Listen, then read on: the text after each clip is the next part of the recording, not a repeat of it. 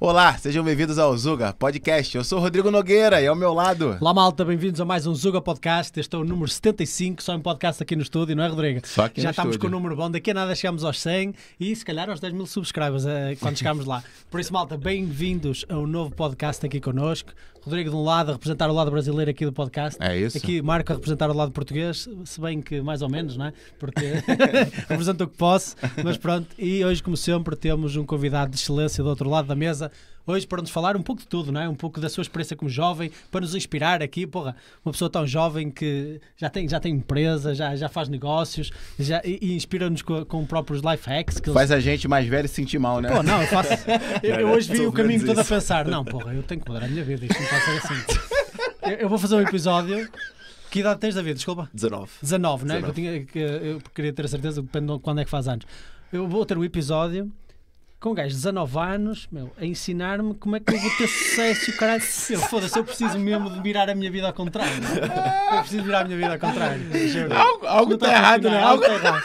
Algo está errado, meu, algo Onde está foi que tu errou, Marquinhos? Onde foi? Fodeu-se. João só traz mais influências. Estes para o gajos, podcast. ele sabe alguma coisa que eu não sei, meu, como é que é? Tipo, nascer numa, numa família multimilionária. Nós dois vamos aprender isso tudo, malta. Com 19 anos, você tava Let's fazendo o que com 19 anos, Marquinhos? Mano, eu, eu nem sei, eu nem sabia pensar 19 anos. Eu só vivia, eu só agia. Tu botava no PS, né? 19 anos, tu botava no Foda-se. PS. Eu, eu, eu ainda pertenço, eu era militante do PS ainda Meu 19 Deus do céu! É verdade, é verdade. Que vergonha, É, produtor, que vergonha. Na altura em que o meu pai zelava pelos meus interesses e sabia que estar no PS é, um bom, é uma boa carreira de futuro. Verdade, Malta, tava, mas ele fora tava certo. brincadeira, pá, fora brincadeira. David, bem-vindo aqui ao Zuga, pá. É um prazer ter-te aqui connosco.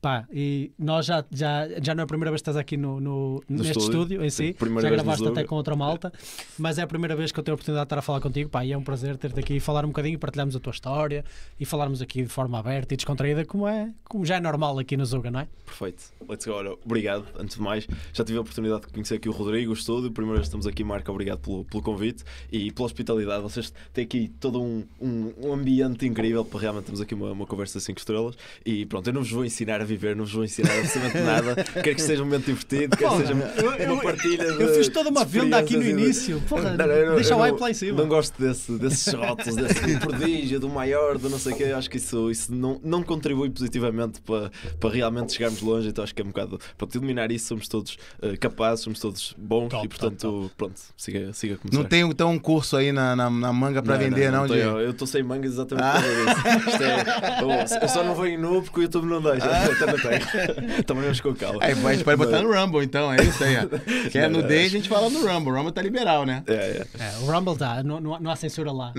Não há Alexandre. Moraes não chega lá, o É, é, não isso. respeita, não é? Bem, olha, por onde é que tu queres começar? Nós, eu gostava muito de conhecer melhor, pá, a ti como pessoa. Conta-nos um bocadinho de onde é que tu vens e como é que tu chegaste onde estás agora, com, a- com, a- com as tuas aventuras, com os teus negócios Ok. e, e com a tua forma de pensar. Como é que tu tornaste o David que és hoje e o que é que é o David hoje? Perfeito. Pronto, acho que isso é um bom, um bom princípio, ou seja, fazer um bocado de engenharia reversa de onde eu estou agora Aham. e como é que isso foi, no fundo, sendo construído, porque é um bocado isso. Imagina, nós, as situações que estamos a viver hoje são o resultado que já fizemos. Então, aquilo que eu fui eh, fazendo, esses hábitos todos somados, as experiências todas somadas, levaram a que eu, pronto, estivesse aqui presente hoje com, com o que fiz até agora, com o que sei até agora.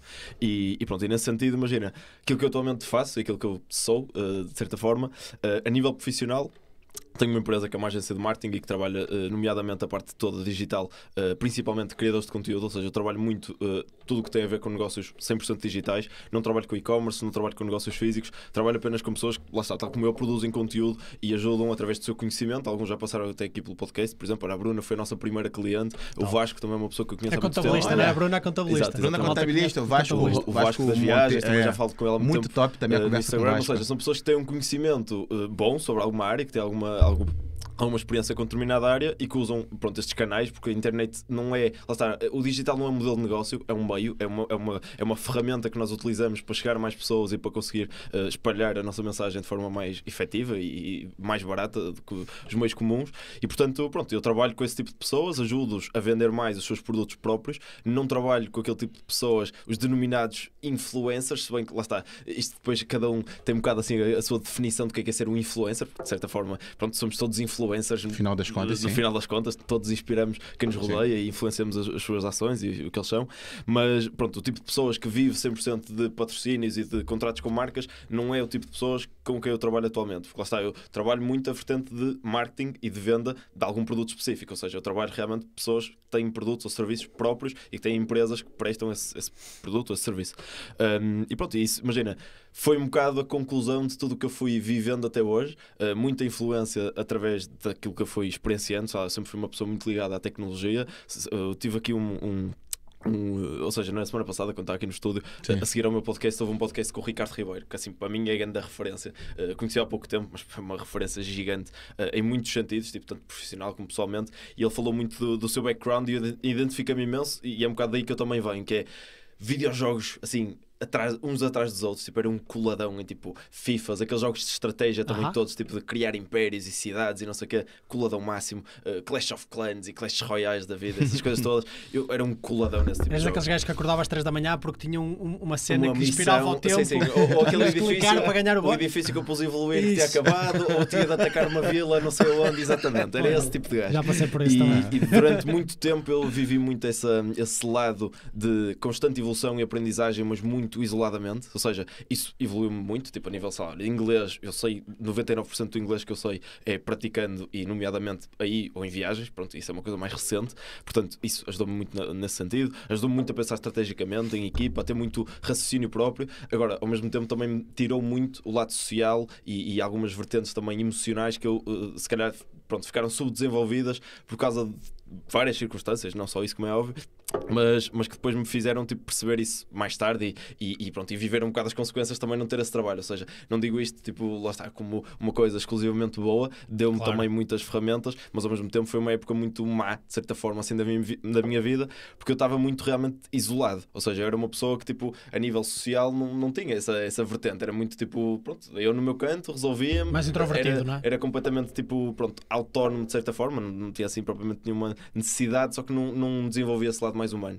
E, e depois, a nível prático, eu acho que recentemente, e isso foi o que me levou a também crescer mais a nível profissional e a ter um bocado a autoconfiança que é preciso para realmente nós pormos para cá, eh, pormos cá para fora aquilo que nós acreditamos e somos, eh, pronto, que foi um bocado o trabalho que eu fiz a nível da arte marcial que eu pratico. Ou seja, eu, a partir de certa altura, tinha dois- 12 anos, eu já praticava, acho que pratiquei todos os desportos que existem, basicamente, desde tipo futebol, ténis, dança, xadrez, eh, tipo, mais, outros mil, já não sei se disse té- ténis, mas pronto, mil e um desportos tipo, eu fui praticando ao longo do tempo e, e sempre foi uma coisa que tive bastante presente na minha vida. Só que a certa altura, aos 12 anos, eu depois saí do futebol e, e pronto, e entrei, não foi por acaso, eu- a minha mãe eh, acabou por conhecer assim de uma forma que eu já nem percebi bem como é que foi, tipo, acho que tinha uma das pessoas que praticava lá arte marcial, tipo, pronto, era conhecido nosso, e a minha mãe depois para ter saído de futebol foi tipo, olha, não queres experimentar?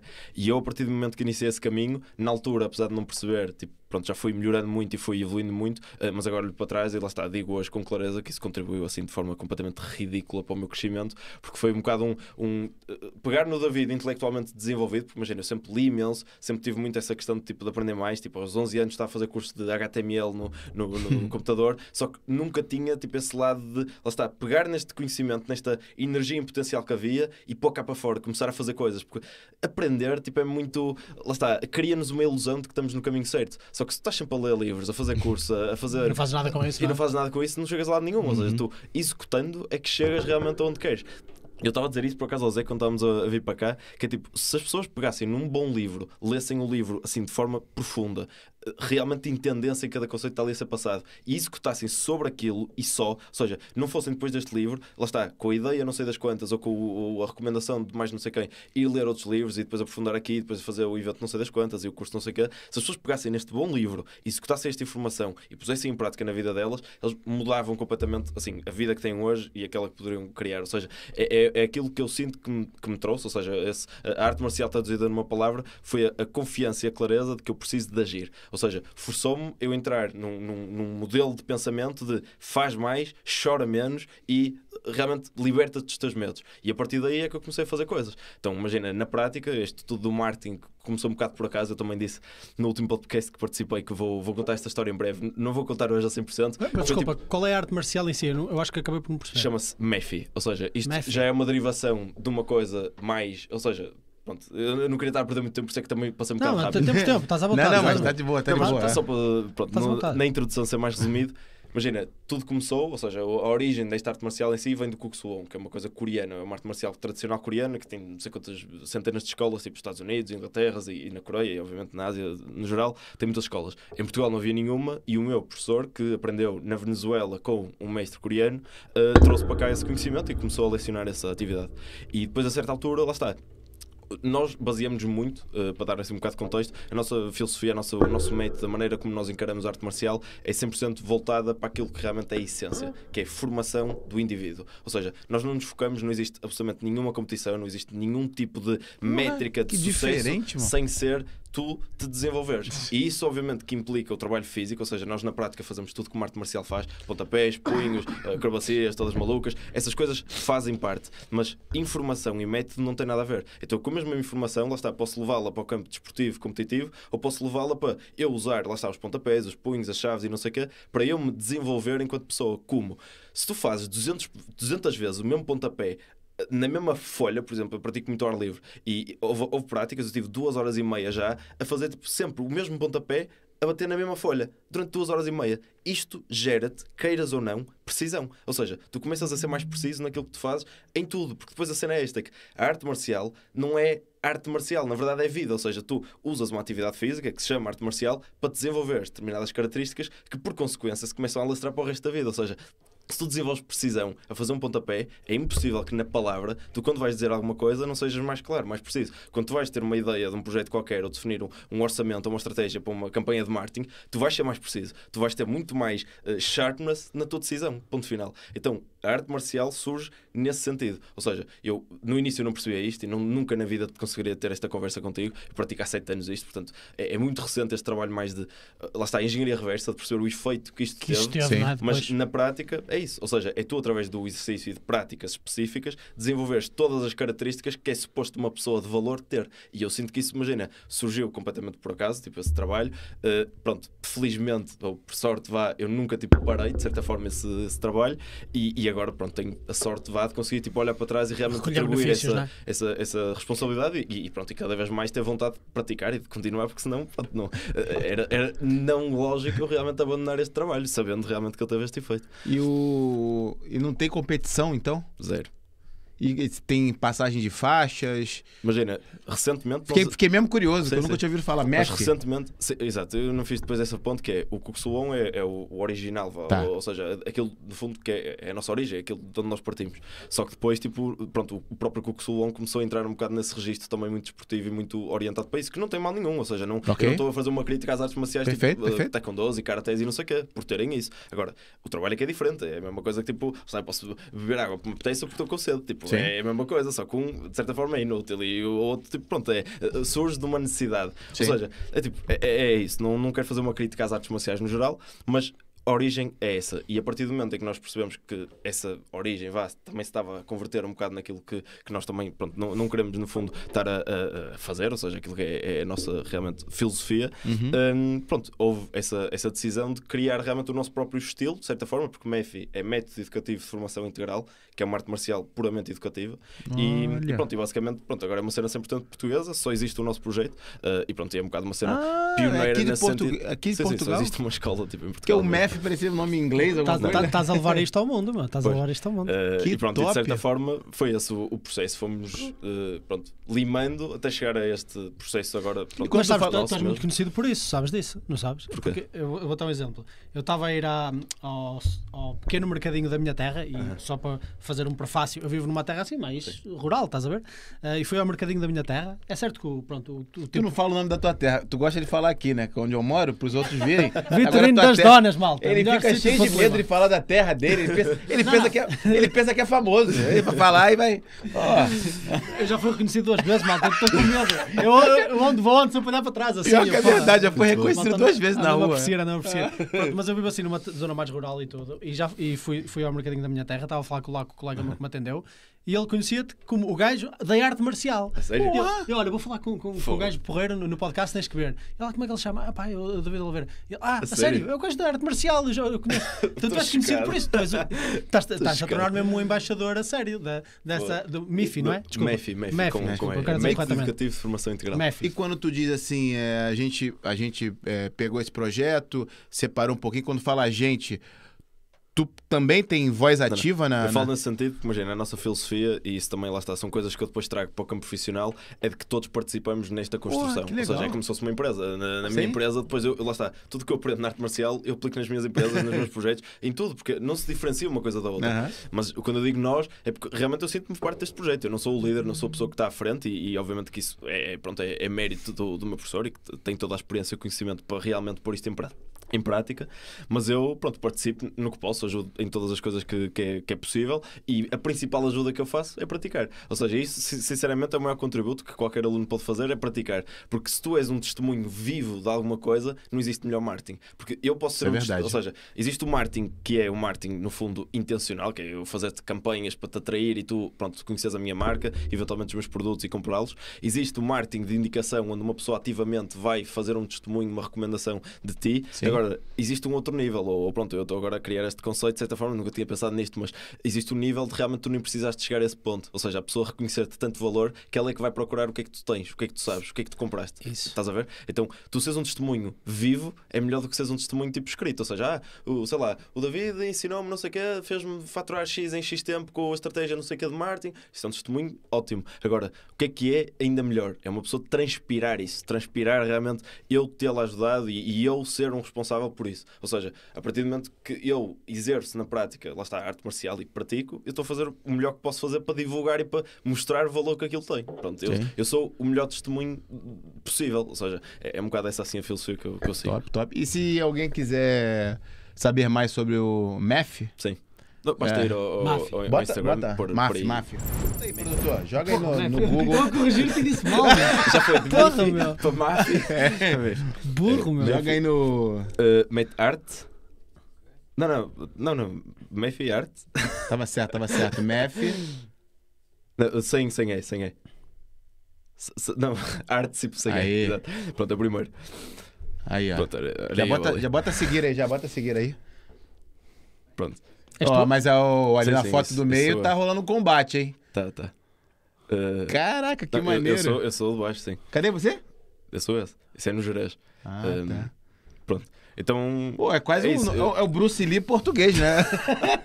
a gente tá conversando com. O Gajo reconheceu ele mesmo lá, lá em. Juro. Não, isso, juro, isso eu tá sério. chocado completamente. Nunca, Não, nunca juro, na tá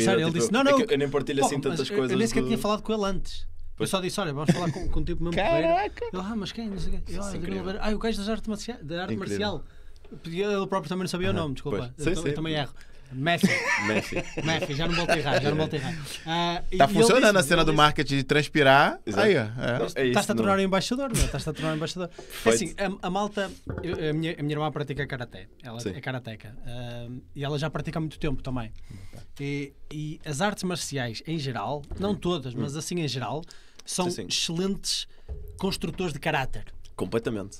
É, Pelo menos essa é a ideia que eu tenho. Independente, é o que eu estava a dizer há bocado, independentemente se for é karate ou taekwondo ou o que for, quando tu entras num estágio onde és obrigado a viver o, o- assim, o que é que eu sinto que a arte marcial traz, sendo muito prático?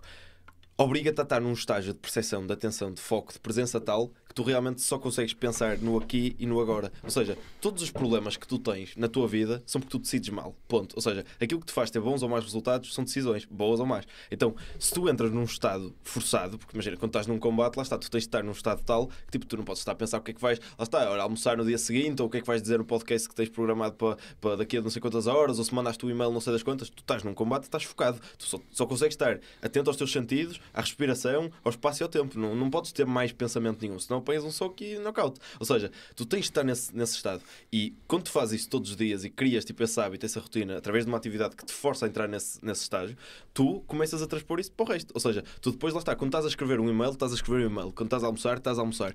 Eu sinto que isso falta. Atualmente, tipo, notas perfeitamente isso. As pessoas vivem sempre ou para trás ou para a frente. Vivem sempre ou na memória ou na expectativa. E depois é que, pronto, surge muito ansiedades, depressões, não sei o que, coisas que no fundo eh, eh, revelam um bocado essa falta de presença. Eu sinto muito isso. Tipo, quando tu crias essa, essa no fundo, eh, obrigatoriedade de viver o agora, e eu sinto que a arte marcial faz isso, porque obriga-te mesmo, ou seja, tu, a única opção é essa, tu começas a perceber que realmente esse é o caminho, é estar presente. Agora, uma coisa é ler isso num livro, outra coisa é experienciá-la. Por isso é que eu, eu, não sou um hater de livros de desenvolvimento pessoal. Agora, eu sinto que o melhor livro que existe, lá está, olha, é a montanha, como estava ali há bocado, é tu ires para o meio da montanha sozinho e estás obrigado, de certa forma, a sobreviver, a desenrascar-te, a encontrares o caminho para casa, a comer, a, a fazer as coisas difíceis, tipo, é fazer as coisas difíceis. Quando tu fazes coisas difíceis, tu não tens alternativa se não pensar na coisa que estás a fazer. Tu não estás a pensar noutras. E isso obriga-te a estar presente. Ponto. Isso é- isso- E, hoje em dia isso parece, parece simples dizer uma coisa dessas, mas hoje em dia isso é mesmo difícil. Pois. E tu fizeste uma descrição perfeita. Ainda por cima eu tenho um background em psicologia.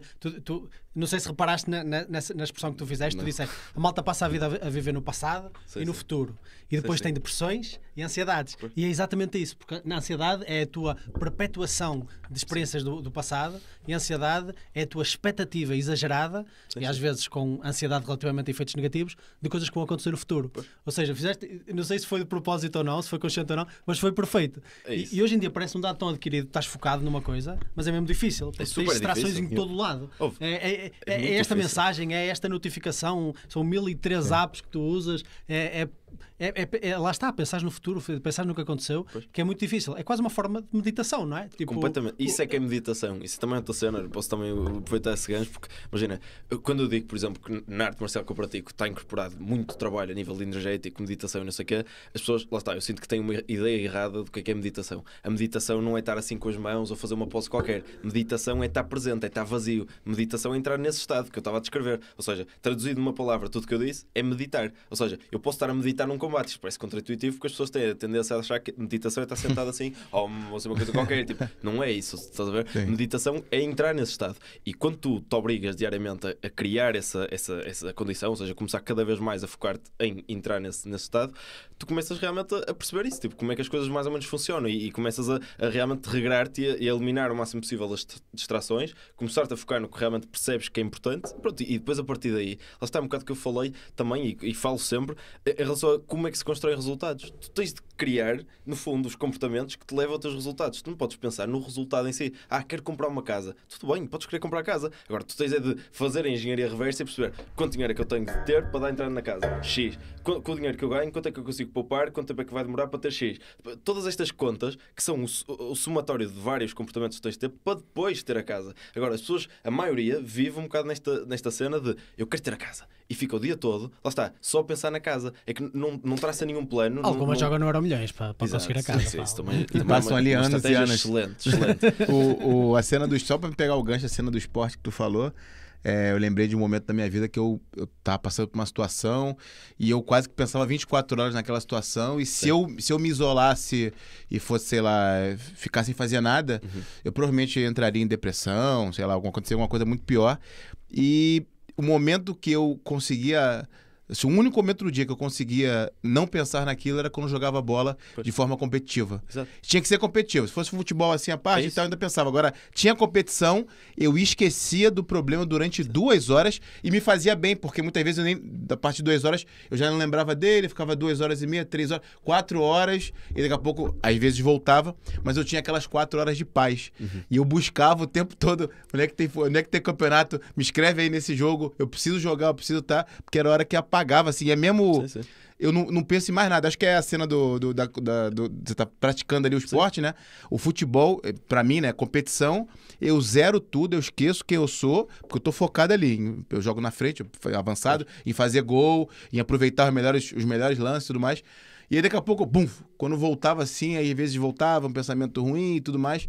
E eu falava, caraca, é muito bom isso aqui, porque é a hora que eu não lembro de mais nada. Eu esqueço Mas praticamente porque é tudo. difícil, ou seja, tu disseste claramente quando é competitivo, quando me exige realmente aquele É, estado, isso, eu é isso. preciso de ganhar e tu te focas 100% naquilo, É. resulta. Senão, não. E é um bocado isso, imagina. Eu, eu também eu, eu não quero ser conhecido como o embaixador das, das artes marciais como se fosse o único caminho. Eu sinto que é, assim, sem É dúvida, caminho. com base na minha experiência, a ferramenta mais intencional nesse nesse sentido. Porque, por exemplo, o, o futebol, outros desportos todos, porque lá está, eu fiz muitas coisas e eu senti também 100% isso, esse, esse vazio, esse entrar nesse estado. Agora, nunca em nenhum desporto, de forma intencional, se trabalhou essa, essa parte da formação do Ok, caráter. Ou ok. seja, há coisas que tu fazes na arte marcial, por exemplo, que depois realmente se traduzem em coisas práticas no, dia a dia, mas não é por acaso, é porque é intencional. Foram desenhados os exercícios para levar aí. Ou seja, não é uma coisa por consequência. Mas eu sinto isso, imagina, se tu, se tu estiveres num estado tal, tipo, imagina, a desenhar que te obriga a entrar mesmo nesse vazio, tu com isso vais ter exatamente o mesmo resultado a nível mental do que eu, por exemplo, com arte marcial, ou tu com futebol, ou qualquer sim, outra coisa. sim. Tem de ser difícil.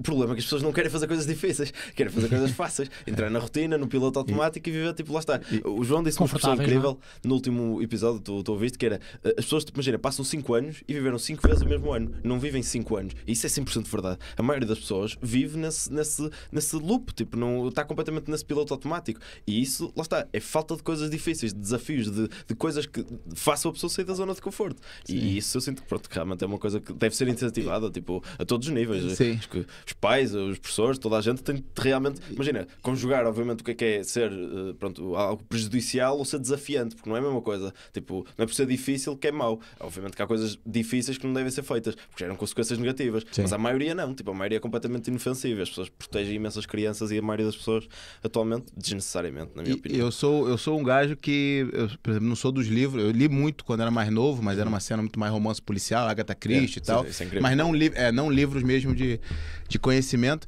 Mas sou um gajo muito mais no é, de olhar pro, pro mundo e entender como as coisas funcionam. Uhum. E tem duas coisas que eu sempre ouvi na minha vida, sempre percebi que funcionam. A primeira é a cena do teatro para quem era tímido. Eu sempre vi as pessoas relatando, atores famosíssimos, atrizes famosas, falando: não, quando eu entrei no teatro, eu virei outra pessoa. E até mesmo palestrantes, pessoas né, famosas, falando: não, foi depois do teatro e tal. Então eu sempre tive isso na minha cabeça. E a cena das artes marciais como é, uma cena de obediência, uma, uma, uma criança que era muito. rotinas. Disciplina, é isso. Uma, uma criança que era muito disciplinada, coloquei na arte marcial e ela criou caráter ali, porque tem a cena de reverência, muito principalmente as artes marciais vindas da, da, da Ásia, né? Eu acho, né? Do Japão e tal. É, reverência, Claro. tem um mestre, tem hierarquia, ensinando tudo aquilo Dá-te estrutura, não é? que hoje em dia, é, a- já, já, já fazendo um gancho aqui pro, pro nosso mundo atual, É é, visto como coisa ruim, né? Que Claro. é, ah, não pode ser hierárquico, tem que ser todo mundo igual e tal. E lá tem. Exato. já tô vendo tu rindo aí.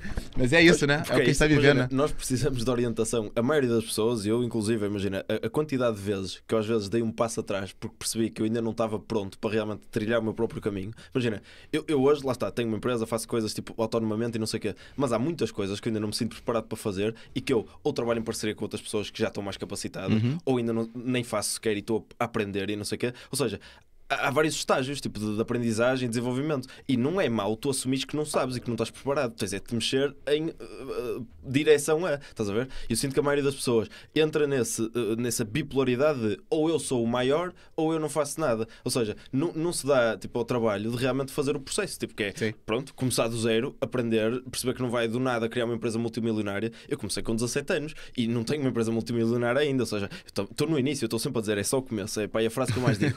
E é só o começo, é um bocado uma filosofia de vida, no sentido de a cada passo que tu dás, por mais que seja muito bom, é só o começo. Só o Ou começo. seja, há sempre mais para fazer. Não, nós acharmos que chegamos a é um erro. E por, por isso é que eu disse no início a cena de, eh, sei lá, de prodígio, de bons resultados, não sei o quê. Eu às vezes tento-me cada vez mais afastar desses Sim, sim. rótulos, dessas cenas, porque, porque isso é mau, no sentido em que dá-te a sensação que chegaste a. E isso depois, imagina, eu também partilhei isso, que é tipo, basicamente quando tu sobes muito rápido para manter, tu precisas ter um nível tipo de maturidade e de capacidade emocional que lá está, se não fosse arte, arte marcial, que garantidamente eu não tinha, tipo, estás ali a falar um bocado, eu estava a pensar, realmente, imagina, se eu não tivesse se calhar feito este trabalho, eu há 5, 6, 7 anos eu era rotulado como hiperativo, como um miúdo qualquer assim com 15 problemas mentais diferentes, na boa. Hoje em Eu dia, tenho nenhum 4 em problema 5 são mental. imperativos. É. assim Exato, ou seja, mas, mas são, não são, tipo, eles Claro são, que não, eles exatamente. são rotulados como, mas tipo, é, é uma falta de um trabalho que poderia ser feito e que não é feito. Ah, e, que- e que é ah, melhorável, tipo, é uma coisa que, ah, curável de certa forma, apesar de não, dele não ter nada, mas é, é uma coisa que dá para mudar. E eu acredito 100% nisso. Não, obviamente que existem doenças, como é óbvio, isto não é, não é um Claro, claro, a pessoas que tenham realmente os problemas, mas imagina, a nível de percentagem, a percentagem de pessoas diagnosticadas com hiperatividade e pessoas realmente hiperativas, pá, Tem nada a ver. Não tem E nada tu a ver. vai, e tu vai, Virou é, modinha, virou e tu vai, e tu vai pela prática. Tu vê quantidade de pessoas que falam que depois das artes marciais melhoraram, que tiveram seus filhos com mais dúvida, disciplina, a cena do teatro. São coisas que você Sim, observa. É, eu, eu- Eu, eu- próprio com a minha irmã, ela, ela era. A minha irmã sempre foi horrível com autoridade, ela é uma peste autêntica. E Era eu, era eu. ela já pratica karaté há bastante tempo e agora está menos horrível, um bocadinho. Nota-se uma diferença substancial. Pá, mas isso tem influência em mim, eu também sempre fui muito complicado com a autoridade, principalmente a autoridade não merecida. Mas tu achas por exemplo, atualmente, o que tu estavas a dizer, pá, é muito importante. Nós temos que fazer coisas difíceis. Quase, é, resumindo numa palavra, quase é, resumindo tudo o que estamos a dizer numa frase, é isso: faz coisas difíceis. E tu achas que hoje, por exemplo, eh, os jovens no sistema de educação, ainda há pouco tempo andávamos aqui a falar do sistema de educação e de alguns problemas que existem lá a nível político, etc. Mas tu achas que, por exemplo, no próprio sistema educativo é desincentivado fazer coisas difíceis? Tu achas que os jovens não, não são colocados em situações desafiantes onde não necessariamente existe uma resposta certa? Imagina, obviamente que há exceções, mas tipo, como um modelo em si, o sistema por si só permeia a procrastinação, ou seja, permeia a falta de decisão. Tu tens sempre uma opção seguinte, ou seja, a partir do momento que tu acabas o dé- o décimo segundo, se só nunca tinha tivesses, assim. só tivesses a opção de trabalhar, eu garanto que tu, tu trabalhavas. Agora, tu podes ir fazer uma licenciatura. Então, ah, ainda não estou preparado para trabalhar, vou fazer uma licenciatura. Ok, tudo bem. Vais fazer a licenciatura, supostamente já estarias pronto. Mestrado. Chegas ao pico máximo do mestrado, agora é que talvez. ah, doutoramento. Ou seja, tu és sempre. Tu, ah, o sistema em si permeia a verdade. Falta de execução. Ou seja, não é que, obviamente, durante o percurso em si, não haja momentos onde isso, se calhar, pronto, há o desafio, há o trabalho, não sei das quantas, há coisas que são difíceis. Não, não quer dizer que o sistema em si não seja difícil, mas é um difícil não inteligente. Ou seja, eu sinto que, imagina, coisas difíceis não são coisas trabalhosas. Eu acho que são coisas diferentes. Coisas trabalhosas são coisas que demoram tempo a ser feitas. Coisas difíceis são coisas que realmente, imagina, exigem um nível de complexidade maior, mas que também automaticamente está associado a um resultado maior. Sim. Agora, trabalhoso, imagina, é a mesma coisa que estar ocupado ou ser produtivo. Estar ocupado e ser produtivo não é a mesma coisa. Tu tens muitas tarefas, não estás a ser produtivo.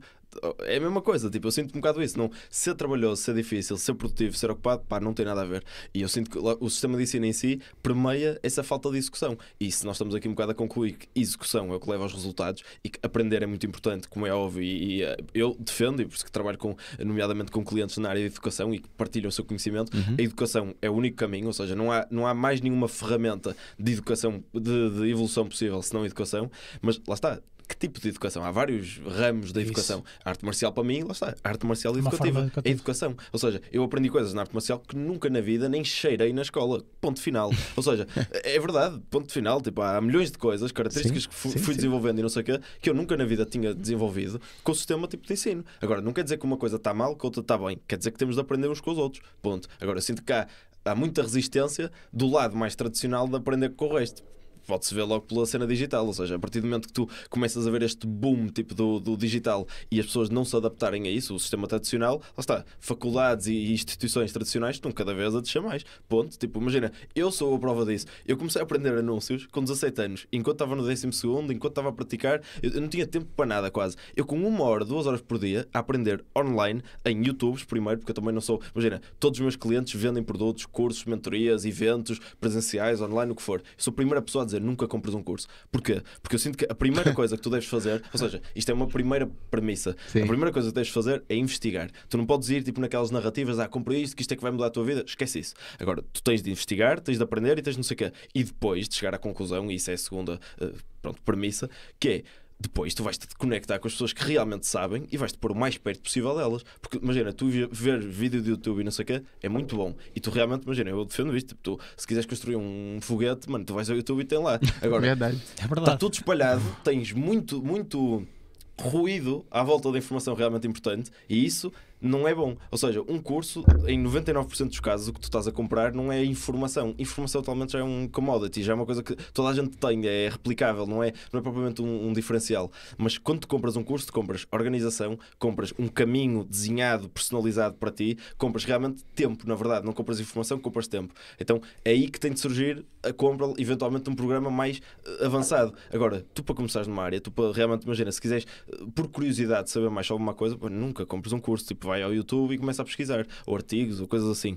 Mas é um bocado isso, é, é tudo educação. Agora, os meios tradicionais não se adaptam a isso e depois, pronto, vês pessoas, tipo, os meus clientes, a voar, tipo, a nível de impacto, de, de- não só, principalmente de escala, mas de impacto. Tu vês a transformação do que é que é uma pessoa fazer um curso de contabilidade ou aprender com a Bruna. Tipo, há pessoas, lá está, que saem do curso de contabilidade, que não sabem nada comparado com o que precisam de saber na prática para exercer a profissão, fazem um curso da Bruna que custa 100 euros e sabem, tipo, imenso. Ou seja, de repente. E passam a gostar. E passam a gostar, Passam- ficou apaixonado. Ninguém era uma coisa que eu preciso saber, mas é chata para aprender. Não.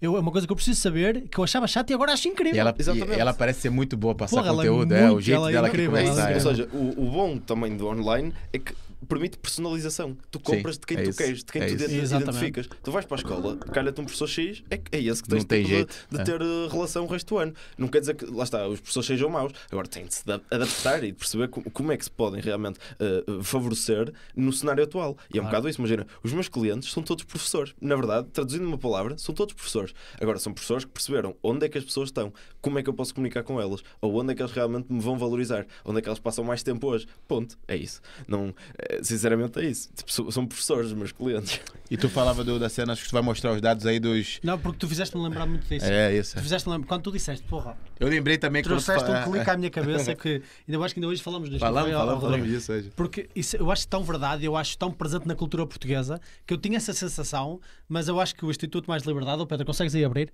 Vai ao Instituto, partilha o ecrã e vai ao Instituto Mais Liberdade, é mesmo fácil de encontrar. Não, não, o site- São site três mesmo. cliques, vai ao site mesmo. Mais liberdade. Enquanto eu abro, eu vou explicando. Tipo, eu tinha esta sensação que em Portugal realmente temos essa cultura Uhum. do- da educação, que é nós temos sempre um caminho a seguir, sempre um caminho a seguir. Ainda por cima, como a universidade é um ativo de baixo risco, infelizmente há muitas pessoas que ainda não têm posses para ir para a faculdade. Sim. Uh, mas pronto, infelizmente ou felizmente, não, de- de- infelizmente é algumas pessoas que querem ir para a faculdade não podem. É mais di- exato. dito dessa maneira. Sim, sim. Um, no entanto, é um meio bastante facilitado e de low risk Sim. para adiares e procrastinares o teu futuro. Exato. É verdade, ainda por cima agora com o mestrado integrados, tu adias 5 anos da tua vida, é, É uma maravilha. Não, não, daqui a. Eu só comecei o curso. Não, não, daqui a. No quarto ano eu penso em fazer um Erasmus ou fazer uma cena qualquer que complemente o meu currículo para me diferenciar do resto de tudo que é a mesma coisa. E eu tinha a sensação que a malta em Portugal fazia muito isso e tira cursos da treta que não importam para nada. E hoje eh, eu comprovei isso. Bacana. para baixo, só um bocadinho. Desce, faz scroll para baixo, Pedro. Ah, mais, mais, mais, mais. E olha, este aqui. Clica assim aqui. É o, o Não, quarto. aqui, aqui, o quarto. aqui, olha aqui, Pedro. O quarto. Portugal é particularmente conhecido por ter tá uma vendo, taxa? Tá.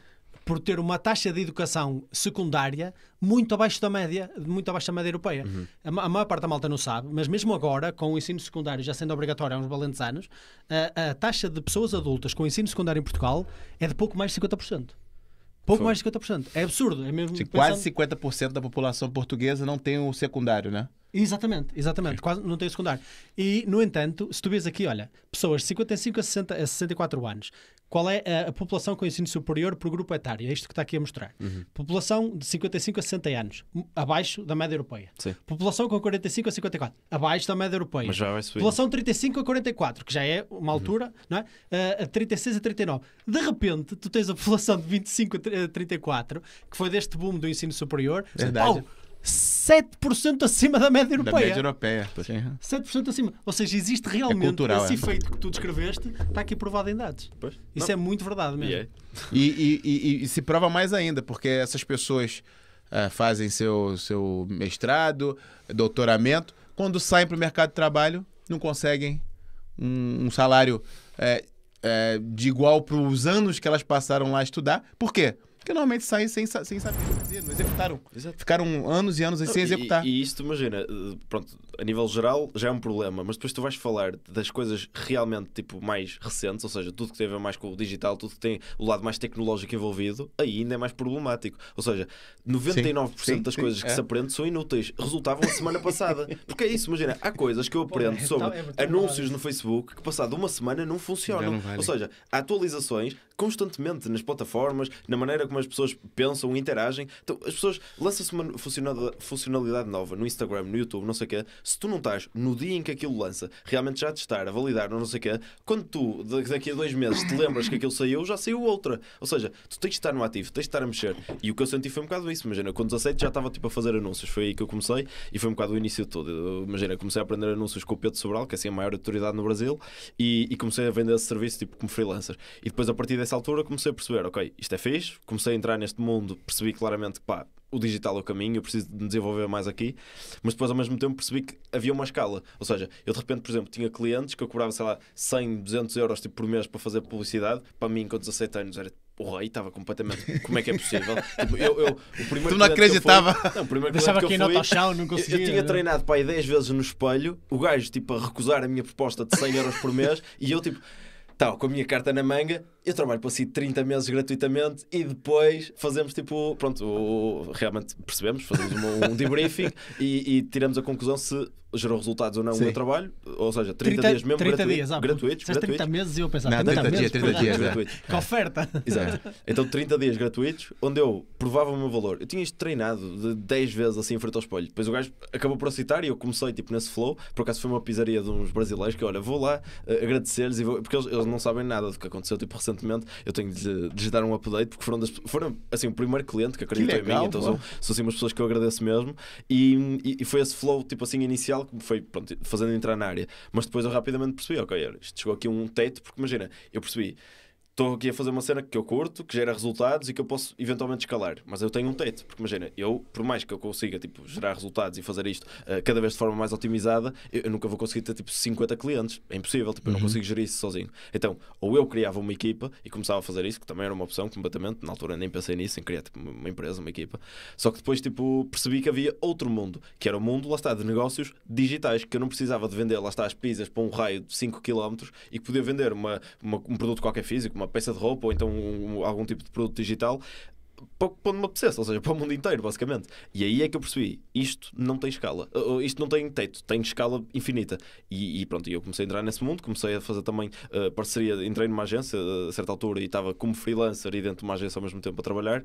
E depois a certa altura, pronto, dediquei-me 100% mesmo ao trabalho que estava a fazer já como coprodutor, ou seja, já, já não fazia só anúncios, fazia tipo e-mail, uh, páginas, sites, uh, copywriting, anúncios, etc.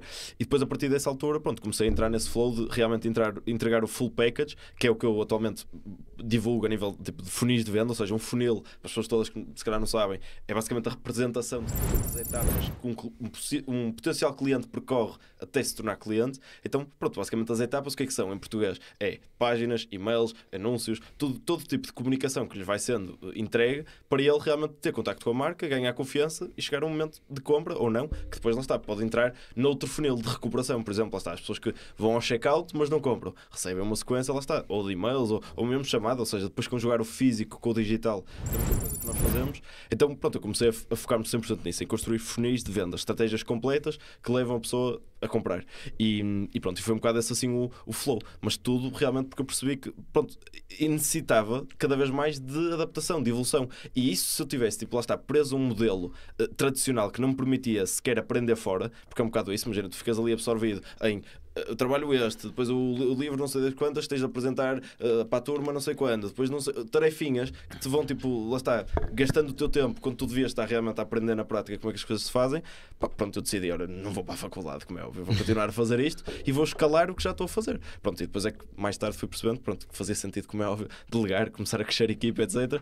E, e pronto, e as coisas foram se juntando. Mas era impossível ter chegado a estas conclusões se estivesse nesse, nesse flow e se tivesse sido obrigado um bocado a parar Sim. para depois e eventualmente fazer. Para depois e eventualmente fazer, cada vez mais é demasiado tarde. Bum, tipo, as coisas passou. evoluem muito rápido. E, e mesmo hoje, imagina, as, as profissões que existem hoje, eu garanto que daqui a 5, 10 anos não vão existir. Muitas. Assim, a maioria mesmo. Mesmo a minha, tipo, aquilo que eu faço hoje, cada vez mais está a ser, tipo, eh, posto à prova. Estás a ver? Sim. E eu, se eu não me desenvolvo, se eu não uso, tipo, olha, o chat GPT, essa É isso que eu falar da inteligência artificial aí chegando. né? essa ferramenta eu atualmente uso para, assim, 90% do meu trabalho, provavelmente. Ou seja, auxilio-me com essa ferramenta e tenho pessoas na equipa que usam essa ferramenta para tanto pesquisa como escrita, como várias atividades. Se eu tivesse sido cético ao ponto de tipo, ah não, eu sou marketeer, não quero lá saber das inteligências artificiais, não sei o quê, eu ia ser ultrapassado daqui a dois anos. Ia haver um gajo qualquer que ia ter uma agência 100% automatizada que fazia 10 vezes mais do que eu, por 10 vezes menos do preço, a uma escala 100 vezes maior, por exemplo. Então, onde é que eu fiquei? Fiquei parado no tempo. E é aí que eu sinto que a maioria das pessoas estão. Estão paradas no Sim. tempo. Tipo, decidiram, imagina, eh, eh, atribuir a responsabilidade da decisão da vida delas, dos resultados delas, para outras pessoas. E eu não faço isso. Tipo, isso foi o que eu senti que a arte marcial me fez fazer. É com o meu futuro não brincam. Ou seja, eu assumi tipo as rédeas um bocado da minha vida. E por mais que eu estou sempre a cometer erros e estou sempre a bater com a cabeça, e é essa a imagem que eu quero passar. Sou pai a pessoa mais errante do mundo. Mas eu faço. Então é preciso. É, é, é preferível fazer 100 e errar 90, mas 10 coisas ficarem bem feitas, do que seres como a maioria das pessoas que pondera fazer uma. Tipo, Certo. O- é isso. Deixa eu só, deixa eu só, vou aproveitar aqui, só pedir pra malta. Daqui a pouco a gente vai falar com as, com as pessoas aí, dar uma boa noite pro pessoal. Pedir, malta, diga de onde então, vocês estão assistindo aí. é, cidade, né? Freguesia, bairro, país. Porta, da Coloque rua, aí, porta, porta de casa, Colo- tudo. Metam tudo. Coloque aí no chat. E deixa eu te perguntar. Normalmente aqui, aqui no Zuga a gente tenta, tenta trazer é, tudo que a gente tem público do mais variado possível, da- das idades aí variadas, países variados. E a gente tenta trazer, às vezes, uma linguagem um pouco menos técnica e mais prática. Sim. E não, não dizendo que você está tendo uma linguagem técnica, mas trazer para mais prática ainda que é. Tentando fazer aqui uh, uma pessoa que está assistindo a gente, que sei lá, hoje tem seus 50 anos, 60 anos, e sente que é, precisa fazer mais, ou quer fazer, ou, ou, ou na, na vida, às vezes deixou, deixou a, a vida levar ela, por exemplo, e precisa de execução, tá se sentindo mesmo empolgada e motivada com o teu discurso, com um, um menino de 19 anos, falando, pô, isso aí faz sentido o que ele tá falando, eu gostava de aplicar na minha vida. E talvez também para um, pra um jovem que está assistindo a gente, tem 23 anos, 22 anos, tá no segundo ano da faculdade, tá falando: caceta, eu entrei nessa que ele acabou de falar, isso aqui tá um, tá um saco. Tô vendo amigos meus voando que não estão na faculdade. Então, assim, não é que condenando a faculdade nada disso, é Sim, mesmo sim. pessoas que se sentem é, do jeito que você se sentiu e precisam tomar a rédea. Que práticas, por exemplo, o que, que você daria de exemplo? Você falava assim, ó, experimenta começar a acordar cedo, experimenta começar a tomar banho gelado, que eu já vi que também tem uma cena aí do banho gelado contigo. É, é uma cena do, do hábito, é, você entra numa arte marcial pra, sei lá, pra melhorar alguma coisa. Dá um- algumas cenas práticas aí do que, que tu acha que ajudaria tanto uma pessoa de 50 anos como um jovem de 20 anos, por Se tornar exemplo. mais ativa, não? É. Sim. Pá, primeira, desinstala todas as redes sociais que tens no teu telemóvel. Eita! Se eu não trabalhasse com o Instagram, eu desinstalava o Instagram. Todo, todo o resto eu não tenho, basicamente. Ou seja, Isso é forte, Eu, é. tenho, eu tenho Facebook, tipo, tenho o login para depois fazer anúncios lá, mas tipo, eu não vou ao Facebook. E a única rede social que eu tenho no, no telemóvel é o Instagram, porque eu uso para expor um bocado o meu trabalho. Se eu não usasse, não tinha. E isto porque, comparação, imagina, essa cena de ah, tenho amigos a voar, tenho amigos ali, tenho amigos acolá, isso é o que eh, restringe cada vez mais as pessoas. Porque elas, elas usam isso como escudo depois, tipo, ou seja, elas eh, ou- ou ou estão no estágio que se sentem completamente mal, porque há muitas pessoas bem, e é isso que as redes sociais trazem, é tu, tu só vês o 1%. Ou seja, tu de repente tu generalizas tudo. porque Tu achavas que estavas bem, mas Exato. agora amanhã já estás depressivo. Só por ver é Imagina, que se eu fosse por aí, pessoas por exemplo, eu disse isso por acaso no podcast com o João. Há miúdos que eu conheço, imagina, 13 anos, a fazer milhões com, com, tipo, com, exatamente com o que eu faço. No Brasil, por exemplo. Se eu fosse por aí, imagina, eu era um merdas. Eu não estava a fazer nada de jeito, chorava todos os dias, estava a ponderar suicidar-me. Agora, eu não sinto isso. Ou seja, porquê? Porque eu, eu consigo, de certa forma, pronto, tirar-me desse papel de tipo de, pronto, de comparação e estar aqui a ver que é o maior. É tipo, eu, eu preocupo-me em fazer as coisas e preocupo-me em aprender com quem sabe. Agora, a questão é, quem mais sabe não está nas redes sociais a discutir, tipo, lá está, se isto está bem, se está mal, se está. Pá, não está. Ou seja, as pessoas de real valor, e isso por acaso eu vi uma cena do Gary Vee, que para mim é grande exemplo, uh, recentemente, a dizer exatamente isso. Falem com pessoas mais velhas. Por exemplo, ele disse, tem um Reels qualquer dele que está a falar, tipo, imagina, eu, a maioria do tempo que eu estou, tipo, imagina, assim no off, por exemplo, ele- acho que deu o exemplo, tipo, numa uma cena no aeroporto, ele vai falar com pessoas velhas, tipo, pessoas de 70, 80, 90 anos, porque realmente são essas pessoas que, Porra. imagina, eles já estão num estágio que Sabedoria. eles, eles só querem partilhar. É. Tu estavas a dizer pessoas que eh, possam estar a sentir-se, tipo, se calhar, pronto, contagiadas pelo meu discurso, são mais velhas, querem fazer alguma coisa diferente ou não sei o quê. Imagina, eu sinto que a maior parte das pessoas que já estão num estágio de idade mais avançado, o que elas realmente querem já não é tipo criar uma startup bem sucedida, elas querem fazer os outros fazerem coisas. Ou seja, eu sinto que é um bocado isso. Imagina, Boa. tu, se tu te conectas com essa pessoa enquanto jovem, tu vais beber muito sumo, porque essa pessoa já, já não tem nada a- nem a ganhar nem a perder, ela só quer tipo, passar o teu conhecimento, o conhecimento que tem, para que tu desfrutes melhor da vida. E eu sinto que isso é uma coisa boa a fazer-se. E, e realmente lá está, conviver com as pessoas que têm conhecimento real das coisas, não? Porque as redes sociais, pronto, tu ou convives com o 1%, mas não é bem conviver sequer, porque imagina, tu segues o 1%, tu não convives com ele. Se tu consegues Verdade. perguntar uma coisa, está, eu, nu- eu nunca falei com o Gary Vee na vida, eu queria, mas tipo, nunca falei. Porquê? Porque ele, ele partilha coisas e eu tenho algum contacto com, a- com a filosofia de vida dele por causa disso, mas eu, eu não acesso o Gary Vee. E eu, por mais que eu gosto muito do Gary Vee, eu sei perfeitamente, e isto está mais que claro para mim, que seria mais valioso eu pegar numa pessoa que se calhar tinha um centésimo das qualidades do Gary Vee, mas que eu tivesse 100% de acesso a ele e beber toda a experiência que esta pessoa tem, do que ter este, estes microchips do Gary Vee. Estás a ver? E eu adoro o Gary Vee, estás a ver? Mas é um bocado isso. Eu sinto que nós Sim. temos acesso real a alguém. E, e- e era o que eu estava a dizer a questão do livro. Nós pegamos num bom livro e fazemos o que está naquele bom livro.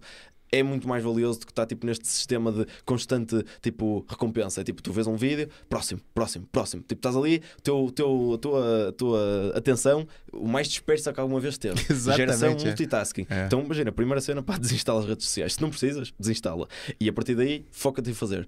Uh, tudo o que tem a ver com notificações e distrações e não sei o quê, elimina isso. Tipo, eu também, imagina, o meu telemóvel, estou 100% tipo off. E, e não perco nenhuma coisa importante, estás a ver? Tipo assim, chamadas e não sei o quê. Tipo, isso tenho alguns contactos e algumas coisas que estão tipo acessíveis e Sim. faz som, mas tudo o resto, imagina, eu, às vezes faz-me impressão, por exemplo, o meu irmão tem likes do Instagram, tipo notificação, likes. Imagina o que é que é alguém, sempre que dá um like na minha história, cachim! Eu, tipo, eu- eu fico, fico E a o imaginar foco? como é É. que é a vida de alguém assim. Mas o sistema dopaminérgico dele está top, pá. Sim. Está Não. incrível. Não, o meu irmão é maior, estou a dar como exemplo, tipo, ele não está contaminado e, para mim, eu aprendi imenso com ele e também é Não, uma porque, pessoa. eh, porque eu digo isso porque essa notificação, essa, esse, esse like, esse pequeno vídeo rápido, isso neurologicamente Sim, liberta sim. dopamina no teu cérebro, 100%. que é, que é literalmente o teu combustível. Sim, É Eu dou sempre este exemplo que é se tu queres sentir a mesma vontade de fazer alguma coisa que tu achas que vai ser produtiva para ti, a mesma vontade que tu sentes, por exemplo, em comer ou em ir dormir ou qualquer outra atividade fisiológica muito essencial à tua sobrevivência, tu tens de ter um cuidado extremamente grande com o teu sistema dopaminérgico. Sim. Senão tu esgotas o teu sistema dopaminérgico e todas as tuas sensações de, de- de recompensa quando estás a ver 20, 20 vídeos eh, engraçados no TikTok. Pois. E de repente toda aquela energia que tu tinhas e que nem sabes foi esgotada ali Sim. e tu o que tu queres fazer não vais realmente conseguir É fazer isso. e depois dizes eu não tenho motivação. Porra, o teu cérebro está tudo comido, claro que não tens motivação. claro. E o foco também, né? Principalmente o foco também, né? Você, pra executar, tem que ter foco. Tu tem ali as cenas do, de- pelas redes sociais o tempo todo. E é, e é bem verdade que tu falou que é 99% das notificações do meu telemóvel eu não precisaria ver na hora. Não, é inútil. Imagina, as coisas realmente importantes, elas chegam-te. E, É eu- e, olha, é. isso também tem exatamente a mesma perspectiva em relação, por exemplo, notícias. Tu, lá está, não há uma pessoa no mundo que não saiba o que é que é o 11 de setembro. Não há, ponto final. Porquê? Porque foi uma coisa importante que aconteceu, que causou, que, que, que realmente, imagina, marcou ali um antes e um depois Sim. no mundo. E portanto, se tu não estavas a ver televisão naquele dia, tu soubeste. Se tu estavas de férias, tu soubeste. Se tu estavas onde quer que seja, tu soubeste Vai aparecer, né? tudo o que é importante Aham. chega-te. Aham. Então imagina, se alguma coisa não te chegou, é porque não era importante. Eu atualmente, imagina, eu assisti imenso futebol e é um desporto que eu adoro praticar, não uh, ver, assim, não, não tenho assim tatuado, Também principalmente é. agora de Sim. ver. Mas imagina, eu não sei a transferência de, de nada, tipo, imagina, se não sei quantos vai para o Porto, se vai para o Benfica, Eu pá, também não, sei é. nada. É, sim. se eu for ver a equipa atualmente de qualquer um do- dos grandes, pá, não sei. Não do. Porto sei minimamente que sou do Porto, mas tipo, não, pá, não, não acompanho. Estás a ver? Então, imagina, eu deixei de saber isso. Agora, isto não é deixar de saber. Eu ganhei é saber em coisas realmente importantes e deixei de me preocupar com estas merdas que não interessam para nada. É tipo, o não sei que Itch foi para o Porto por 60 milhões, por 67, com a cláusula de não sei o que, de não sei o que mais, é irrelevante para a minha vida. Obviamente que imagina, quem estiver ligado a esse mercado tem de saber. E por isso é que eu realmente digo. Foca-te, imagina, tens um objetivo, primeiro traça um plano, percebe? O que é que eu tenho de fazer para chegar lá? Se não souberes, que é, é perfeitamente possível e, e provável até, vai perguntar a quem sabe. E quem sabe é o que eu estou a dizer, não está nas redes sociais, não está nos meios comuns. Tu, imagina, é tão fácil tu atualmente chegares, lá está, o LinkedIn, por exemplo, que é uma rede social que olha, jovens não utilizam, basicamente, e, e chegares a um CEO de uma empresa qualquer, do ramo que tu sempre foste apaixonado, tipo, olha, tu tens um gajo que adora, sei lá, eh, carpintaria, tu chegas hoje ao gajo mais fodido de LinkedIn de carpintaria em Portugal. Só pesquisar meia dúzia de cenas Verdade. e a fazer uns contactos, a mandar uns e-mails, a não sei o que, estás a falar com o CEO de uma empresa que se calhar fatura 200 milhões, ou 200 que não é muito, mas tipo, muito dinheiro e que Sim. tem muita relevância no mercado, e tu lá está, podes estar passado um dia, se quiseres, a partir de hoje, a falar com ele, a trocar experiências, como é que eu posso começar? Tenho esta paixão, olha, aprendi com o meu avô isto, aquilo, aquilo outro, adorava entrar nesse mercado, pá, olha, não há nenhuma universidade de, de carpintaria, então o que é que eu faço? Pronto, imagina, contacto com as pessoas é o que está por portas. Imagina, eu aprendi mais, lá está, se for ver este Reels ou não sei o que, o que eu pus, tipo, Bota- do bota na tela rewind deste galera ano. A maioria das coisas que eu pus aí, como tipo, No meio, do, no meio ali? Exato, esse do... Essa mal tá vendo já? Tudo o yeah. que está aqui de importante ou é exercício, ou são pessoas, ou são eventos, ou momentos de aprendizagem. Isto é o meu ano, isto é o que eu faço, isto é o que eu gosto de fazer. É conectar-me com pessoas, aprender com pessoas e viver experiências. Imagina, eu sinto que as pessoas atualmente fazem pouco isto. Ou seja, elas focam-se muito tipo, em, em sobreviver, fazem tipo o básico. Então não exploram um bocado isso, que é tipo, elas estão a, a um clique de distância de falar com uma pessoa relevante da área que tipo, sempre foi o sonho delas trabalharem. E não fazem porquê. Tipo, o que é que custa? Lá está, mandar um e-mail a um gajo, tipo, dono de uma empresa de não sei de quê, a perguntar: olha, como é que eu posso entrar neste mercado? Eu quero fazer, eu quero não sei o quê. Tipo, olha, estava a aparecer uma pessoa há bocado que é o Roberto Cortes, por exemplo. Ele está em live agora, está em lançamento até. E ele foi uma pessoa, assim, completamente tipo, determinante no meu início. Porquê?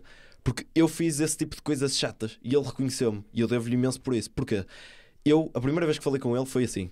Ele tem um evento que é o Ad Summit e o evento dele acontece uma vez por ano. E era tipo outubro, acho que era outubro ou setembro, e eu estava tipo à tarde em casa, tinha acabado de começar esta conta, eu comecei isto em agosto, portanto era para aí setembro, já.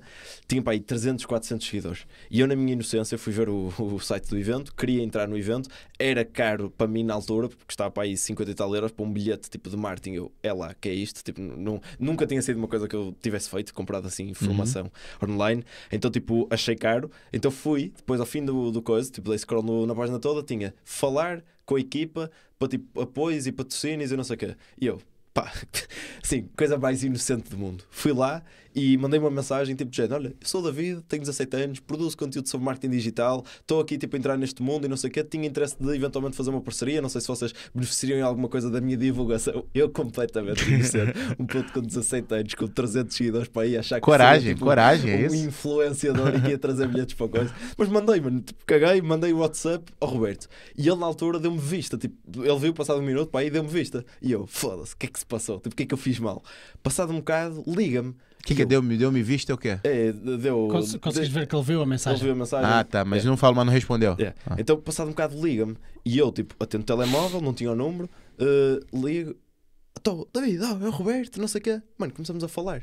E eu, eu para já estava naquele êxtase, porra, estou a falar com o Roberto. Tipo, Estou excitado, tipo, meu Deus, o gajo ligou-me de nada, que é isto? E depois ele a dizer, mano, desculpa lá, eu tive de te ligar porque, mano, tu estás num domingo à tarde, tens 17 anos, estás aqui a tentar aprender, não sei o que, não sei o que mais. Deu-me um bilhete para mim Que e ainda me deu um bilhete para eu divulgar à minha audiência, que tipo, pronto, era completamente irrelevante de certa forma. Houve, foi das cenas que eu mais me senti feliz de ter feito, tipo, de ter em frente, porque estava borrado, tipo, eu faço o que é que eu vou para aqui dizer este gajo? Para mim era tipo uma referência.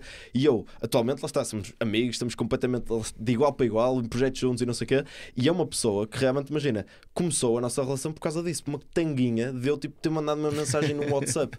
E isso demonstra atitude, estás a ver? E eu sinto que a maioria das pessoas está a esta distância de fazer coisas realmente boas e não faz por. Lá está, porque está, está cómoda, está, está confortável. E o Ricardo, por acaso, ele disse uma cena aqui no podcast, aquele que veio a seguir a mim no, no do João, que foi tipo: imagina, eu sinto que as pessoas gostam disso, porque estava-se a falar um bocado também dessa cena, de atualmente as pessoas, eh, pronto, eh, arranjarem muitas desculpas e estarem muito confortáveis Sim. e não sei o que, não sei o que mais. Ele está a dizer: a maioria, se calhar gosta de estar aí. E tipo, é fodido ouvir isto, mas é verdade. A maioria, tipo, queixa-se, queixa-se e queixa-se, mas se tu não fazes nada é porque não queres. Imagina, ponto final. Tipo, a, a- cena é essa. Atualmente há zero desculpas fazer- para fazer as coisas. Os teus avós há 50, 60, 70 anos tinham 15 vezes mais desculpas. Vai-lhes perguntar se eles ficaram a, a fazer tipo essas, tipo, a procrastinar. Tipo, procrastinação é uma palavra recente, não existia tipo há 50 anos. Estás a ver? É verdade. Exatamente. Tipo, é- são palavras recentes. Tipo, eu não estou a. Hoje em dia dás-te ao luxo de poder procrastinar, é? Exatamente, ou seja, eu não estou a dizer que tipo, é bom, que é mau, que é não sei o quê, tipo, existe. Não, ok. tá, estás, estás, estás, e é mau mesmo.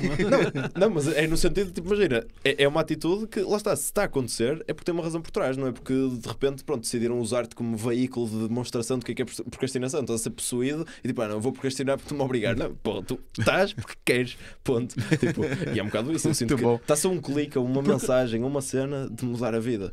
E, e isso é verdade mesmo, eu vivi-o na prática. Porque no fundo tu tens duas formas de às vezes promover a ação por parte da generalidade das pessoas, que é ação número um, algo muito mal aconteceu e tu tens que agir para sair dali. Uhum. E isso é a forma mais fácil de agir porque, porra, tá, É estás a necessário, sofrer, não é? é, é. Tipo, eu faço É. muito esta distinção, eu chamo-lhe a, a- a- distinção entre a dor e o prazer. Basicamente elas são assimétricas, esta relação, a assimetria entre a dor e o prazer. Uhum. Porquê? Porque se eu te fizer uma pergunta do género, e eu faço esta pergunta a toda a gente, para já ainda não correu mal, pode ser que corra contigo, que é, ah, se tu tivesse que escolher entre ter o maior prazer do mundo ou evitar a maior dor do mundo, o que é que tu escolhias? É evitar a maior dor. Pronto, não, isso toda- é bem, do obrigado por não ter marketing. estragado. Isso é a Obrigado. regra do marketing. Já não é a primeira vez que 100%. ouviste isto? Não, não. Pronto, e, e- ou seja, esta assimetria acontece muito. Eu acho que na decisão é igual. A malta, para fugir de situações, ela faz. Sim. Agora, para atingir situações, quando se está no conforto, é muito mais difícil, não é? Então, que mais outras coisas é que é importante? Além de focar, retirar distrações, fazer uso da facilidade que hoje em dia temos de chegar às malta, que outras coisinhas é que a malta pode fazer? Imagina, isto parece irónico e às vezes eh, realmente, imagina, é, é- é engraçado se quer usar isto como, tipo, como exemplo, tipo, atitude excelente e exemplar, mas é, desculpa, fazer o básico bem feito. Comer bem, dormir bem, eh, respirar bem, tipo, eh, todas as coisas que toda a gente sabe que é preciso fazer e que ninguém faz. Ou seja, é- é- eu também estava a falar disto com o Zé, há quando estávamos a vir, é tipo, se nós fizéssemos o básico bem feito, nós, lá está, tínhamos um mundo infinito de possibilidades à nossa frente. Tipo, e é verdade. Ou seja, a partir do momento, isso também veio um bocado por influência da arte marcial, que eu comecei a ter hábitos mais saudáveis e a preocupar mais comigo, a encarar-me eu como um produto. Porque imagina, posso ter uma empresa, posso vender um produto, mas o meu melhor produto sou eu. Ou seja, como é que eu posso melhorar-me a mim como produto? E isso vem dessas coisas: é alimentação, é dormir, é comer, é tu- tudo o que tem a ver com as coisas básicas da nossa vida.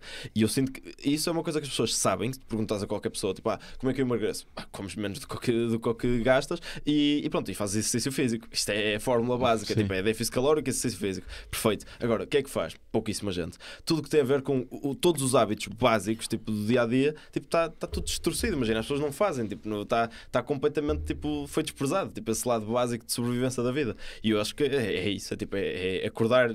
Não digo cedo, porque isso também falámos no, no último podcast. Não, não é preciso acordar às 6 para ser bem sucedido. E essa cena também do, do banho gelado também tem um corte que agora saiu. Que é tipo, eu sou completamente contra essa cena de ah, os 10 hábitos dos bilionários. tipo, eu também disse e reforço. Esses vídeos são super importantes. Eu aplaudo, admiro e, e valorizo toda a gente que os faz. Agora, são bons para abrir portas. Agora, tu não vais fazer uma coisa porque alguém te diz que é o hábito X do bilionário, não sei das quantas. Principalmente porque 99% das pessoas que fazem esses vídeos não são bilionários. Ponto. Então, isso é, é interessante de observar. Agora, a- a cena é essa, tipo, é, é tu perceberes porque é que tu fazes as coisas. E eu sinto que é a mesma coisa com o livro e com o exemplo que eu estava a dar há bocado. Tu não precisas de fazer tudo ao mesmo tempo. Tu não precisas de repente ser o ninja da nutrição, do sono, do, do banho, do, do não sei de que, não sei o que mais, do exercício, Do jejum, é. É preciso fazer isso. Tipo, imagina, Sim. se tu dormires bem e te preocupas em dormir bem, já é uma vitória. Quando isso estiver, tipo, lá está, limado, passa a outra coisa. Tipo, e é um bocado isso que eu estive a fazer nos últimos sete anos, de certa forma, que é tipo, todas essas coisas básicas foram-me sendo incutidas e eu fui, lá está, porque é que eu fiz? Porque na prática senti o efeito. Eu senti o efeito do que é que é ir praticar num dia, tipo às seis da manhã, depois de uma noite de bom sono ou de mau sono. Já, já fui praticar de direita depois de sair à noite. Não é bom, estás a ver? Então imagina, eu percebi na prática como é que as coisas funcionam. E, e é um bocado isso que eu sinto que é preciso ser feito, é fazer. E, é isso, é não, não querer fazer tudo, escolher uma coisa, tipo, olha, vou fazer 30 dias a comer bem, bem mesmo. Perfeito, e faz. E vais, vais ver que che- chegas ao fim dos 30 dias e vais querer continuar. E depois já vais conseguir adicionar outra coisa. Agora, o problema é que as pessoas ou não fazem nada ou querem fazer tudo. Então, ou, ou não fazem nada, e é, é isso, tipo, não há mais nada a dizer, ou então querem fazer tudo. Querem comer bem, querem dormir bem, querem fazer exercício, querem fazer jejum, querem fazer banho de água fria, querem não sei o que, não sei o que mais. E de repente não fazem nada. É impossível ser bom a tudo. Tipo, é isso. Eu não, eu não consigo ser bom a tudo ao mesmo tempo. Nem eu, nem ninguém. Tipo, e é um bocado isso. É, tipo, é escolher micro rotinas ou hábitos que te vão moldando. E depois, quando te tiveres dado isso por, por adquirido, adicionas outros. Tipo, não, não é querer fazer tudo. Pronto, acho Sim. que é um bocado isso. Mas sinceramente, isso, acho que é a melhor dica de sempre: é, é fazer o básico. Tipo, é fazer aquilo que toda a gente sabe que é preciso ser feito, mas não faz. É isso. Tipo, é, é alimentação, dormir, comer. e- Alimentação e comer, excelente. A, ma- Uh, alimentação, exercício e comer. Ponto. a malta quer começar com correr 25 quilômetros, Exato, né? exato. De manhã. E não dorme nem bem, Exato. não se alimenta Não, bem. só de pensar que tem que correr 25 km no dia a seguir já não vai dormir bem. pô. só, só de pensar. Imagina, se tiver corrido 1, 2, 3, 4, 5 nos dias todos antes e no último tiver Já faz feito 25, 24, faz 25. Já faz 25, é Agora, isso. é isso, tipo, não. Não, não comece com os 25. Exatamente. E o. Não sei se você conhece, tem um neurocientista agora que tá famoso também, que tá indo em todos os podcasts brasileiros, que é o Wesley. Wesley, aham. É, Wesley. É, é. Ele diz exatamente no, isso. Da... dele, do reservatório da dopamina. Tu tá na. É. Pô, eu sou doido pra entrar. Eu Não sei por que eu não entrei ainda. Já- Já há um tempo. procrastinar, pro- tô a procrastinar, é verdade, isso é verdade mesmo. Acho que eu até comentei com o Marco sobre o reservatório de dopamina. São dois cursos que eu comentei com, com o Marco. E é esse, não sei se tu lembra, mas eu falei do Paulo Figueiredo, Aham. da cena da América, né? Fim da América. E esse do reserva- reservatório de dopamina também. Esse gajo ainda não foi cancelado? É top. Esse gajo ainda não foi cancelado? Wesley. O Figueiredo? Figueiredo? Tá, tá, já, foi? tá, já tá. foi, foi? censurado Pô, já no nem Brasil. esse- esse Mas o Ellen, o Ellen diz um negócio interessante que é. Xandão. A cena da. É, o Xandão. O Xandão manda lá agora. O, o- Xandão, o ditador. O Erling diz uma cena que é a regra de Pareto, que ele fala que 80% dos sim. problemas que as pessoas têm estão por causa de 20% dos hábitos, que é resolver, por exemplo, sono e alimentação. Sim, Já sim. vão resolver 80% dos problemas que as pessoas têm. E ainda há o, o double lei de Pareto, que é os 4% de esforço que geram 64% dos resultados. Se fizeres tipo outra vez, e isso é verdade. E isso, imagina, tu fazes a todos os níveis. Eu já fiz esse exercício, por exemplo, na minha empresa. Que atividades é que são importantes eu fazer? Eu fazer, não é? Há muitas atividades que precisam de ser feitas. Agora, eu é que precisas fazer, porque há coisas que realmente são determinantes que sejas tu a fazer. Porque és tu a pessoa que mais tem capacidade de gerar resultados naquela área. E, e, portanto, fazer esse exercício, tipo, a nível empresarial, faz todo sentido. A nível pessoal também, ou seja, durante o teu dia a dia, quem é que, quem é que, tipo, que está a assistir e pessoas tipo de fora, quem é que já fez uma lista de tudo aquilo que faz no dia a dia? Tipo, olha, eu acordo, faço isto, isto, isto, assim, uma lista, folha A4, escrever tudo. Assim, a maioria não fez. E isso, fazer essa lista e realmente fazer este highlight, o que é que é importante? Olha, estar com os meus filhos é importante, fazer a viagem de carro, não vou delegar para um motorista, por mais que pudesse, não vou porque é importante para mim, ok? Uh, jantar em família também é importante, o ir para não sei onde também é importante, este hábito não sei das quantas, o correr de manhã é importante. Fazer esse highlight, tu vais chegar ao fim e vais ter, claro, esta métrica, que é tipo, Boa, há, boa, há boa. 4% das coisas que geram 64% dos resultados e 20% que geram 80%. Ou seja, e é isto, tipo, as pessoas, o problema é falta de métricas. Tipo, às vezes tem-se este tipo de discurso e se calhar há pessoas que pensam, ah, não, isso é muito racional, é muito não sei o quê, depois perdes a liberdade. Não, tu ganhas liberdade. Quando tu tens realmente este tipo de pensamento, se tu fazes 4% das tuas atividades gerarem 64% dos resultados, há uma série de outras coisas que tu de repente conseguiste delegar e ganhaste tempo para depois ou procurar mais coisas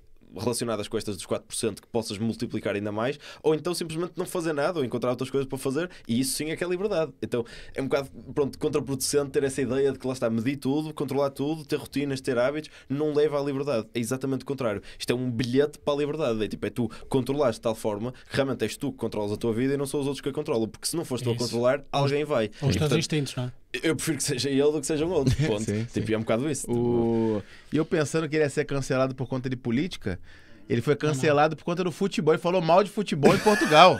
E agora tá pensando que eu não peguei? Não, a já malta. foste. Dá pra- Já Agora já foste, foi. já Falou, foste, já foste. falou que. Não, Ao menos salvaste a dizer que és do Porto. pá. Eu vou, eu vou, vou, vou, pôr, Salvaste. vou pôr aquele vídeo dar a volta ao universo para, para me salvar, para o pessoal saber que eu jogo bem Vamos, futebol. vamos, vamos ver né, que as pessoas falarem dar boa noite. É, ainda não pessoal. demos aqui boa noite, já estamos a dever há muito tempo. Olha, o É Nuno isso. sempre aqui connosco, nosso membro, Nuno Oliveira. Nuno, Obrigado, um grande Nuno. abraço, pá, sempre aqui connosco. Nuno, Só pedir pro Nuno. Nuno, entre em contato com a gente no Instagram, queria falar contigo, ver se pode entrar. Eu acho que você já segue a gente no Instagram. Se não seguir, entra, en- entre em contato com a gente por eu, e-mail, eu Zuga tenho o Pod- Instagram dele também. É, pronto, então, entre em contato com a gente, a gente, a gente fala com você lá. O Rafael Arias diz ao militante do PS é foda. Porra, Rafael, Aqui, não ó. digas nada, Ele mano. já foi, ele já foi, ó. Aqui, ó. Porra, tu não viste aquele jovem que acabou de tirar o curso de Direito? Não, ainda nem mostrado, tirou de Direito, Não, já não tirou, não tirou. 3.700 euros, É, não é? não tirou o 3.700. curso de, de- direito, Pô, tá o, meu, ganhando. o meu pai queria a mesma coisa para mim. Ele disse: Não, pô, este gajo vai ter que ser militante do Teu PS. pai É a tinha- única forma de ser bem Teu pai sucedido tinha uma país. visão, é isso? porque abrir uma empresa.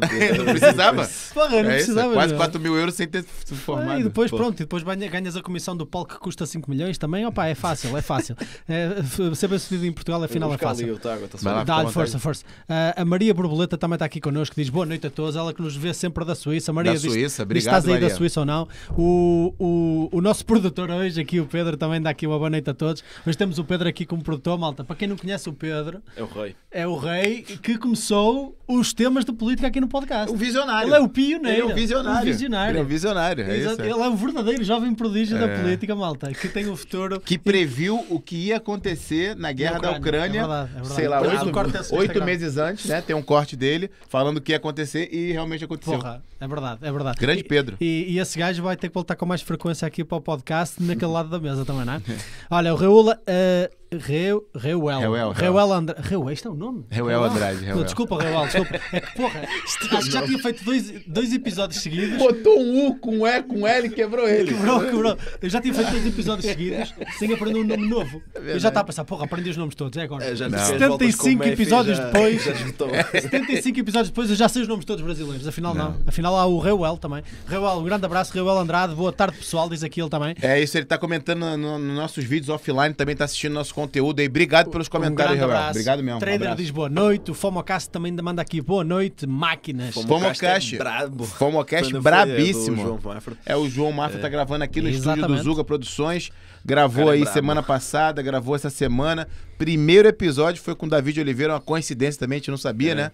Por um acaso. Começaram em mas, grande mesmo, né? Mas assim, é, começou em grande e, E você não conhece, Fomocast no YouTube, coloque lá, um podcast focado em empreendedorismo, fala do mundo é, empresarial de Portugal e Brasil, as correlações.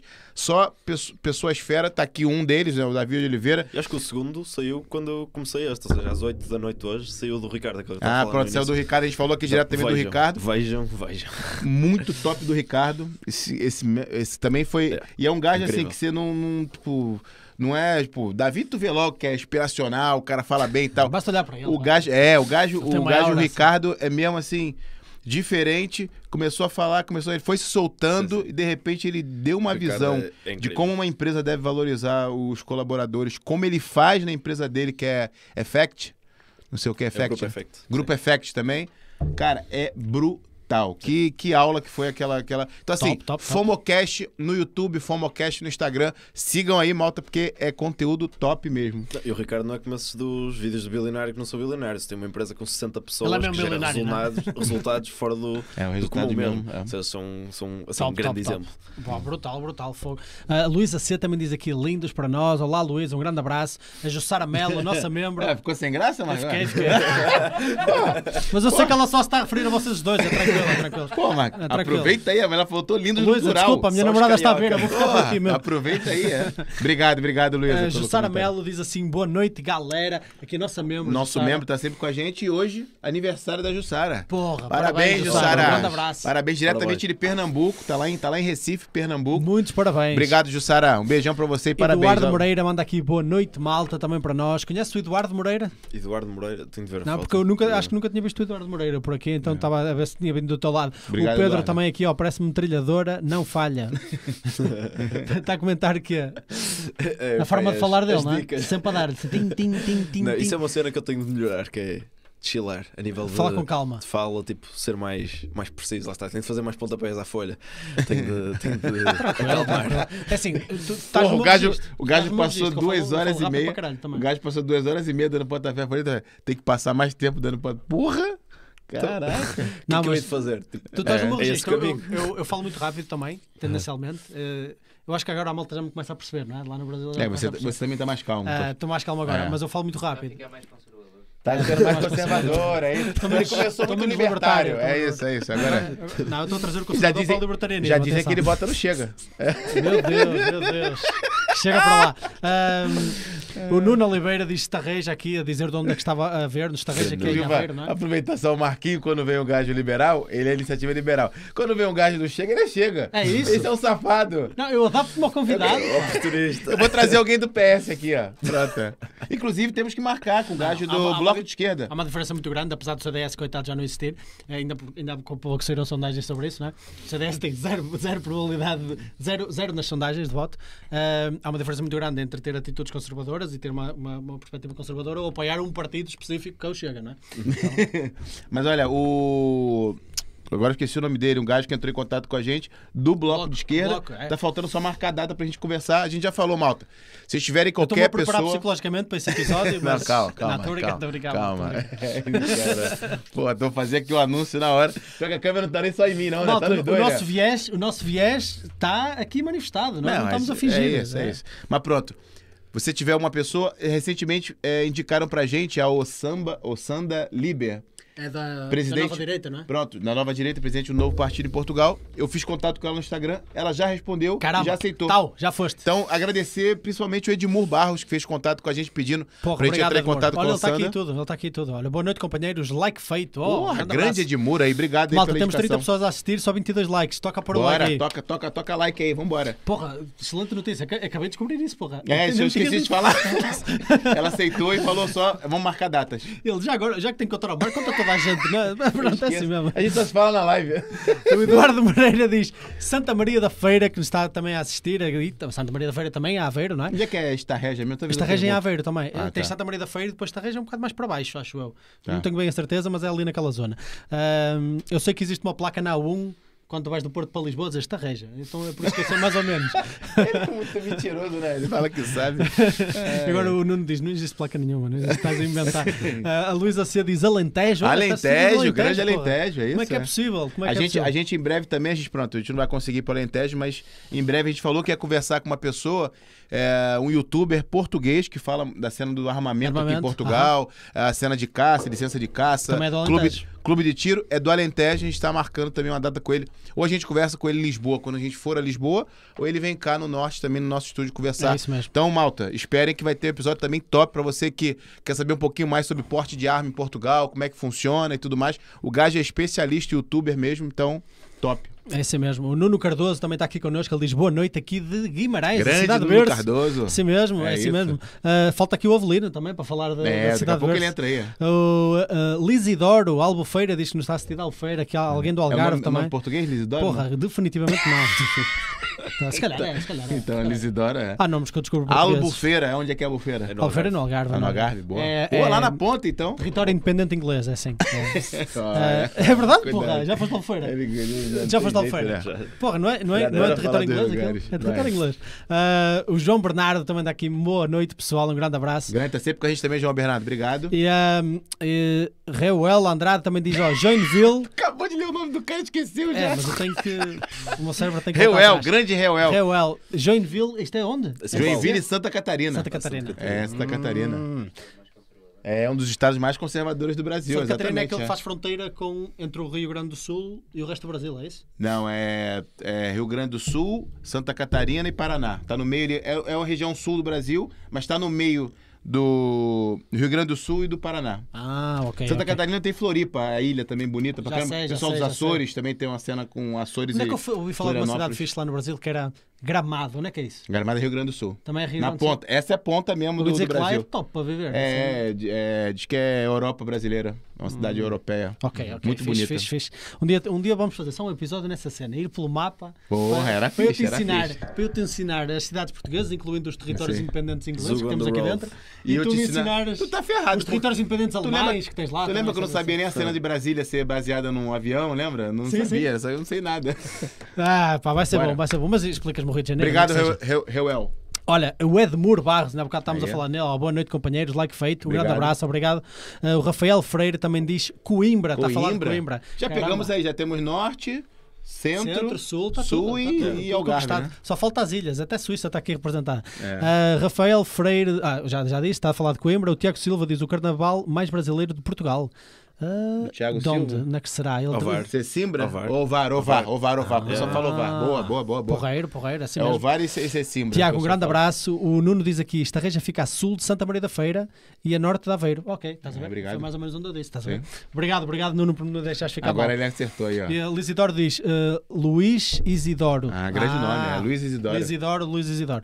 Sou de Viseu, mas trabalho no Algarve. Assim Boa, mesmo. pertinho, hein? Brutal, É. brutal, mano. Muito obrigado por estarem aqui connosco. Brutal. Se tiverem perguntas em específico, malta, também deixem aqui que nós vamos fazer o nosso máximo Mas para é- ler, tá bem? É, a mal- a malta tá, tá, tá até com vergonha de pegar. Um cara é metralhadora, tal, tal, tal. Eu, que eu- eu fico intimidado, eu fico, eu fico, eu fico um, um pouco intimidado também. Mas assim, eu queria, eu queria trazer, é, aproveitar o gancho que ele falou do da cena de dar um, um passo, às vezes tá um, né, um pouquinho assim pra você falar com uma pessoa interessante e tudo mais. E pronto, eu já ouvi também que você deu alguns passos de, por exemplo, ir a dois eventos em dois países diferentes. Isso te fez muito bem. Queria que você contasse a experiência, quais foram os países, como é que foram os eventos. Claro, um lugar um pouquinho com mais calma que outro. Porque É eu sei que tem umas histórias legais. Então, começa com o, o que tem menos história. Ok, pronto. Esse foi os Estados Unidos, foi uma coisa mais tranquila. Foi 100% focado no, no evento em si, ou seja, no Brasil foi outro, outro destino. Uh, também incorporei férias ao, ao barulho. Uh, Estados Unidos foi 100% para ir ao, ao evento do Russell Brunson, no Funnel King Live, que é assim o maior evento de marketing digital do mundo. O Russell maior Wilson. evento de marketing Sim. digital do mundo, tu o, foi? O Russell é, para mim e para para a maioria das pessoas, a maior referência de marketing digital assim, do, do mundo. E, e pronto, e fui, fui ao evento lá. Pronto, o objetivo era esse, era aprender lá muito no evento. Antes fui também a uma imersão de um gajo brasileiro que vive em Orlando e que fez uma imersão lá só para o pessoal brasileiro, era o português lá, infiltrado, mas que essa assim também foi muito valiosa e foi uma coisa que foi assim um, um antes e um depois também, tanto a nível de conhecimento como principalmente de contactos. Network. Que eu acho que os eventos, imagina, têm um- uma vertente muito forte do, dos- do conhecimento e do, do conteúdo, mas depois também tem a vertente muito forte e mais forte ainda do, do networking que se cria com as pessoas e as relações que realmente surgem, parcerias e contactos que pronto, através do evento surgem. E, por exemplo, em Orlando, que foi, foi no evento, pá, houve, houve, assim choques que me fizeram realmente, imagina, um efeito que tipo transcendeu, lá está, qualquer conteúdo. Imagina, uma coisa é tu aprenderes, lá está, uma coisa qualquer de marketing, uma estratégia nova, uma cena qualquer, uma plataforma para se usar, uma cena qualquer tipo de prática. Outra coisa é um gajo que, por exemplo, fatura meio bilhão sentar-se ao teu lado e dizer-te uma piada qualquer, eh, meter conversa contigo, estar ali naquele mood tipo normal de pessoa, tipo tu, imagina, tu falas assim com os teus amigos e que de repente é aquele gajo que está a falar contigo e tu realmente sentis essa, essa cumplicidade, estás a ver? E eu sinto que é muito isso que se ganha nos eventos. É tu percebes que as pessoas que tu idolatras e que tendencialmente metes num pedestal gigante são iguais a ti. Tipo, no sentido prático, tipo, Sim. lá está, sobrevivem, tens os mesmos problemas, uns também não se conseguem deitar cedo, não conseguem comer bem, uns não treinam, porque é um bocado isso, mas eu sinto que quando tu tens experiências para além do- da parte prática da tua atividade com essas pessoas, tu é aí é que percebes realmente que eles são humanos. Porque imagina, por exemplo, eu curto futebol e jogo imenso futebol. Se eu jogar futebol contra a maioria das pessoas, meus amigos do marketing, eu se calhar destaco-me. E há muitos que me vão, tipo, assim, arrebentar se for jogar basquete, por exemplo, que eu já não sou tão bom. Então imagina, aí é que se percebe tipo, que não há diferenças, de certa forma. Uns são bons numas coisas, Sim. outros são bons noutras. Então é tudo um complemento. E tu vês alguém que tipo, tu metes realmente assim num pedestal, pessoal, tipo, pessoal que foi essa imersão do, do Fábio antes, tipo assim, gigantes do Brasil, pessoal tipo assim, maiores do mercado. E eu, tipo, estar naquele ambiente, mais do que propriamente o que eu aprendi de estratégias, de cenas novas, tipo práticas, foi mesmo isso, foi perceber que eu pertenço ali, eu posso, eu posso pertencer Posso ali. pertencer. Eu sentia muito Boa. tipo inferior, estás a ver? Antes de pertencer tipo, àquele momento, àquele grupo. Aham. E a- a, partir desse momento foi tipo, eu posso fazer tudo o que, eu- que quiser, basicamente, para realmente conquistar este lugar. Então é um bocado isso que eu sinto que se ganha com, esse- com essas iniciativas. E tu era, o mais, tu era o mais novo do evento lá? Sim, sim. Pô, era português Não, mais não, novo? não, não era nada, não era nada, mentira. Havia um com 18 que eu estou na mentoria dele. Imagina, eu pago-lhe todos os meses para saber mais Caceta, e para aprender com ele, que, é o Henrique. Marinho, mano. Uma pessoa Henrique assim, Marinho? incrível. E ele tem 18. Ou seja, que é- é- acabam-se os filtros, acabam-se os Sim, rótulos, legal, acaba-se tudo. cara. Tipo, se o gajo sabe mais, ele tem, ele tem pessoas na mentoria dele, tem muitas pessoas, eh, assim, de 50, 60, 70 pessoal tipo, com negócios multimilionários no Brasil, que tipo, ele atende um nicho muito específico. O gajo fala muito de IT, de produtos tipo de alto valor e como é que tu podes criar funis digitais para vender esse tipo de produto, tipo serviços assim mais caros. Por exemplo, lá, ele tem pessoal tipo, que tem construtoras, tem tipo eh, empresas mesmo grandes que migram ou para o digital e criam serviços, por exemplo, de consultoria, Certo. de formação, não sei o quê, umas cenas para custar tipo 100 mil, 200 mil, 300 mil. Aham. Então ele vende esse tipo de produtos e ajuda as pessoas a criar lá está, estratégias de marketing, principalmente digital, para vender isso. Agora, ter a oportunidade de conviver com essas pessoas e, e ter a humildade também de lhes pagar para saber mais, porque estou-me a cagar para a idade dele, tipo, ele sabe mais que eu, ponto, eu quero saber.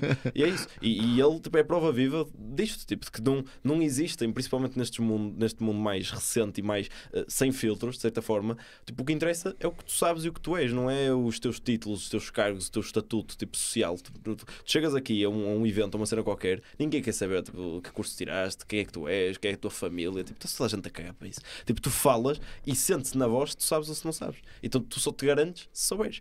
E, e é um bocado isso. Tipo, eu sinto que estas iniciativas aceleram esse, esse clique a nível mais mental, porque tu, tu entras mesmo nesse ambiente que é tipo, pá, eu, eu tenho de fazer o possível para crescer cada vez mais dentro deste ambiente, mas como já não bastasse, para me manter aqui, porque isto é, tipo, é como se fosse a Champions League. Tipo, tu, por mais que tu chegues lá, tipo, não quer dizer que no ano seguinte vais, é vais lá não é? outra vez. Então é um bocado isso, é tipo, eu tenho de manter aqui. E tu sentes um bocado aquela cena, tipo, como pagaste também caro, porque estes eventos são, são caros e, dói, tipo, tu pagas o bilhete tipo, das cenas, tanto, tanto do, do evento em si, como depois tipo, o, avia, o avião, o curso, Sim, do claro, hotel, não sei o claro, quê. claro. Então, como dói, é um bocado aquela cena que eu estava a falar um bocado do curso também.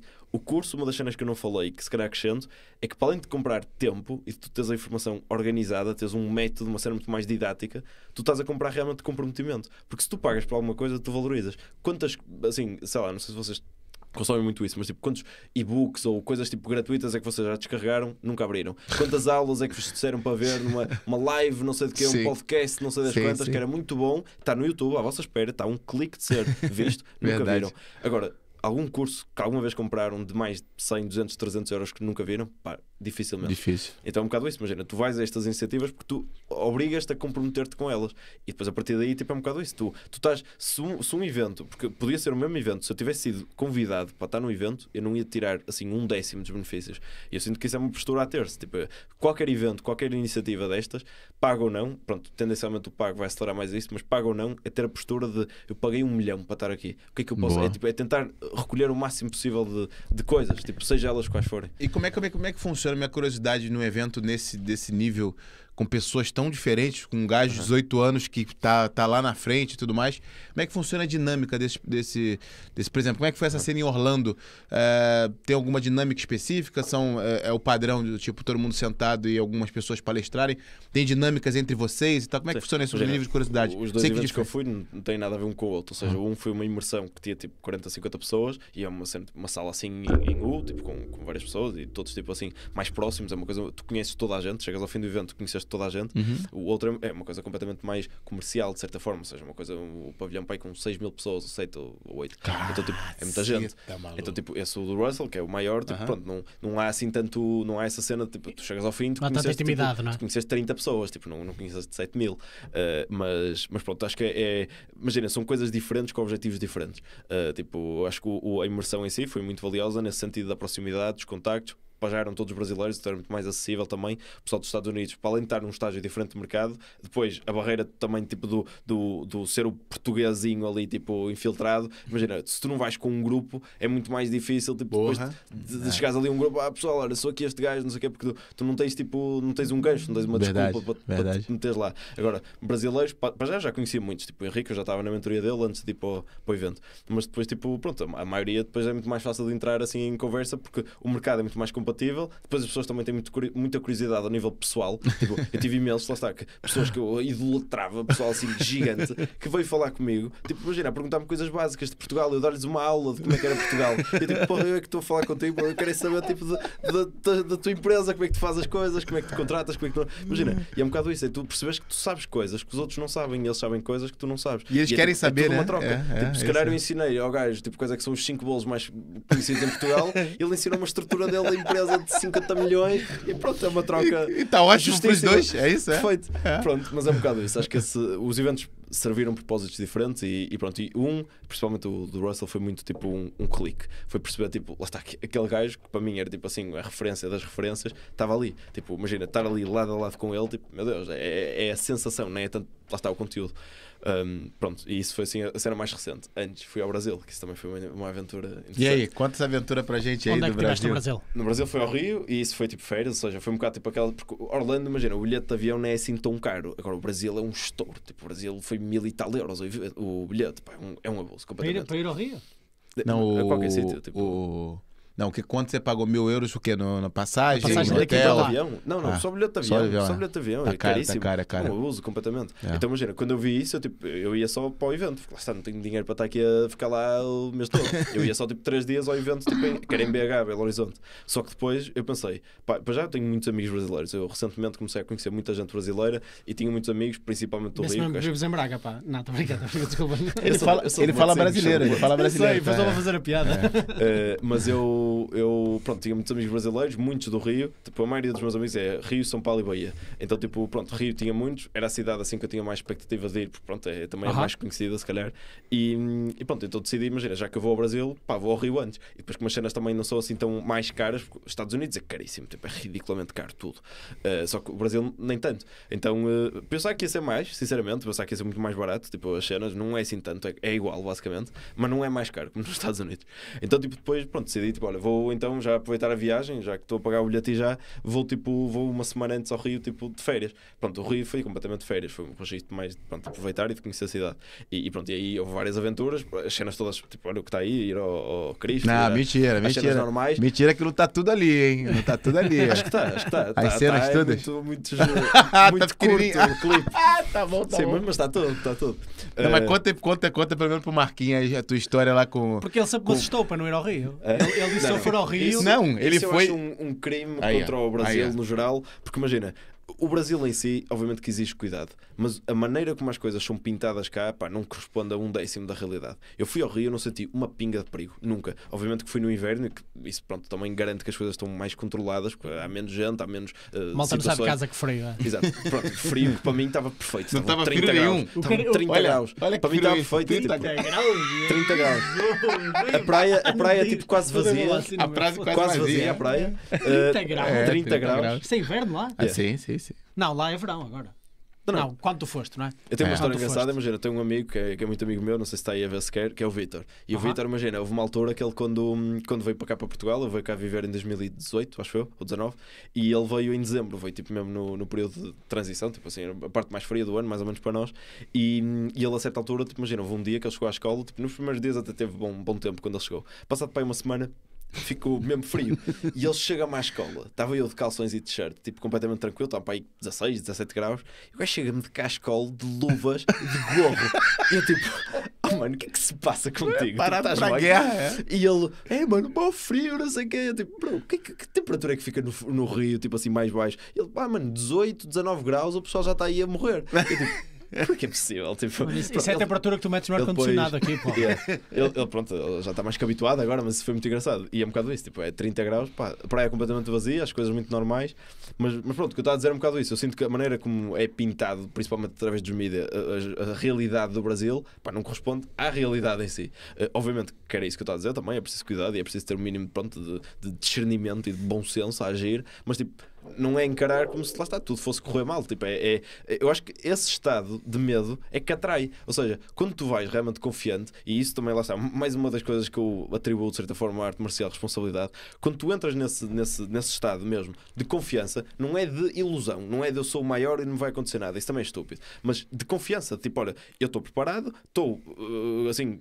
Confiante de que sou apto, estou apto para resolver qualquer tipo de conflito, Claro. Obviamente não desejando que ele aconteça, mas quando estás nesse estado assim de realidade, tipo, nem de muita preocupação, nem de ilusão, sou maior, não vai acontecer nada, eu acho que as coisas correm bem, porque lá está, tu estás nesse mood, tipo, de correr bem, tipo, olha, vou aproveitar, vai ser uma boa experiência. Pronto, e acho que foi isso que, foi acontecendo, ou seja, fui a todos os sítios assim mais ou menos turísticos e as coisas mais. E você não foi sozinho também, é importante também. Sim, sim, eu, eu na, na altura pronto, fui com um amigo também, ou seja, É, fomos, fomos duas pessoas e também tive muitas experiências ao longo do tempo, ou seja, várias vezes que me encontrei tipo, com amigos e com pessoal tipo, conhecido no Rio, pronto, foi-me dando um bocado de tour eh, pela, pela cidade e pelas, pelas cenas que fôssemos fazendo. Mas assim, lá, 80% do dia estava estava sozinho, eu e o meu amigo, mas, mas pronto, mas é um bocado isso, acho que não, não tem nada a ver com aquilo que, que realmente pintam, tipo, assim, nos mídias. E, e pronto, adorei, tipo, foi incrível, assim, cidade mais bonita que alguma vez fui, garantidamente, eh, paisagens que nunca mais vou esquecer, uma energia, tipo, ridícula, tipo, o pessoal está sempre energia. energia. E é. era, era inverno, o pessoal tipo, a trabalhar e a maioria completamente off. Uh, depois foi, foi muito engraçado que também encontrei muita gente portuguesa, tipo, estava muita gente Erasmus portuguesa. Então a praia, quem estava, tipo, na praia vazia, quem estava eram portugueses. Claro, 30 graus, porra. É. Temperatura de praia, porra. Não, uma altura que tipo assim, havia um posto, que aquilo tem os vários É, os postos. postos, sim. e havia um posto que, imagina, era tipo assim 200, 300 portugueses. Eu já estava farto de ver portugueses, sinceramente. Eu cheguei lá, tipo, falei assim, vim para o Brasil, não vim para o Matosinhos. Eles tipo, correm, eles correm. tinha ficado lá.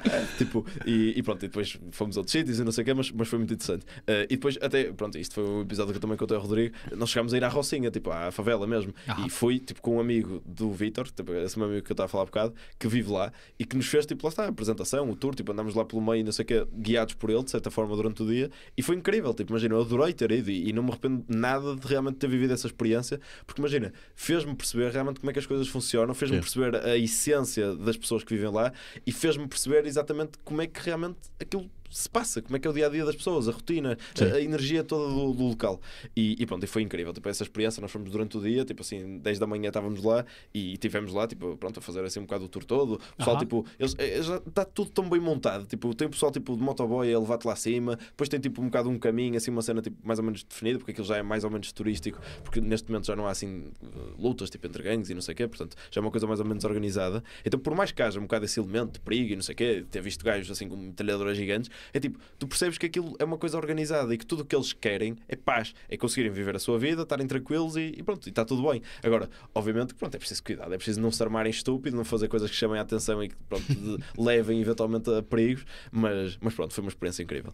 E, e pronto, e depois a partir daí fui para BH e fui ao, ao evento da, da Automart, que foi assim o, o maior evento, foi, foi a razão pela qual fui ao Brasil, na verdade, Uh, mas que foi um bocado também a mesma sensação assim do, do evento do, do Russell do, do Brasil, porque foi um bocado tipo, quer dizer, não foi bem igual, uh, do Russell do Orlando.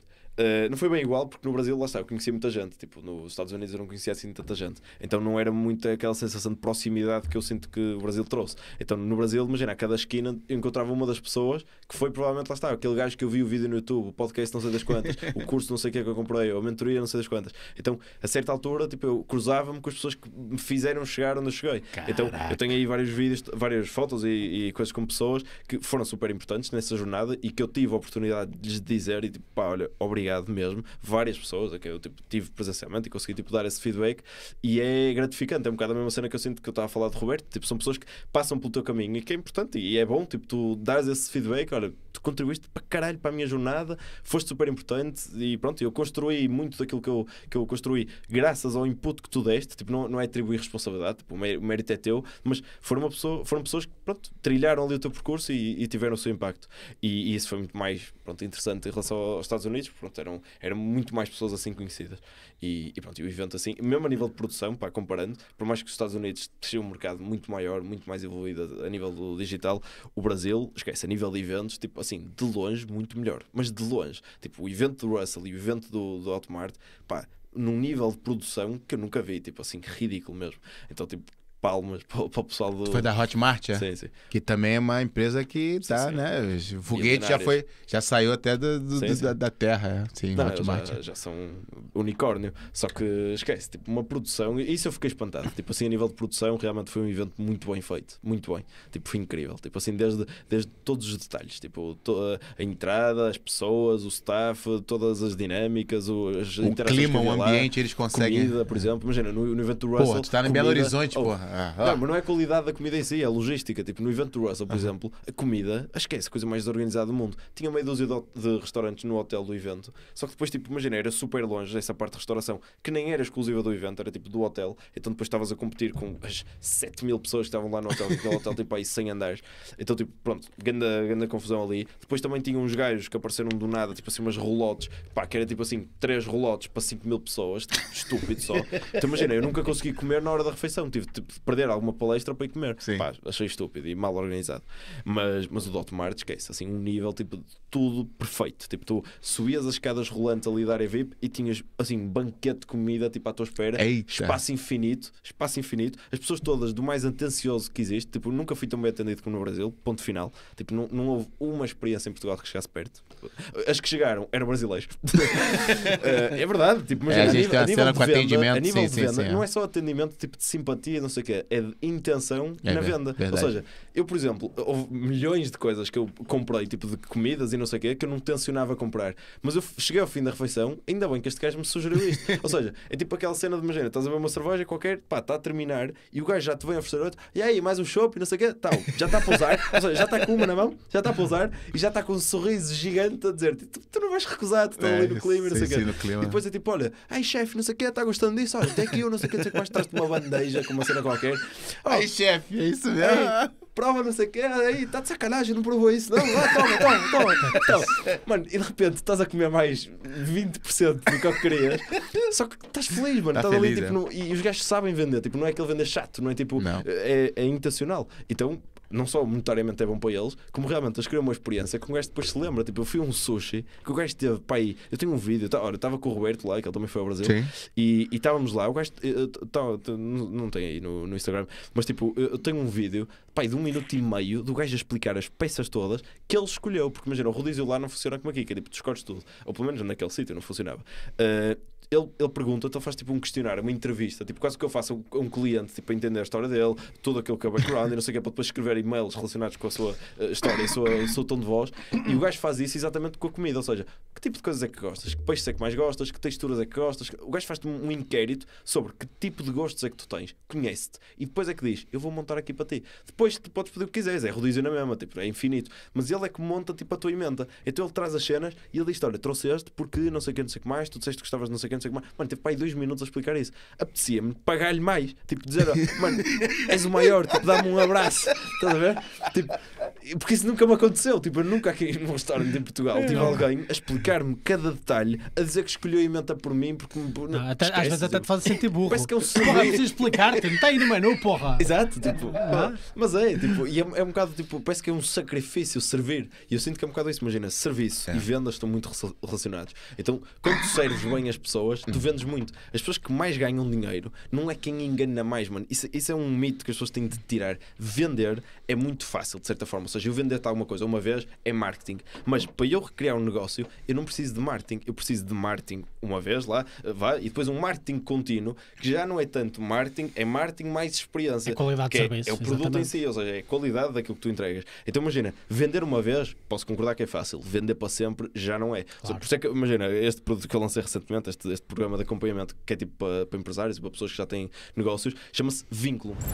Vínculo for Life foi o nome que eu decidi, que basicamente representa um bocado isso, que é criar um vínculo para a vida. Eu quero, imagina, todas as pessoas que fazem parte deste programa têm exatamente este perfil de querer preocupar-se com o cliente para sempre, de vender para sempre. Isto é filosofia. Eu quero um bocado eliminar o conceito de vender muito e começar a instaurar vender para sempre. Porque, ironicamente, vender para sempre, tu vendes mais do que vender muito.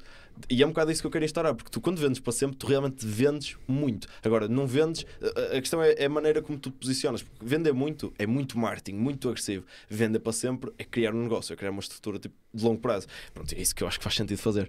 Mas, mas é um bocado isso. Eu senti isso muito no Brasil. Tipo, as pessoas que realmente querem criar um vínculo. Tipo, o pessoal tipo, tem muito também já tipo, aos canais digitais, ou seja, já é tipo, imagina, já te, eh, tenta de certa forma ficar com contacto, deixar algum tipo de, de gatilho para tu, tipo, sei lá, os seguires no Instagram, mandas uma mensagem, ou deixares Sim. um e-mail, ou não sei o quê, e isso tipo, depois gera para sempre, tipo, o vínculo eterno com o cliente. Se você que é um voltar bocado- para Belo Horizonte, por exemplo, você vai querer esse sushi- né? Sim, sim. Não, esse foi no Rio, por acaso. foi no Rio, Sim, pronto, sim, você vai querer? Em Ipanema, tem macaria em si. Eu nunca mais. Eu sonho com aqueles temakis.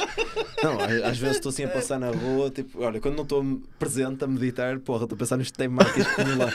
Não, ridículo, tipo assim, muito bom. O top tipo de carnes que eu comi, está tudo lá. Tipo, se É. eu pegar no top 5, estou 5 lá. E depois, tipo, comida também, sushi e algumas coisas, pá, assim, fora de série mesmo. E vem cá, deixa eu te perguntar também, que eu sei que você tem uma história legal, já, já, você já falou bastante, mas da tua, da tua questão com brasileiros, né? Porque a malta É. às vezes não tem noção, ah, pô, eu conheço muito brasileiro e tal. Aham. Eu sei que vem de um, de um antes aí, até de escola, Sim, né? sim. de- e Não, o, Vitor, esse pessoal todo. é Essa cultura- Antes do David o que, que a cultura brasileira te agregou como, como pessoa, por exemplo? houve uma, uma. Foi um bocado potencializar ainda mais aquilo que eu estava a falar da arte marcial, ou seja, confiança, eh, medo de errar cada vez menor, ou seja, essa abertura no fundo ao erro e a capacidade de ser cada vez mais genuíno. Eu sinto que vocês têm muito mais esse, esse lado genuíno, ou seja, não, não são tão desconfiados, são muito mais abertos, são muito mais tipo, pronto, eh, assim, corpo às balas, estás a ver? Isso, de certa forma, para umas coisas é bom, para outras é, é menos bom, Sim. mas eu sinto que aliado a esse trabalho que eu fui tanto com arte marcial, foi-me trazendo realmente um, um novo, ou seja, foi-me formando a nível de caráter e de personalidade, fui mudando completamente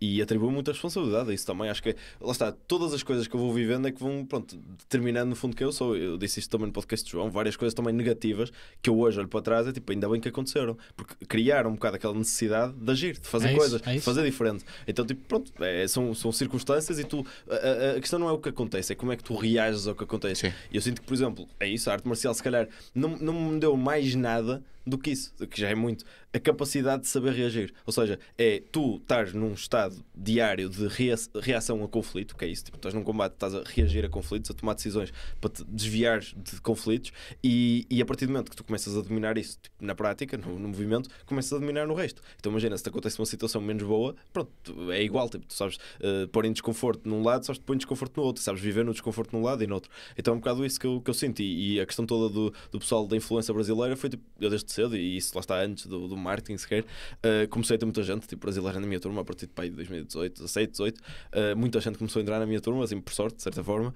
e depois a partir daí, pronto, fui começando a ter esse contacto e, e pronto, e muitos amigos meus, a maioria até atualmente uh, a nível pessoal, tipo, são, são brasileiros e são pessoas absolutamente incríveis que eu mantenho muito contacto e que são assim bros mesmo para a vida, é vínculo-me for life com eles e, e, pronto, e, e trouxeram-me muito isso, tipo, essa, essa habilidade de eu deixar de ser o David completamente tipo, introvertido, com medo, inseguro, sem capacidade tipo, de diálogo e ter se calhar muito mais à vontade para tipo, lá estar a fazer esse tipo de coisas à mensagem ao Roberto, tipo, eu se calhar não fazia isso se não tivesse uh, tido essa, essa à vontade, tipo, sim. causado por, por essa cultura e, e, pronto, e acho que é um bocado essa, assim, principalmente foi esse abrir, essa energia, tipo, começar a, a partilhar mais, a expor-me. Tipo, acho que há muito esse lado tipo, presente em vocês e pronto, isso ajudou-me muito. Top, top. E a gente, quando fala, a gente normalmente fala aqui, né, dessas. Nosso podcast tem a missão de aproximar as culturas brasileira e portuguesa. E eu sempre gosto, de frisar também que com vocês também aprendi bastante esse lado mais pragmático, esse uhum. lado do.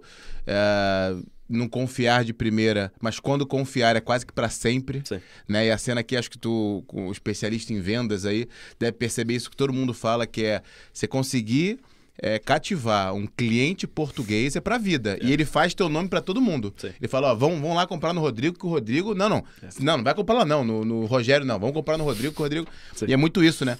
E é sim, isso, isso também me, me, me pegou muito, porque eu também tenho um lado mais pragmático, eu tenho um lado. Eu sou carioca, uhum. tive que aprender né, o jeitinho brasileiro e tudo mais, mas eu preferia muito bem lidar, muito, muito melhor lidar com, com ser direto, ser, uh, eu acho que até dizem que os alemães são muito mais diretos que vocês. Mais. Sim, sim. É isso, mas eu já acho vocês muito diretos e adoro isso porque... Nós comparado assim com o Norte da Europa somos, temos floreados a mais, a mais, porra. Pô, não consigo imaginar a galera do Norte da Europa, então. Não. Eu já acho vocês bem brutos assim às vezes, entendeu? Não, não, porra, eu, já tra eu trabalhei já com muitos alemães, como tu sabes, e, por exemplo, imagina, há uma situação qualquer, numa reunião que tu fazes uma coisa que não foi o melhor. Uhum. Uh, tu, um português vai te dizer: olha, pá, Sim, justificação, sabes aquele assim, momento, pá, tu pá, yeah. estiveste muito bem ali, pá, ali foi brutal, viste aquela reação, só para eventualmente chegar ao ponto que te queria dizer mesmo. Era, opa, mas olha, há uma coisinha ali que podias melhorar. Mas porra, tu até te esqueceste, quase passou despercebido, não é?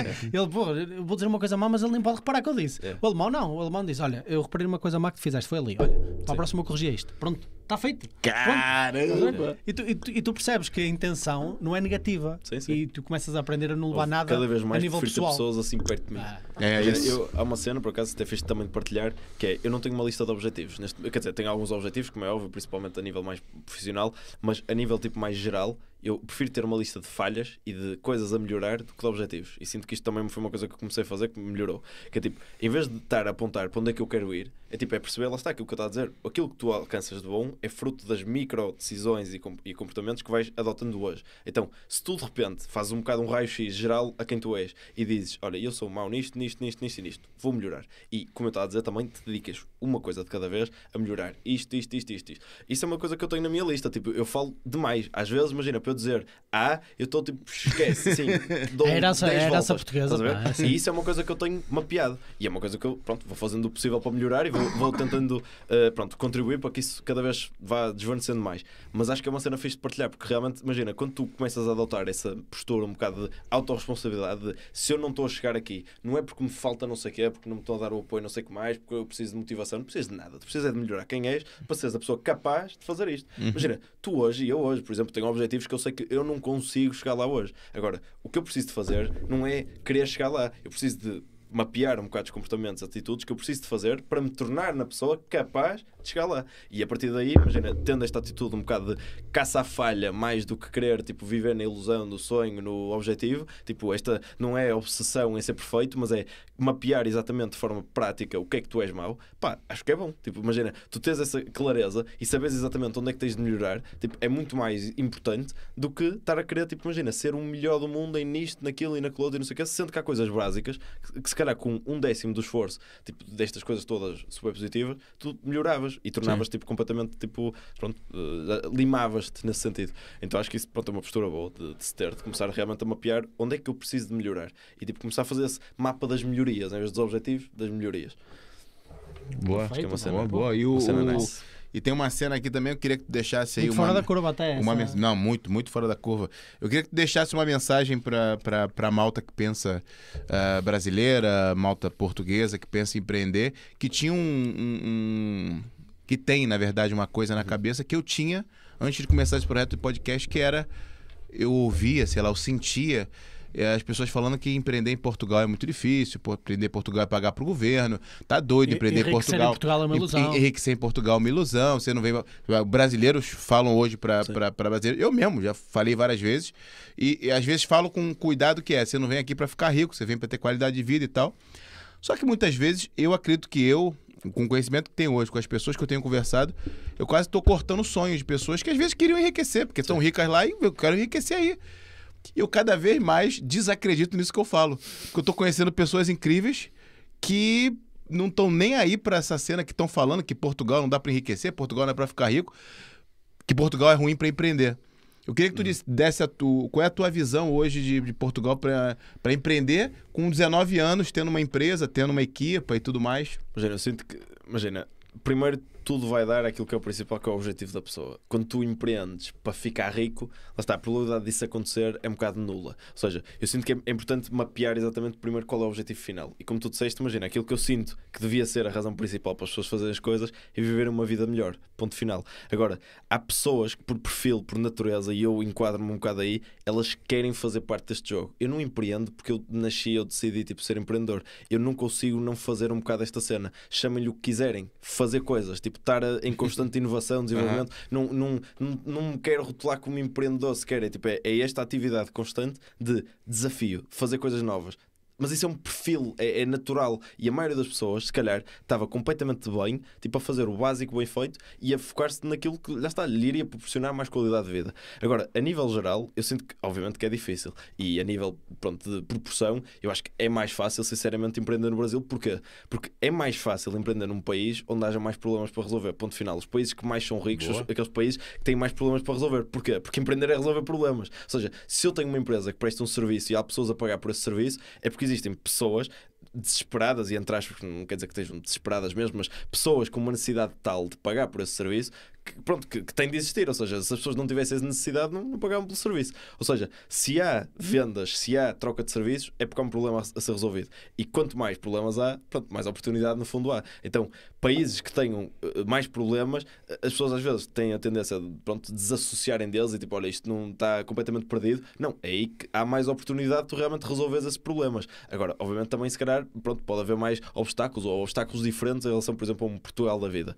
Agora, obviamente, pronto, imagina, a percepção e a perspectiva é sempre essa, tipo, é, eu não quero saber de fatores externos. Tipo, imagina, eu controlo a mim, tudo o resto, sinceramente, não me interessa. E eu, neste momento, lá está, priorizando um bocado aquilo que também são as outras coisas, que é estar perto de família, poder tipo, ter a minha qualidade de vida, manter-me aqui. Tipo, imagina, eu quero ter a liberdade de ter a minha base aqui e poder, tipo, lá está, viajar, ter experiências fora e não sei o quê. Mas quero ter a minha base aqui, por várias razões que lá está, tem a ver com essa qualidade de vida. Agora, é um bocado isso, imagina, se eu decido ter isso, eu depois não posso chorar. Eu depois tenho de assumir-me, tipo, lá está, como homem e tipo, pá, eu decidi isto. Então, o que é que eu posso controlar e o que é que eu posso mudar em mim e tipo, criar condições minhas para que isso aconteça. Pronto, e é nisso que eu me foco. Eu nem penso no resto, imagina, sinceramente era o que eu estou a dizer. Notícias, coisas externas e não sei o quê. Tenho muito uma postura de Ricardo Carvalho, que é tipo, pá, isso não me interessa. Eu seja, não sei quem no poder, não sei quantos ou o que for, vou enriquecer. Seja não sei o quê. Pá, todos os fatores externos não me interessam. Tipo, e isso não, não quer dizer que não sejam importantes e que não vão influenciar. Agora, o esforço que tu imprimes a estar preocupado com isso ou não sei o quê,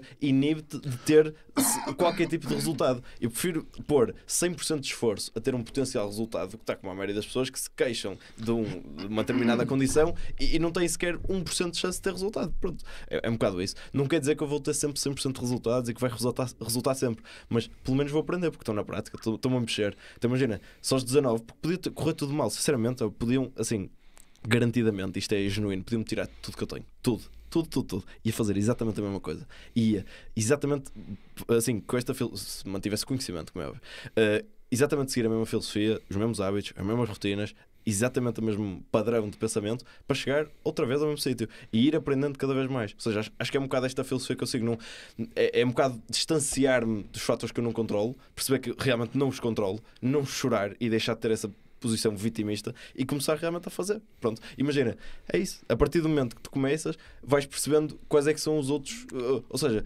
vais percebendo que as coisas se vão ramificando, vais tendo várias decisões para ser tomadas, mas tipo, tu estás aqui, queres tomar as decisões que vais ter de tomar aqui, não faz sentido. Aqui, lá está, vais ter três caminhos, escolhes este, depois aqui vais ter quatro, depois escolhes este, não sei o quê. E eventualmente chegas aqui e aqui preocupaste, preocupaste com isso. Agora, até lá, tipo, essa cena, lá está, é, ansiedade, é tipo estar a querer viver o futuro antes dele sequer acontecer. E, e pronto, acho que é um bocado isso. Não, uh, empreender em Portugal depende mais da pessoa do que do país. Não tem nada a ver com, com os fatores externos, com a política, com isto ou com aquilo.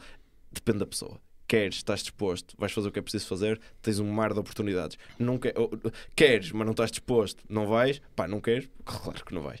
Uh, mas acho que é um bocado essa assim a filosofia que eu, que eu sigo e que, e que vejo, lá está, quem realmente o faz, também seguir. E é um bocado isso, tipo, não, não falo só por mim neste sentido. Eu sinto que todas as pessoas que realmente são exemplos nesse sentido pode-se perceber isto, que é tipo, eles fazem, eles não querem saber do, que está à volta tipo, a acontecer. É um bocado tipo, é, quando tu aprendes a estar no caos, e isso também se calhar vem um bocado também da arte marcial, que é quando tu aprendes a estar no caos, tipo, tu vês paz no caos. E acho que é um bocado isso, tipo, o mundo do empreendedorismo, é tipo, é ver, lá está, tantos problemas, tantas coisas, perceber, olha, aqui, olha, ajusta este parafuso, mete aqui esta pessoa, faz aqui isto, não, não, pá, de repente tem uma solução tipo, montada e estás a ganhar dinheiro porque prestaste um bom serviço, e é mais, mais uma vez aquela questão de ninguém ganha dinheiro e enganar os outros, quem ganha realmente dinheiro e mantém esse dinheiro. São pessoas que têm realmente produtos que solucionam e que resolvem problemas. E portanto é um bocado isso. É tipo é, tens um produto que sentes genuinamente que é tipo é como se tivesse a cura do cancro. É, tipo, e, e tens assim uma cena que é tipo é um crime não dar à pessoa do outro lado vende-o, faz tudo o que puderes para vender. Tipo, é um bocado isso. A filosofia que eu sigo é essa. É tipo, eu só trabalho com projetos que eu acredito tanto no produto que é um bocado esse posicionamento. É eu tenho aqui algo que tu realmente irias desfrutar. Não vou tipo, assumir a posição de chato, tipo, até tu comprares, eu nunca mais te vou largar. Não tenho esse tipo de posicionamento, mas é um bocado isso. É tipo, é agir realmente acreditando no teu produto. Se tu tens esse produto e não fazes aquilo que precisas para vendê-lo, se calhar o produto não é assim tão bom. Ou então, pronto, simplesmente assumiste que não queres tipo, ter esses resultados e pronto, e não te podes queixar.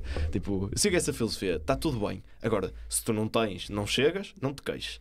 E tipo, se chegas e não sei o que, desfruta. Pronto, agora, não é tipo, toda a gente tem de ser empreendedora, não é não sei o que. É tipo, tu fazes o que te apetecer. Agora, somos as consequências do que quiseres fazer. Ponto. Tipo, um, o meu problema não, não, não existe tipo, com qualquer pessoa que queira tipo, ficar parada a ver Netflix o dia todo. Houve palmas e se estás feliz, parabéns. És dos poucos que atualmente está feliz. Sim. Agora, é isso. Tipo, não podes é querer uma coisa, estar feliz assim, depois queixaste que também não tens uma empresa multimilionária, queixaste que não tens uma família com sete filhos, queixaste que não tens o carro, não sei. Pá, não podes. Tipo, ou seja, tem de ser minimamente congruente com o que fazes. Coerente, sim. Uh, pronto, Boa, é, boa, boa. é isso. Até porque, numa perspectiva até mais racional, uma, uma, uma das melhores formas, se acreditares realmente que um dos fatores limitativos na tua vida pode até ser uh, a, pessoa, a atual governamento, uh, o atual governo, a atual Uhum. direção do país, etc.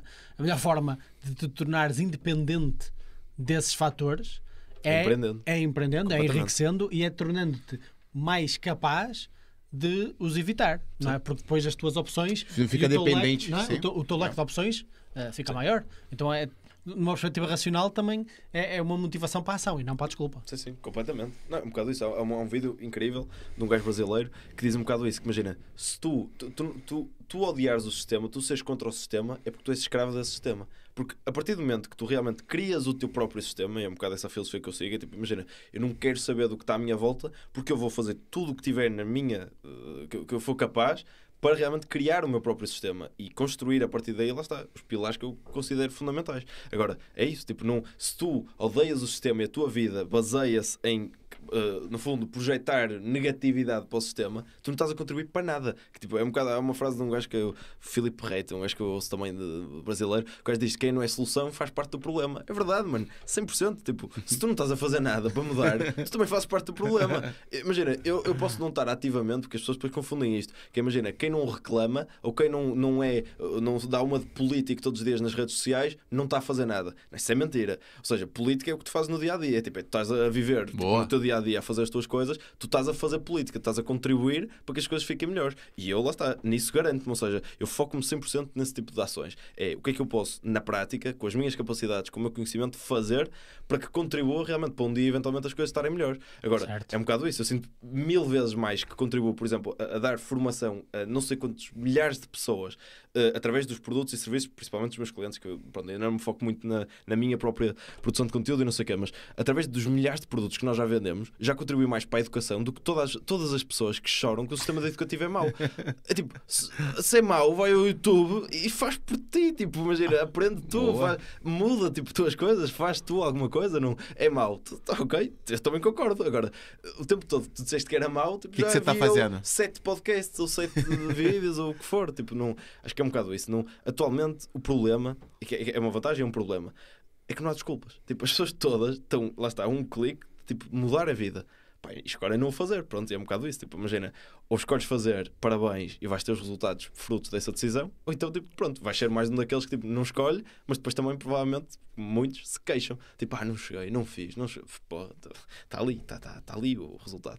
tipo, acho que é, é um Boa. bocado. Boa, boa. é boa. essa atitude pronto, que eu tento de certa forma tipo, passar. É tipo de proatividade, de fazer, de, de errar muito. Tipo, quanto mais eu erro, mais eu aprendo. E tipo, não, não há segredo para além disto. Tipo, o segredo é isso: é, tipo, é dormir Certo. bem, é comer bem, é fazer as coisas básicas e, e aprender tipo, com quem sabe. Tipo, acho que é um bocado isso. Tá aí a dica final. No, é, no fundo, é, também é uma, é uma forma. Ah, e, e eu, e eu vou usar a palavra radical, mas para mim a palavra radical não é uma coisa negativa. Sim, sim. Até porque eu considero-me radical em muitas coisas. Por exemplo, eu sou radicalmente defensor da minha família, por exemplo, Sim. coisas assim do género. Ahm, é quase Ainda uma forma ahm, de auto-responsabilização radical. Sim, sim, Não é? completamente. É do género, muito a cena do Peterson, do género. Sim, Não, sim. porra, arruma o teu quarto. Sim. Exatamente. Arruma, arruma o teu Não quarto. tá nem fazendo isso, tu quer mudar outra coisa? Isso. Sim. Queres mudar o mundo? Queres vir agora? Porra. Pensar que vais corrigir todas as sociedades, as opressões históricas de há mil anos? Porra, arruma o teu quarto, mas aí cala-te. É verdade. isso, pô. Trata bem 100% tua isso. mãe, trata bem teu Não, pai, é. Exatamente. As pessoas todas que reclamam, tipo de, lá está, maus tratos, a este, aquele e aquele outro, são as pessoas que ignoram o vizinho, ignoram É o porteiro, Exatamente. não têm nenhum tipo de atitude,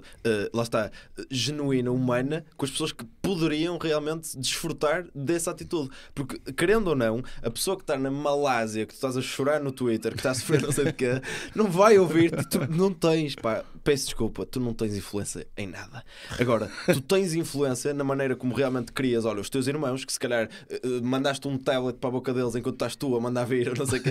Pá, é esse tipo de coisas que eu acho, Boa. assim, É acho ao mesmo tempo engraçado, mas ao mesmo É. tempo triste, que é tipo, pá, pronto, engraçado no sentido que é irónico, quase. É tipo, irónico, como é que tu sim. estás tipo, a ter esta atitude e a queixar-te de outra, mas, mas depois ao mesmo tempo é triste, porque imagina, tu vês, tipo, lá está, tanto potencial a ser desperdiçado, pessoas que poderiam realmente estar a aprender, a formar-se, a desenvolver-se, a criar soluções para os milhões de problemas que existem e que estão completamente a desperdiçar um bocado essa vida, a queixar-se de problemas Sim, sim. que eles não têm incapacidade ainda para resolver. E E externalizam podem essa responsabilidade, não é? Externalizam Exato. essa responsabilidade. Por exemplo, nós sentimos muito isto, e nós aqui falamos muito de política também, de uma forma ativa, também para tentar promover mais este tipo Provocar de e atitudes. promover. É, e promover mais este tipo de atitude que tu vês muito, por exemplo, no nosso debate político natural, eh, pessoas a dizer não, não, mas isto tem que ser assim e tem que ser obrigatório fazer assim. E tu perguntas, ok, essa coisa que tu achas que devia ser obrigatório, tu estás a fazer? Pois. E a pessoa diz não, não, mas vou fazer quando for obrigatório. Porra. Porra, meu! Não, é Faz isso. agora. É. Qual é a tua lógica? Sim, é sim. tua- Isso acontece muito até com, quando estás a debater sistemas económicos diferentes e tudo, porque existem empresas que têm um sistema Sim, económico diferente, que querem, por exemplo, promover mais o seu colaborador de uma maneira diferenciada e colocá-lo como parte do negócio de uma maneira democrática, por exemplo. É uma- pronto, já estás a perceber para onde é que eu Sim. estou a ir, não é?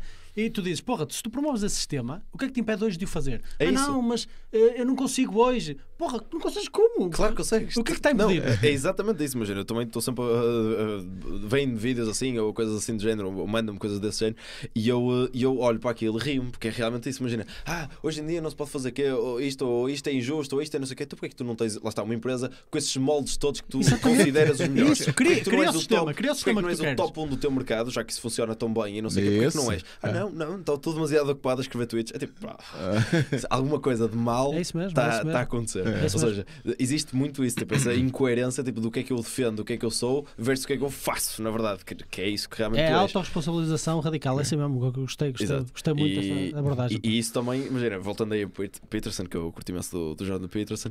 O, É mais a tóxico, cena mais tóxico. mais tóxico.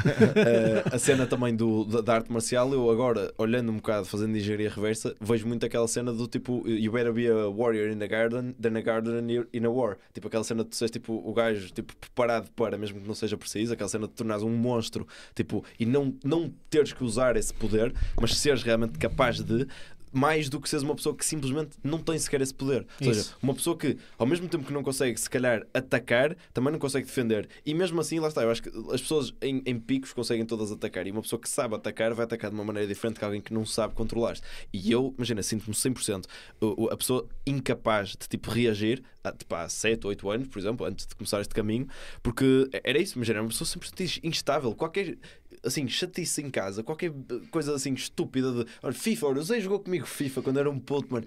Este gajo viu-me, tipo, várias vezes, se calhar, tipo, olha, Fortnite, jogos todos que eu jogava, que eu era extremamente competitivo. Eu jogava tipo o Weekend League, tipo do FIFA, que são 40 Aham, jogos aham. em dois, dois dias, era tipo elite, não sei das quantas, era um viciado. Se eu perdia um jogo por causa da net, mano, ia ao comando, e caralho, é isto? É ia ao comando para não sei onde, e, e insultava tudo e todos, tipo, ficava passado completamente assim, emocionalmente incapaz.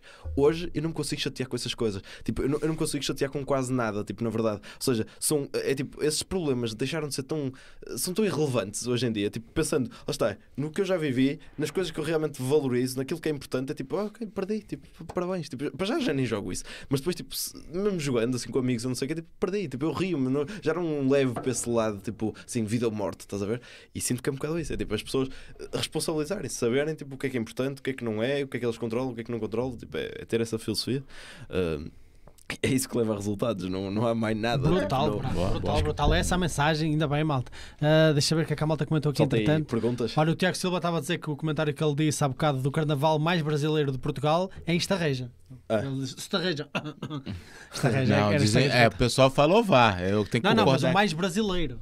Ah, pois eu não. Ele- Não, mas o, pessoal, específico. mas o pessoal diz que o VAR parece com o carnaval Mas dizem que brasileiro. o VAR é o melhor de Portugal, não é? Mas pode não ser o mais brasileiro. Não, os brasileiros dizem, então provavelmente é porque é brasileiro, né? Não, tu é que estás com viés de que Não, o melhor carnaval não, tem que não, ser o mais não, parecido com o não, brasileiro, porra. Nunca em nenhum lugar um brasileiro vai falar: nossa, o melhor carnaval do- de Portugal é em Ovar, porque Se é um não for- carnaval português. Porra, não é. o Você me desculpa, mas não é. É isso. é isso. De brasileiro eu entendo. Fair enough, fair enough. A Márcia Rosana está aqui connosco, também diz boa noite. Nossa obrigado, membro Mar- também, Márcia, um grande Diretamente abraço. de Rio de Janeiro. O, o Bruno Marques também diz: eh, Boa Tuga, comida brazuca é mesmo diferenciada, né? É mesmo. Foi quando estavas a falar sobre É isso. O, eh, o, o- Pedro diz aqui: ó, mais tóxico completamente. é assim mesmo, é isto é, é masculinidade tóxica, mal. Tem que se acabar com isto. Tem que se acabar, acabar com incentivar as pessoas a tomar controle sobre a sua própria vida e atuar em sentido de a melhorar. Porra, realmente isto é Exatamente. tóxico para Pô, caralho. isso isso sou o Ivo tóxico. Gonçalves diz: Boa noite, cheguei agora, continuação do bom trabalho. Boa, obrigado, Um grande Ivo. abraço, pá. Abraço. Muito obrigado. O, o, o- Opa, desculpa. O Pedro diz aqui também, mas o verdadeiro sistema ainda não foi implementado. Exatamente, é essa desculpa interna, Pedro. Porra, é mesmo assim, não é? Ah, nunca foi implementado, nunca o- funcionou. Nunca, nunca, nunca. Ah, tenho escutado o David, diz aqui o Nuno, ah, durante este podcast sobre a sua visão de vida. De certeza que percebi bem. Tem 19 anos? Não acredito. É verdade, pá, é, É verdade, verdade. é verdade. Feitos há pouco tempo, não? Não, não, não. Vou fazer Não, 20 já vais fazer em 20? março. Uh, Ah, ok, está quase, está quase, está quase. Já Desculpa. tá começando a perder a magia já. Não, é, daqui a- Petro- a partir do momento em que fazes 20, eu senti isso também. Que é, a partir do momento em que fazes 20, tu deixas de ter aquela cena do É. Olá, eu sou o David e tenho 17 anos É. e a pessoa vai-te ligar. Não, Não, porra, tens 20, claro que estás a ligar, porra. Tens de fazer pela vida, porra, tens 20 anos, anda lá, faz qualquer merda. Não, eu- Quando tens eu 17 é surpreendente, com 20 já não. Houve uma altura, por exemplo, que eu, mesmo no próprio Instagram, não sei o que, tinha tipo David, Oliveira, 17 anos, tipo, quando eu estava com 17. E, e depois até foi um mentor meu que me desaconselhou tipo, a ter essa, essa cena, porque imagina, querendo ou não, é bom no sentido tipo causa choque, Causa. mas pá, lá está, mas isto, é- isto é, é autoconhecimento e, e conhecimento não só auto, mas tipo da espécie também. Tu saberes que as pessoas, querendo ou não, por mais que lá está, depois de me ouvirem, possam tipo, perceber que afinal as coisas não são como elas pensavam, mas assim, as pessoas têm um bias, tipo, as pessoas já têm uma, uma história, têm filtros que, tipo, se vêm 17 anos, a credibilidade vai tipo para aqui, a credibilidade perde-se logo. E, e por mais que eu depois prove que possa ser, pá, não interessa. Tu estás num, num, num- mundo onde já existem regras, no sentido em que, tipo, as pessoas têm milhões de anos de história para trás que tu, por mais que queiras, não vais eliminar com um tweet ou um Não. clique qualquer. Então imagina, tu tens de perceber sobre pessoas. Eu sinto que entender sobre marketing é é entender sobre pessoas, é entender realmente sobre como é que nós Percepção. funcionamos. Uhum. Então, quanto mais eu estudo sobre isto, mais depois isto também pronto, faz-me tirar benefícios noutras áreas. E foi uma coisa que eu imagino, eu fiz por, por aconselhamento, eu nunca tinha chegado lá, se calhar, tipo, olha, se eu tirar isto vou ter mais credibilidade. E por mais que as pessoas não tenham este choque logo, tipo, foda-se, 17 anos, como é que é possível, não sei o É quê. Ainda têm mais, porque não sabem. Então imagina, vão ver e não sei o que, não sei o que mais, e depois eu eventualmente Por acaso digo, descobrem, ou não é. sei o que, descobrem, foda-se, a sério. Só que não é uma coisa tipo imposta, não é uma coisa tipo, ah, Isso. eu sou fixe porque eu tenho 17. Não, eu sou tipo, eu sou o que sou. Pronto, e Sim. se tu achas fixe, não achas? Pá, Eu já é, senti muito é isso também. Por, por exemplo, eu lembro quando fui. Eu, eu- houve uma altura da minha vida que eu tinha 22 anos e fui trabalhar para Bruxelas como consultor da minha área. E, e pô, porra, eu cheguei Isso é lá, incrível, eu, sim, era, sim. eu era o mais novo de todo o grupo e o seguinte mais velho tinha tipo 36. ou assim. Porra. Era assim, era absurdo mesmo. E então eu lembro-me que um gajo uma vez cobrou a minha idade e eu pedi-lhe para, para, para não partilhar. Eu disse: Olha, eu prefiro que a malta primeiro crie uma ideia daquilo que eu sou e depois Claro. descubra a minha idade, porque vai ficar. Porque depois a surpresa vai ser positiva. Que é Sim. do género, porra, ele é assim e tem esta idade. Exatamente. Senão, porque senão eu vou ter que fazer o caminho reverso, que é a malta vai ficar surpreendida com a idade, vai provavelmente esperar menos e depois eu vou ter que provar mais. Pois. Estás a perceber? E eu até tí- tínhamos uma colega com quem já trabalhámos que ela tinha a mania sempre de, de- de escrever, eh, de escrever assim. Nós éramos agile coaches no passado. Uhum. Ah, e ela tinha a mania de dizer assim: Olá, eu sou o X e eu sou o Junior Agile Coach. Eu disse, porra, porquê que estás a dizer isso, meu? É. Tu és Agile Coach, diz que és Agile Coach, o que é que importa se és Junior ou não? Tu É. estás logo a, a- Sim, sim. na tua apresentação estás-te a diminuir, logo Claro, à partida. exatamente. E parece que não, mas é importante lidar com isso. É importante sim. percebermos como é que a percepção dos outros entra dentro de nós, quando nós estamos a nos apresentar, e como é que isso influencia depois o próprio tratamento. Completamente. Ouve, desde a roupa que tu vestes, as palavras que usas, a tua apresentação como um todo, tipo, isso tem influência, queiras ou não. Então imagina, é- é- há duas opções. Ou tu ignoras e colhes os resultados negativos dessa não, eh, pronto, o- não uso dessa, dessa coisa que está à vista de toda a gente e que está mais que provado que realmente tem influência. Ou então pronto, adaptas-te e realmente moldas aquilo que tu fazes e que és usando esse, esse conhecimento. Certo. Agora, o problema é isso, é as pessoas tipo, acharem que é possível, eh, as pessoas, lá está, desverem coisas. Tipo, imagina, se tu sabes isto, tipo, tu tens de agir como. Está, isto se fosse realidade, não é tipo, não é querer tipo, que isto seja mentira e fazer de tudo para te convenceres a ti próprio de que isto é mentira. É verdade, faz. Tipo, não há desculpas. Não, imagina, eu também queria, tipo, lá está, andar de pijama todos os dias, não sei o quê. Não, não queria, porque lá está, já experimentei um bocado as duas cenas, mas nós temos a tendência a querer estar sempre confortáveis, querer estar sempre no quentinho, tipo, no colinho da mamã. Tipo, isto não, não, é, não funciona assim. Tipo, nós temos não é de nos assim. pôr, Sim. temos de nos pôr de acordo com o que a realidade é. Com é mundo. muito mais fácil tu realmente encarares cedo os problemas e depois aprenderes com eles, do que estás a querer tipo, adiar, adiar, Sim. adiar. Aquilo que falamos de sistema assim, tipo, tu, imagina, se estás sempre a adiar entrar no mercado de trabalho, quando entrares, tu, para além de já teres muito mais expectativa, porque já és mais velho, ou seja, imagina, se eu estou a trabalhar com 19, as pessoas esperam menos de mim do que se eu tivesse 27 ou ou 34 Com ou certeza. 40. Então, se eu cedo percebo como é que as coisas funcionam, estou muito mais apto depois de chegar aos 25 e estar muito mais maduro, muito mais fluido, tipo, muito mais tudo do que tipo, a maioria das pessoas aos 25 estão. Mas não é por falta de capacidades. Lá está, se calhar há pessoas com muito mais capacidades que eu e muitas, tipo assim, milhões mesmo. Só que não estão a fazer. Tipo, não, não é uma questão de capacidades ou não. Tipo, o mundo já não é um- uma questão de capacidades. Tipo, a maioria das pessoas atualmente tem capacidades assim ridículas. Tipo, nós, nós temos nas mãos uma máquina que tipo, tem mais inteligência que todas as mil e uma pessoas consideradas génios, tipo, de há não sei quantos anos. Ou Sim. seja, nós temos realmente tudo para ser muito melhor do que já se foi. Agora, temos é ao mesmo tempo um conforto que impede tipo, essa ação e que depois, consequentemente, impede o resultado, pronto, que é grande. Então, tipo, a partir desse momento, é um bocado tipo, eh, eu quero jogar que jogo? Quero jogar o modo fácil da vida que depois vai tornar difícil no longo prazo, queiras ou não, ou vou jogar o modo difícil para depois se tornar fácil. Pronto, e acho que é um bocado uma escolha que tem de ser. Isso feita. é muita verdade que é uma hora a vida fica difícil. E essa mensagem tem que ser passada para malta. Pois, I- Meu amigo, Inevitavelmente. é, inevitavelmente uma hora vai ficar difícil. pois. E é melhor que você aprenda a lidar com a dificuldade o quanto antes. Pois. Não, aquela É. questão de fazer coisas difíceis. Eu acho que até mudar um bocado a frase para tu não tens de fazer coisas difíceis. Tu vais fazer coisas difíceis. Quando Boa, é que queres fazê-las? Cedo ou tarde? Isso. Ah, boa. Boa, um bocado é, escolher isso isso. mesmo, é isso mesmo. É isso. Tu, tu vais fazer coisas difíceis e é um É. bocado tipo confrontaste com isso cedo, seres obrigado a estar nesse, nessa situação.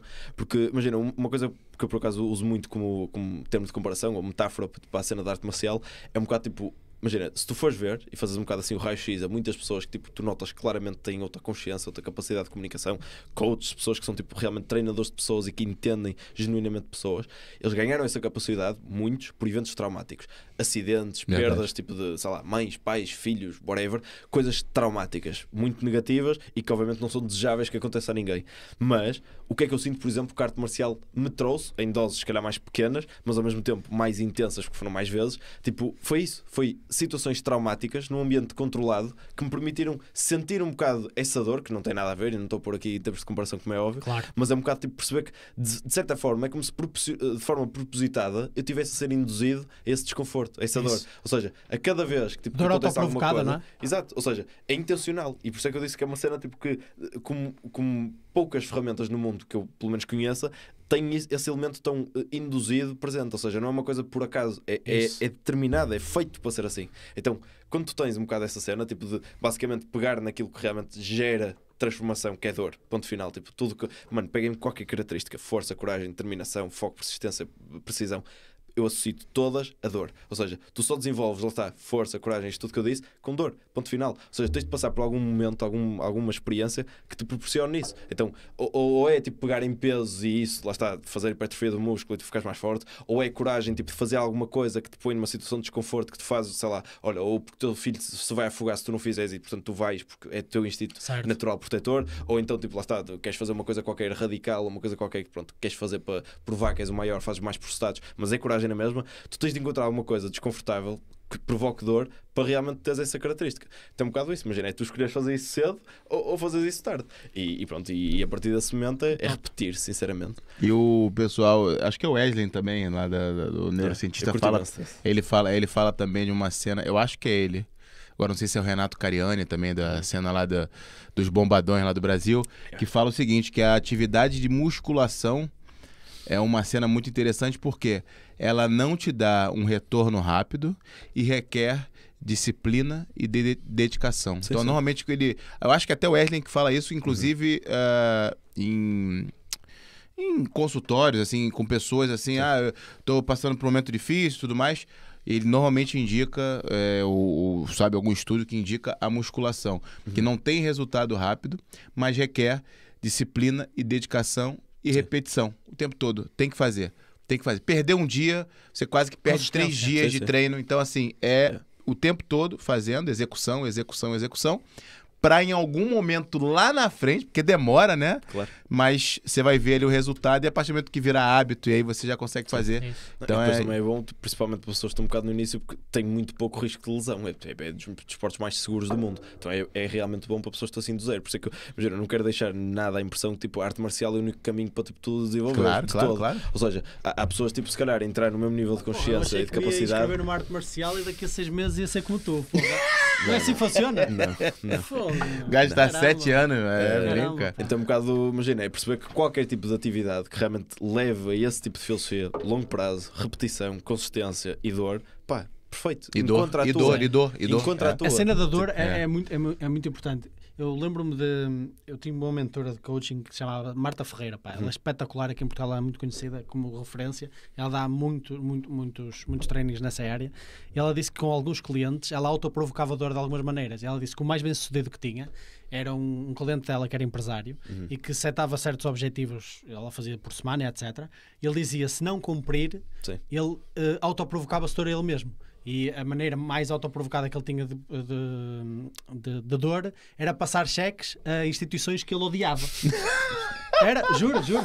Ele fazia de propósito. Ele passava, ele passava o cheque, dava à Marta e dizia: Olha, está aqui, se eu não fizer, se eu não fizer, tu vais depositar neste X, Y, Z que eu odeio. Tipo, era a mesma coisa que me Porra, pôr tipo, a, a mandar cheques para o bloco de esquerda. ou cenas assim?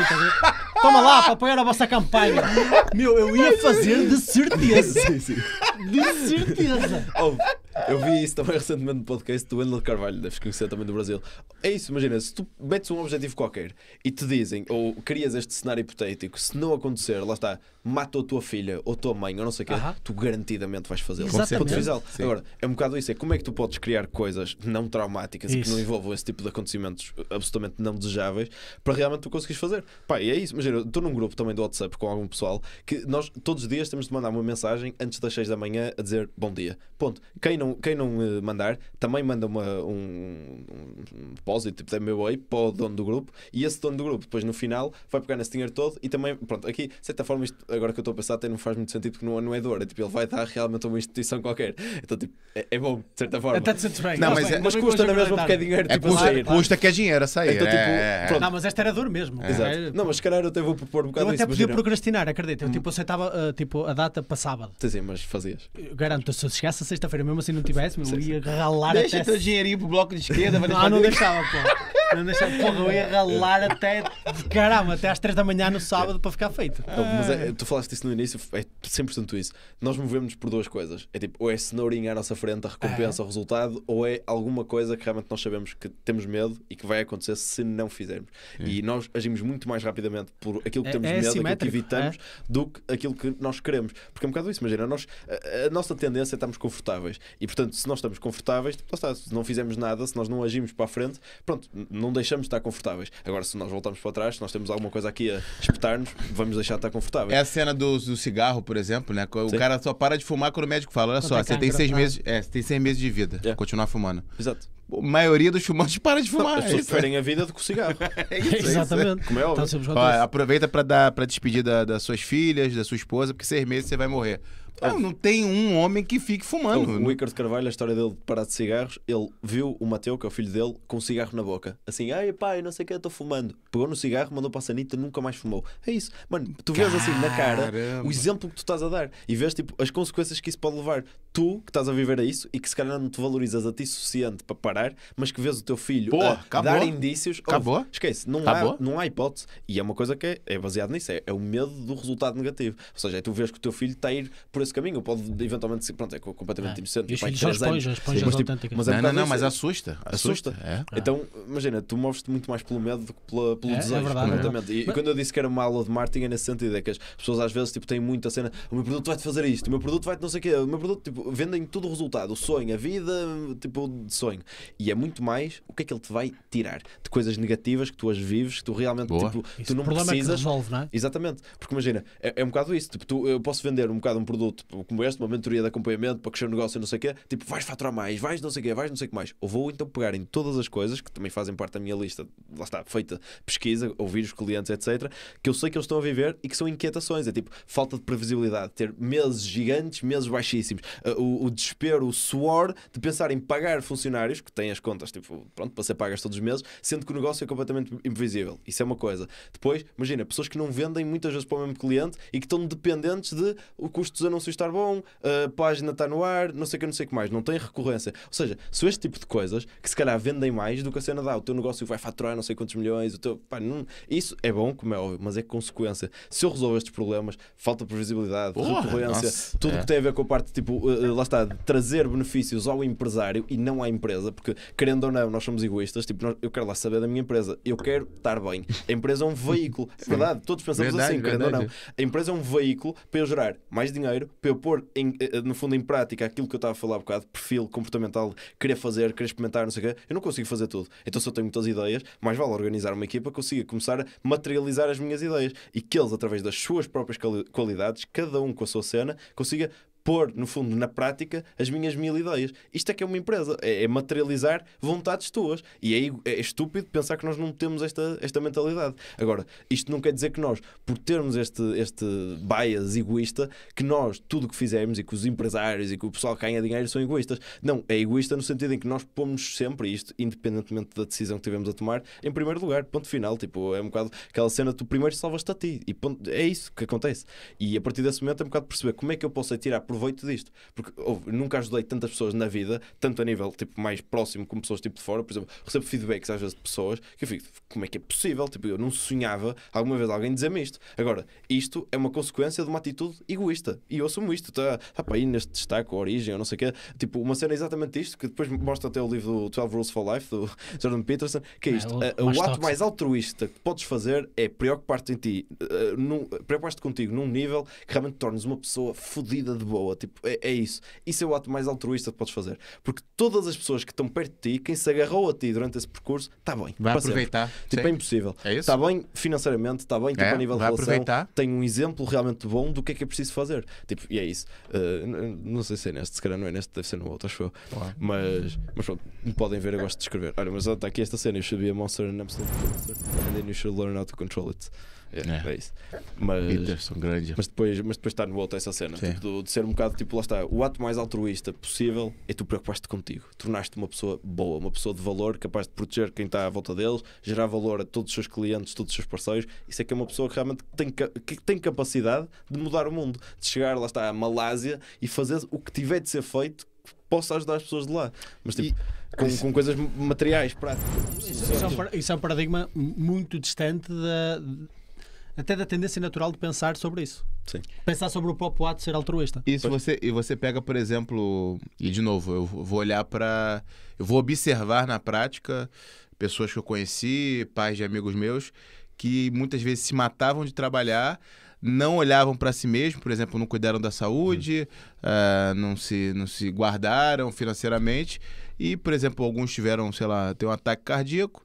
Passou, porque tinha uma má alimentação, tinha uma péssima saúde, não olhavam para si mesmo. Pois todos aqueles que E dependiam deles. todos eles, que aquele- aqueles que dependiam, ficaram ali sem uma referência, ficaram às vezes com o dinheiro da casa, que às vezes era único, vinha só E essa às vezes é pior, às vezes é, é- sem referência e com muito dinheiro é pior às vezes do que tipo estar sem nada. É, e aí você vai perguntar para essas pessoas, se você pudesse perguntar para essas pessoas antes delas morrerem, por exemplo, que é o pior caso possível, que era, não, não, eu tô fazendo pela minha família. Eu trabalho 13 horas por dia, eu durmo duas horas por dia para poder dar conforto a ele e tal, sendo que é o, é o contrário, isso pode dar uma, isso pode não, isso vai dar algum momento Sim, sim. muito errado.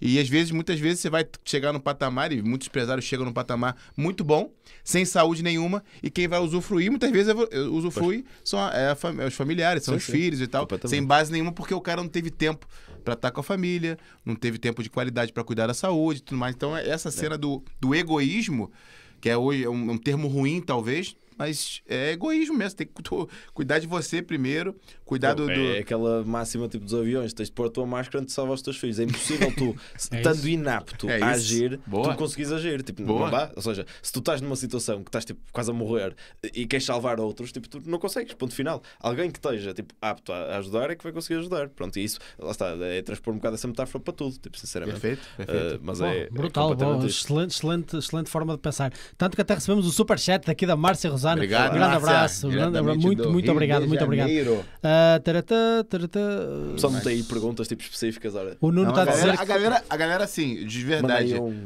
quando tem, tem muitas perguntas, assim, quando a galera tem dúvidas sobre um tema e tudo mais, eu acho que do jeito que tu tá falando, eu vou transparecer o chat, porque Sim, sim. a gente É conhece nosso percepção, chat. claro. É isso, é. É que a galera tá absorvendo muito como eu estou. Absorvendo como o Marquinhos. Eu nunca vi o Marquinhos não falar, não falar tanto do jeito que ele tá. Tá muito quieto hoje, porque ele tá absorvendo.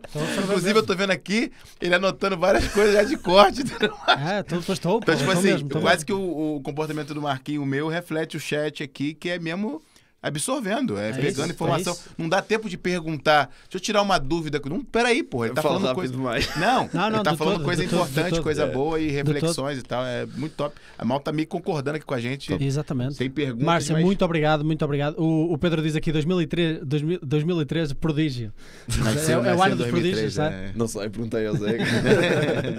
Uh, uh, JC Carreira diz a cultura do cigarro é muito forte na cultura portuguesa. Resumindo, Não, a turma gosta de beijar uh, cinzeiros. Por acaso é verdade. Não, Vocês isso até assusta. chocados, não é? Isso assusta Quando com crianças de 12, 13 anos fumando. Tu no isso Brasil me não assusta. sentiste, não Não, não, não, e os meus amigos brasileiros todos disseram isso. Mano, como é que tanta gente fuma? Isso, todos, é isso. todos, É todos, isso, é. todos, todos. Não, no É. Brasil, assim, estou agora a pensar, acho- eu, não vi ninguém na rua tipo, com cigarro na mão. Muito, muito Ninguém. difícil. Tá Ninguém cada, mesmo. Aqui cada é vez mais difícil não ver. Exato. Não, não, não vi ninguém mesmo. É. Acho Então, que e não vi quando tu ninguém. lhes dizes que faz pouco tempo que é proibido fumar dentro de algum sítio, Pois. por exemplo, faz pouco tempo que é proibido fumar dentro de um café. Não, no Brasil já tem Faz para pouco tempo. 10 e anos foi polémico para na mais. altura, e foi polémico. Foi? A malta não queria, porra, não queria. Pô, porquê que eu não posso fumar, porra? De E fumar. tem gente que fuma ainda. É, É. sim, Sim, sim, sim, exato, mesmo sendo proibido. Não, É. há, há zonas dedicadas, porque depois eles criaram todos umas. Tu sabes que o Estado é incrível para criar l- ah, legislação sobre isso. Então eles depois disseram assim: ok, como algumas pessoas não querem, outras querem, o que é que nós vamos fazer? Vamos pôr Se, se, se se o estabelecimento for maior do que X, já pode. Se o estabelecimento for menor, mas tiver ventilação, também já pode. Eita, então eles começaram eita, a triangular isso tudo. É, Então, esquece. E tome-lhe fiscal Loucura, e tome ganhar dinheiro com isso. é. Olha, o Nuno Oliveira diz também aqui: olha, Marco, eh, diz que nunca darias um cheque ao bloco de esquerda apenas quando o teu convidado ligado a esse partido vir. Muito bom. pá, va- vamos ver, vamos ver. Se calhar ele convence-me. Oh, Nuno, pá, se calhar estou errado, pá, estou errado. uma frase aí. Eh, não vai ele cancelar a tua participação no podcast. Tá, Eu esqueci nada, o nome dele, ele tá falando comigo no. WhatsApp, mas é. A gente vai marcar com ele o bloco esquerdo. E ele, inclusive, falou o seguinte: é, gostaria de, de uma conversa com vocês, pô, tranquilo, Ah. e depois marcar uns debates. Ele É quer marcar isso, uns é debates isso. com outras maltas. Pô, muito É top isso. O mesmo. traz cá o. Gaspar, traz cá o Pedro Esqueci o também. fazer- O Pedro tem que voltar com debate, meu. Tens de voltar em grande, É, meu. também acho, Tens também de voltar em grande, pá. Tens de voltar em grande. Estás a precisar. O JC Carreira diz: Brasil é pró-saúde. É assim mesmo. Ainda bem, pá, ainda bem. É isso. Principalmente neste aspecto, não é? Portanto, ainda bem. Vamos para as perguntas? Vamos, vamos para as perguntas. Explica para ele como é que funciona as perguntas Então, e para a malta também que está também. nos assistir. Estou. Estás off? Não sabes como é que Não, não, funciona? então é assim: nós temos uma lista de 150 perguntas. Caralho. Disciplina! Disciplina! Vambora. Oh, É, tens de bater na folha 150 Precisão. Tranquilo? Tranquilo? Bora lá, a primeira. Não, estou a brincar. Então, nós temos uma lista de 150 perguntas, nós vamos fazer um random e vai sair uma. Assim, Ok. e tu vais responder, está bem? Tá bem. Ok? Abre ali uma tab, por favor. É mais fácil, Já o tá nos exercício é mais ali, ó. Só abrir a tab tá lá na 150 favoritos, lá na esquerda, lá na esquerda, lá em cima. Mais esquerda, esquerda, esquerda. Aí. E aí abre outra tab agora, por favor, e joga no Google Handle Number Generator. Isso. Aí já tá embaixo. Joga ali 150 ali embaixo, pronto. 3, 2, 1, pode clicar, gerar. Let's go. 27 aí é live, você vê que foi. realmente é. É. Número 27, a pergunta é a seguinte: David, quais são as pequenas coisas que fazem o seu dia bom? Pequenas coisas que fazem o seu dia bom. Imagina, eu acho que são estas coisas básicas. uh, tipo, imagina, estavas a falar de banho gelado, não, não abordámos muito tipo hoje, mas banho gelado, por exemplo, é uma sensação tipo de pouco tempo, mas assim, super valiosa para mim. E é uma coisa que eu, que eu pronto, tenho esse, esse apreço, vá, é uma coisa que já faz parte tipo, da minha rotina há tanto tempo que já realmente sinto-me vivo naquele momento. É uma cena que curto imenso. Depois, não outras não coisas. sentir. É, não, isso é verdade.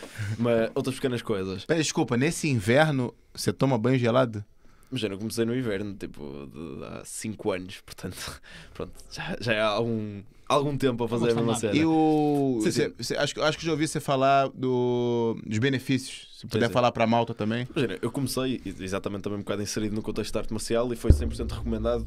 Objetivo 1, saúde. Tipo, não é, lá está, rotina de bilionário, vais ser bilionário se banho de água fria, pá, manda foder isso. Não. Já vi, Imagina. já vi que você não gosta disso. Não, imagina, é, é É. um bocado tipo atribuir as coisas erradas Sim, às sim, coisas. sim. Tipo, no- eu, eu sinto que as- as- estes hábitos, as coisas todas que eu vou falando, eu, eu não o faço por causa disso. Imagina, é perceber é que Para você. é uma consequência esse trabalho. Ou seja, é um bocado. Eu, eu não quero dizer que isso é mau, como já disse, quero dizer que todo o resultado monetário tipo, que tu tens na tua vida é consequência dos hábitos de saúde. Ou, ou seja, a nível de prioridade, lá está. Se tu te queres proteger, se queres valorizar, se queres ser autorresponsável, saúde é a primeira cena. Tu tens de estar tipo, realmente bem contra os teus principais inimigos, são os invisíveis, são aqueles que tu não vês, não Verdade. controlas e que são as, as bactérias, micróbios, essas Verdade. todas. Então, saúde é a primeira coisa. Agora, o segundo maior inimigo és tu. E a partir desse momento é o que é que eu posso fazer para eu, lá está, me melhorar. Pronto, a partir desse momento, ok, não, não é ok, tipo, no sentido de resolvi, mas tipo, pronto, a partir de certa altura, pode-se eventualmente começar a focar no terceiro, que são os outros. Então é começar a perceber como é que eu posso melhor me relacionar com os outros, resolver conflitos com os outros, não sei o que, não sei o que mais.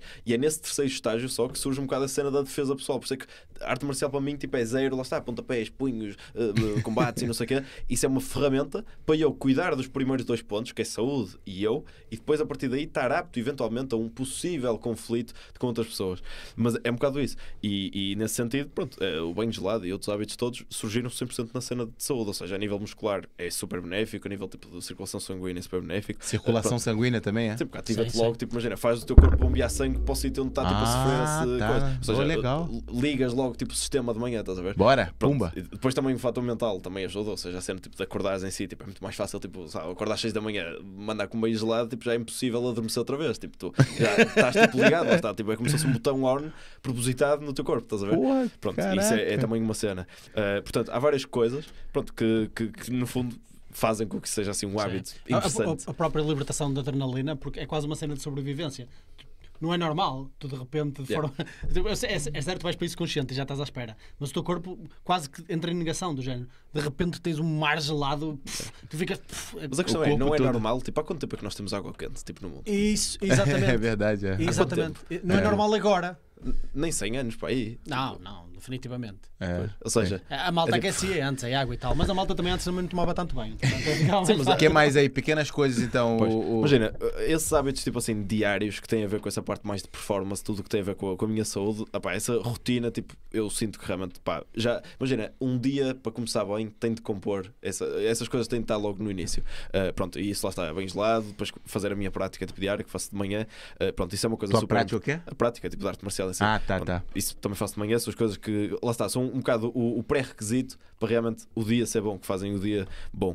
Ah, e depois, realmente, imagina, aquilo que eu cada vez mais valorizo, sinceramente, imagina, são momentos como este, é troca de partilhas, de ideias, coisas que me façam questionar quem eu sou e tipo, me estejam a acrescentar, no fundo. Ou seja, é um bocado, lá está, eu sou isto, mas tragam-me outros pontos, tipo, ataquem-me, tipo, estás a ver? E a partir desse momento ir-me nutrindo, aprendendo cada vez mais e ir errando. E, e pronto, e acho que, imagina, essas coisas básicas são o principal, sinceramente, mas assim, coisas que mais me nutrem, tipo, é passar objetivos, passar metas, passar tipo, imagina, é, é perceber que eu alcancei, estás a ver? Eu, eu não funciono muito tipo por, eh, não, não me guio tanto pelo objetivo em si, guio-me pela competitividade, tipo, de estar sempre em constante desenvolvimento. Ou seja, sou extremamente competitivo, completamente. Então imagina, eu comigo próprio e com, com fatores externos ou não sei o que, estou sempre à procura de outros estímulos para tipo, estar sempre a, lá está, a melhorar-me. Então imagina, o que é que eu posso melhorar, o que é que eu posso não sei o que. Então pronto, obviamente, mas isto, isto acho que não é uma coisa minha, isto é geral, tipo, quando tu, a- a felicidade, de certa forma, alcança-se não quando tu chegas ao objetivo, mas no período, no processo de tu perceberes que lá está, que tiveste de fazer tanta coisa para chegar lá. Ou seja, não é tu, tu lá, chegas ao Dubai, não é no momento que pousa ao voo, se calhar, que tipo, tu estás mais feliz. Tu estás mais feliz é preparar a viagem, a fazer tudo o que é preciso para chegar lá. A maioria das pessoas, tipo, lá está, está feliz, o pico máximo de adrenalina, de dopamina, tipo, que realmente acontece, é antes das cenas acontecerem. É tipo, é no, na ansiedade de chegar lá. Tipo, por exemplo, ontem tive um,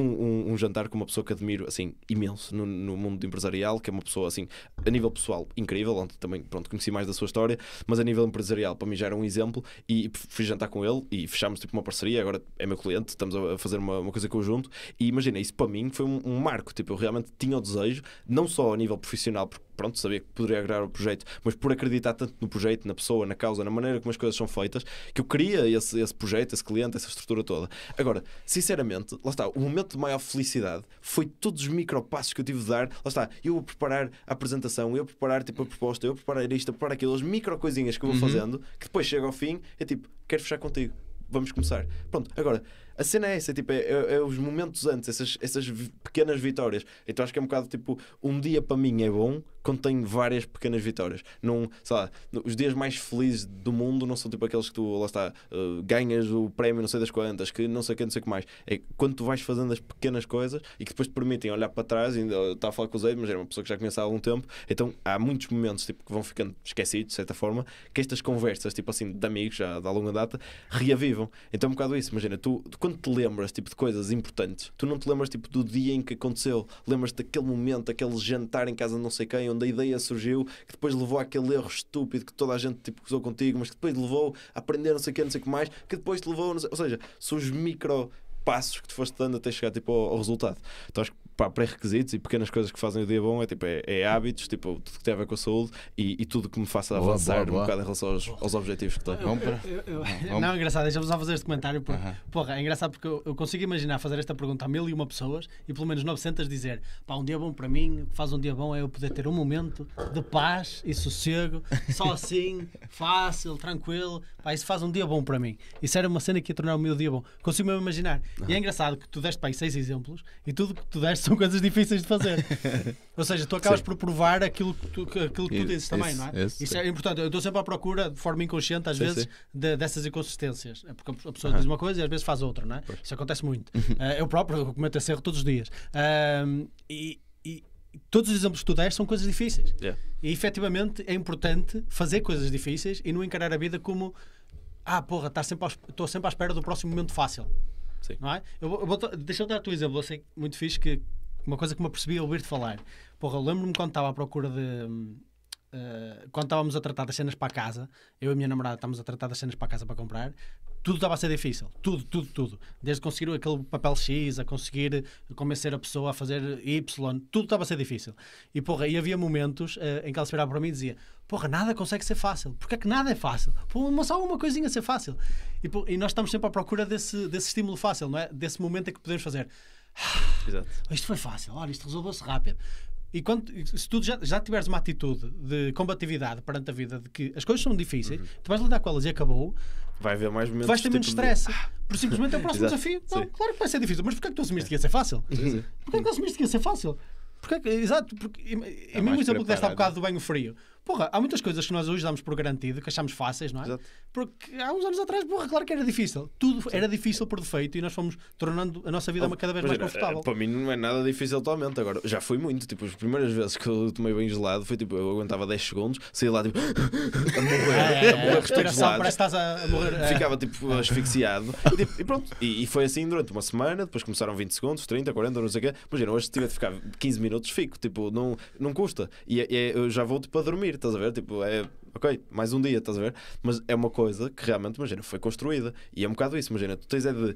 Eu sinto que a, a felicidade é 100% isso, é estar sempre em constante desenvolvimento. Não é tipo tu chegares a determinado patamar. Porque eu já não sou tipo tão feliz a tomar banho gelado como era há alguns tempos. Porque a cena tu ires superando, tipo, olha, hoje aguentei 2 minutos, amanhã vou aguentar 2 e 10, agora não sei o quê. Imagina, hoje, se eu te digo, imagina, se aguentar 15 minutos ou 20 é igual, é porque já não há tanto prazer naquilo, já é uma coisa mais, mais ou menos adquirida. Então tem de encontrar outra coisa. Porque imagina, se tu pensares bem, a maioria das pessoas, sei lá, imagina que tu és muito bom em futebol e jogas perfeitamente futebol tu vais ficar muito mais feliz se aprenderes, tipo, imagina que não sabes piano, nunca tocaste piano na vida. Se algum, se o teu irmão te ensinar a tocar uma musiquinha de tanga, uma merda de uma música básica, e tu conseguiste tocar aquilo, tipo, perfeito, sem ele te dizer nada e não sei o que, vais ficar muito mais feliz a tocar essa música do que a jogar futebol. Porque é uma coisa que já tipo, dás por adquirido. e se calhar futebol é tipo top 1%, piano é tipo top 0. Só que o piano, como era uma coisa que tipo, tu não sabias, tu fazes aquela mi micro conquista e lá está, o, o grau tipo do, do zero aqui é muito maior do que o teu do futebol, que é tipo do 99 99.8 ao 99.89. Estás a ver? Tipo, é, é isso. É o, o grau tipo, de, de, distância entre um passo e outro é que realmente dita o quão feliz vais ficar. E eu sinto que é muito isso. Ou seja, estás sempre em constante tipo, pronto, procura de mais coisas para complicarem a tua vida. Sinceramente, acho que é um bocado isso. Tipo, bons hábitos surgem nessa cena. Tipo, como é que eu procuro mais coisas para me dificultarem mais a minha vida? E a partir daí, tipo, começas, lá está, olha, já tenho isto adquirido, vou então fazer outra cena qualquer. Tipo, pronto, e começas tipo, a, a inventar de certa forma coisas difíceis para fazer e vais tipo desenvolvendo. Né? Tipo, é quase um jogo. Eu encaro isto 100% como um jogo. Por isso é que eu digo que os jogos tiveram muita influência.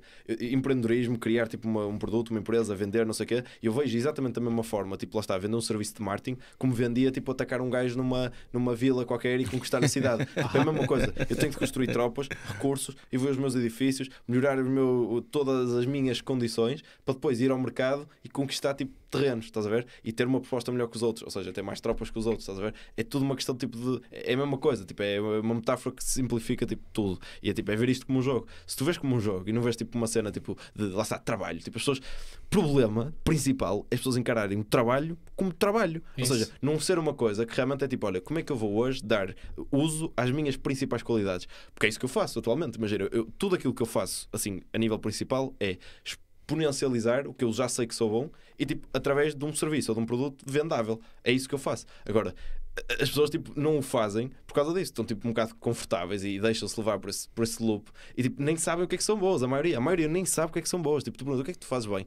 Ah, não sei o quê. Não sei. Dizem tipo 3 ou 4 coisas, era o que estás a dizer há bocado. 900 pessoas vão dizer igual. Tipo, agora, quando tu começas a entrar nesse percurso tipo, de autoconhecimento, estás bem, tipo, sozinho, seja, estás confiante o suficiente para tipo, não precisares de ninguém, mas ao mesmo tempo estás, obviamente, capaz de pronto, interagir e de aprender com os outros, estás bem, tipo, porque vais, vais percebendo quem é que tu és, o que é que tu és útil, o que é que tu não és, como é que tu podes tipo, realmente exponencializar quem és. E, tipo, e, e, delegar o resto. Ou seja, uma empresa é tu pegares no que és bom, exponencializares ao máximo, tendo pessoas que te fazem performar mais nesse sentido, e delegares todo o resto que tu não és bom e que há muitas outras pessoas que é exatamente o contrário. São péssimas no que tu fazes e são excelentes na coisa que tu detestas. Perfeito. É, é aí que surgem tipo sociedades, parcerias, contratos de trabalho. Tipo, é, é nisso, não é, não é tipo, ah, eu quero um gajo para replicar o que eu sou, ou quero um gajo para ser o meu escravo. Não, é pegar em alguém que tenha qualidade XYZ, complementar a tua e que te permita tipo, ter menos trabalho, uh, no fundo escalar o seu esforço. Ou seja, tu basicamente estás a vender um serviço para o mercado que custa 3 mil euros, consegues com o trabalho dele garantir que tens 5 serviços por mês a serem vendidos e lá está, estás-lhe a pagar 3 mil também, por exemplo. Então de repente tu vendes tipo 15 mil para o mercado, tens 3 mil tipo de custos, mais o teu ou não sei o quê, pronto, tens uma empresa lucrativa. Agora é só fazer isto com 100 pessoas, pronto, e depois se calhar faturas 15 milhões e tens tipo 3 milhões de custos, pronto. O que é que está a perder aqui? O pessoal, o pessoal que está a ganhar 3, 4, 5, 10, 15 mil euros como funcionário versus tipo um trabalho qualquer que ganha mil e tal, eh, não está a perder, tipo, está, está muito melhor. E tu que estás feliz da vida, a potencializar o curtes, a fazer uma cena tipo, que te dá essa, essa pica, enquanto ajudas milhões de pessoas, tipo, porra, o que é que está mal aqui? Tipo, nada.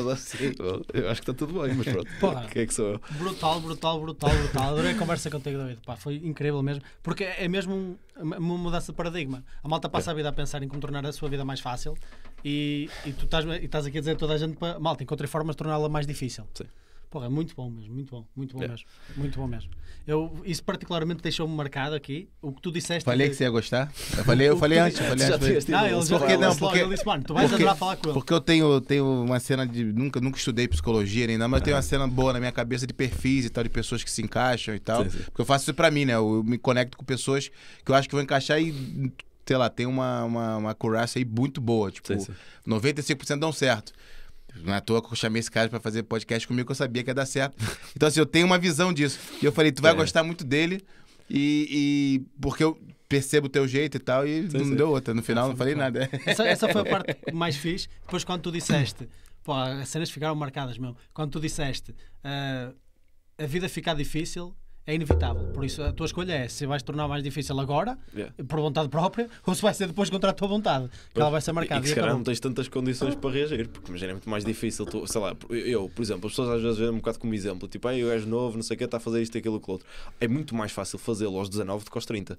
Imagina, no sentido em que, por exemplo, um gajo que tem três filhos, tem casa para pagar, Ah, carro para pagar, claro. mil e uma responsabilidades, tem se calhar muito menos tipo, propensão ao risco como eu tenho, porque imagina, eu só tenho a minha renda para pagar, tenho comida e não sei o quê, não tenho muito mais e tenho muito, ou seja, e tenho obviamente também um bocado o backup, tipo, imagina, se tudo correr mal, está, posso voltar para a casa dos meus pais, posso tipo, pronto, fazer um bocado um, um reset, estás a ver? Isso é um bocado também mentalidade assim, Gary Vee, tipo, tu até aos 50, lá está, és novo, mas é um bocado isso, imagina, querendo ou não, por mais que até aos 50 sejas novo, aos 60 ou o que for, imagina, tu, à medida que vais ganhando responsabilidades, ganhas, de certa forma, também muito mais, tipo, essa necessidade de estabilidade. E, o risco, tipo, não pode ser tanto, eu não posso correr o mesmo risco agora de quando tiver, tipo, cinco filhos, tipo, é impossível, não, não é sustentável.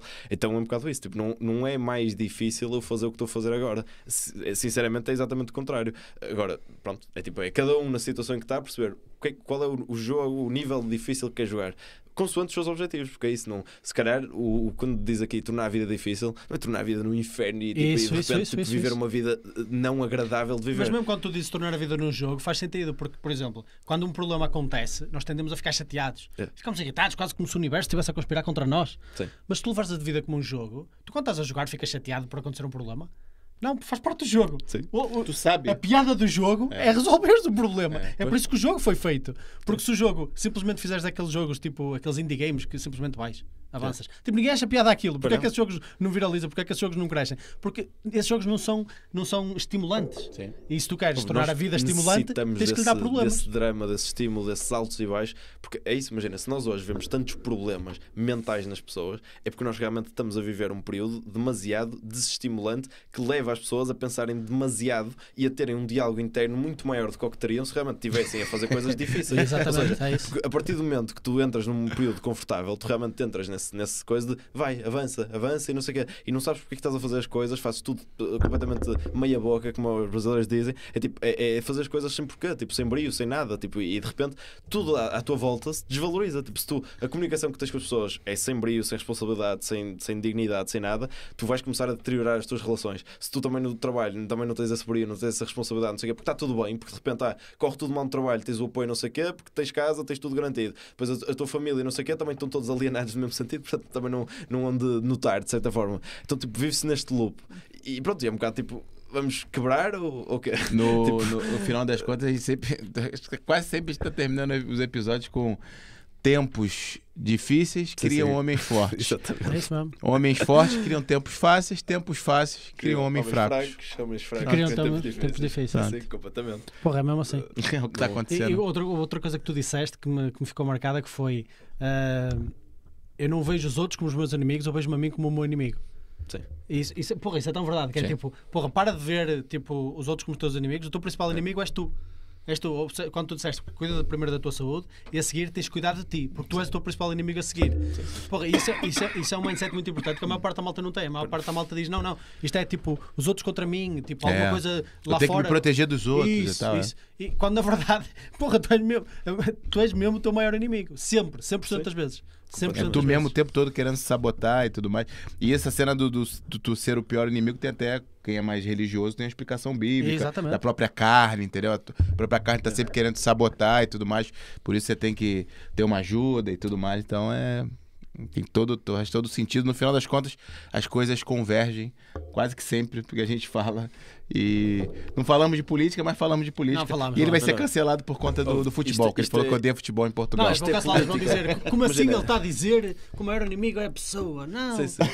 O maior inimigo do pobre é o pobre. Este gajo é burro, cancelado. Pronto. É o capitalista, o malvador Capitalista, capitalista. tóxico. Macho Mas tóxico. é, é completamente isso, imagina, as pessoas estavas a dizer a cena da política e eu sinto que falta esta noção que é tipo, o, o que se faz aqui, tipo, a, a política, por exemplo, a nível prático, o que acontece é que as pessoas que estão a governar este país são reflexo de nós. Ponto final. Isto é verdade dura de se dizer Boa. e de ouvir. É isso Porque mesmo. se nós temos pessoas com determinados comportamentos, é porque nós, ao nível familiar, ao nível tipo prático do dia a dia, se calhar em escalas menores e por isso é que não valorizamos, fazemos a mesma coisa. Ponto final. Então imagina, se tu corrompes quando alguém te está a pedir um lápis ou fazer uma coisa estúpida do dia a dia, não te podes queixar de alguém que corrompe ao nível da TAP. É verdade. É isso ou seja, mesmo, é isso se tu mesmo. tens as atitudes tipo, da a nível de pilares ou de princípios que depois levam esses comportamentos em escalas maiores, Verdade. tu não te podes queixar. Ponto final. É por isso que eu não me queixo. Ou seja, eu não eu não estou aqui, tipo, lá está, nós contra eles. Nós estamos aqui todos para aprender uns com os outros. E de certa forma o que eu sinto é que, imagina, nós temos de, no dia a dia, controlar estas variáveis, como é que nós agimos, lá está, quando alguém nos pede lápis, ou quando eh, passa o porteiro, ou o vizinho, ou não sei o que, como é que o cumprimentamos,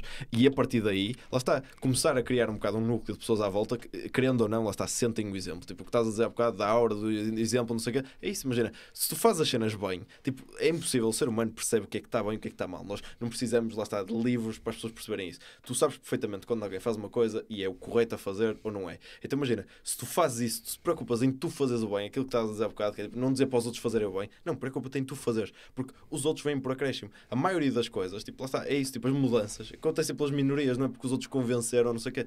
É o exemplo, são pequenos núcleos de pessoas que realmente fazem coisas diferentes e que geram resultados diferentes. Aquela cena do Einstein, tipo, insanity is doing the same thing over and over and again and uh, expecting different results. É tipo, é isso, imagina, não podes fazer sempre a mesma cena, esperar outros resultados. Então imagina, vamos fazer coisas básicas, primeiro, ao nível, tipo, lá está, familiar, dia a dia, Acertar. as pessoas que tu con- controlas e convives. É. E depois, sim, isso lá está, pouco a pouco, se transparecer ao resto do mundo, da comunidade, do todo.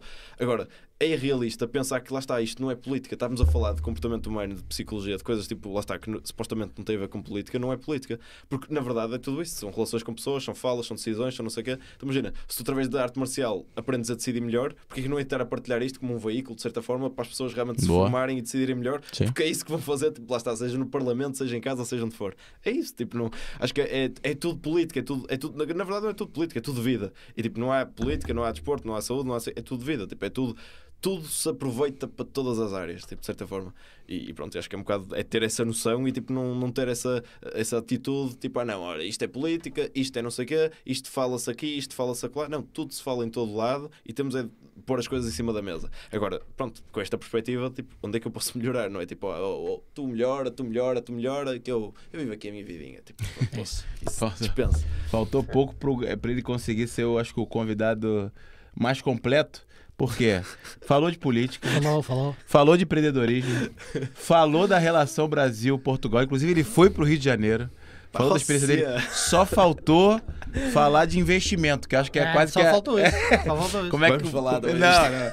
Vamos deixar pra próxima, vamos deixar pra É, próxima. falar de não. finanças voltar, pessoais. de voltar, Tem que voltar. pra gente falar mais. Perfeito. Falar, por exemplo, a gente não falou nada e vamos deixar pra falar na próxima da situação atual de Portugal, comentar um pouquinho É. do que que tu acha, ser essa influência, porque eu acho que eu acho que é o Nicolas, o Nicolas Ferreira que diz que a política é a arte de influenciar. Sim. No final das contas, o que a gente tá querendo. Somos todos influencers. Estamos todos influencers, é isso que eu ia chegar. Estamos Mas é aqui isso, imagina, influenciar essa é a isso. postura, tipo, é, somos todos influencers mesmo. Como é que eu posso? Tipo, lá está, as pessoas. Imagina, uns têm 100 mil seguidores, outros têm o pai, a mãe e o irmão. Mas chega. Ou, Boa. Se tu conseguires influenciar o teu pai, o teu mãe e o teu irmão, no Porra. sentido tipo de, lá está, transparecer valores, princípios, atitudes dispositivos, ou já estás a fazer Parabéns para uma, você. um- uma, grande, É uma grande coisa, a sério. É isso. E é um bocado isso, tipo, não, somos todos influencers, tipo, uns a uma escala, outros a, a outra, mas tipo, na verdade acho que é um bocado isso. É tipo, é Boa. dar o exemplo. Agora, pronto, é, é difícil. Tipo, Não, é isso, mas é trabalho, isso. tipo, Malta, pegou a dica aí. ó. Você, muitas vezes, a gente, malta que tá ouvindo a gente aí, quer mudar o mundo. Se você influen- conseguir influenciar sua irmã, conseguir influenciar Primeiro seu ti, pai, sua e mãe. esses. Isso, primeiro você. Se achar que tá suficientemente bom para influenciar outras pessoas com os seus valores, vá para perto ali, vai para Até próximo do porque teu a melhor forma de influenciar é a partir de ações, não é? Não é a partir de palavras. sim, sim. Tipo, É. A, malta vezes, a malta às vezes pensa que influenciar é convencer. Não. Influ- tipo, é- é, por exemplo, o exemplo que tu deste do, do miúdo, não é? Do miúdo. O pai não lhe disse para ele fumar. pá, não.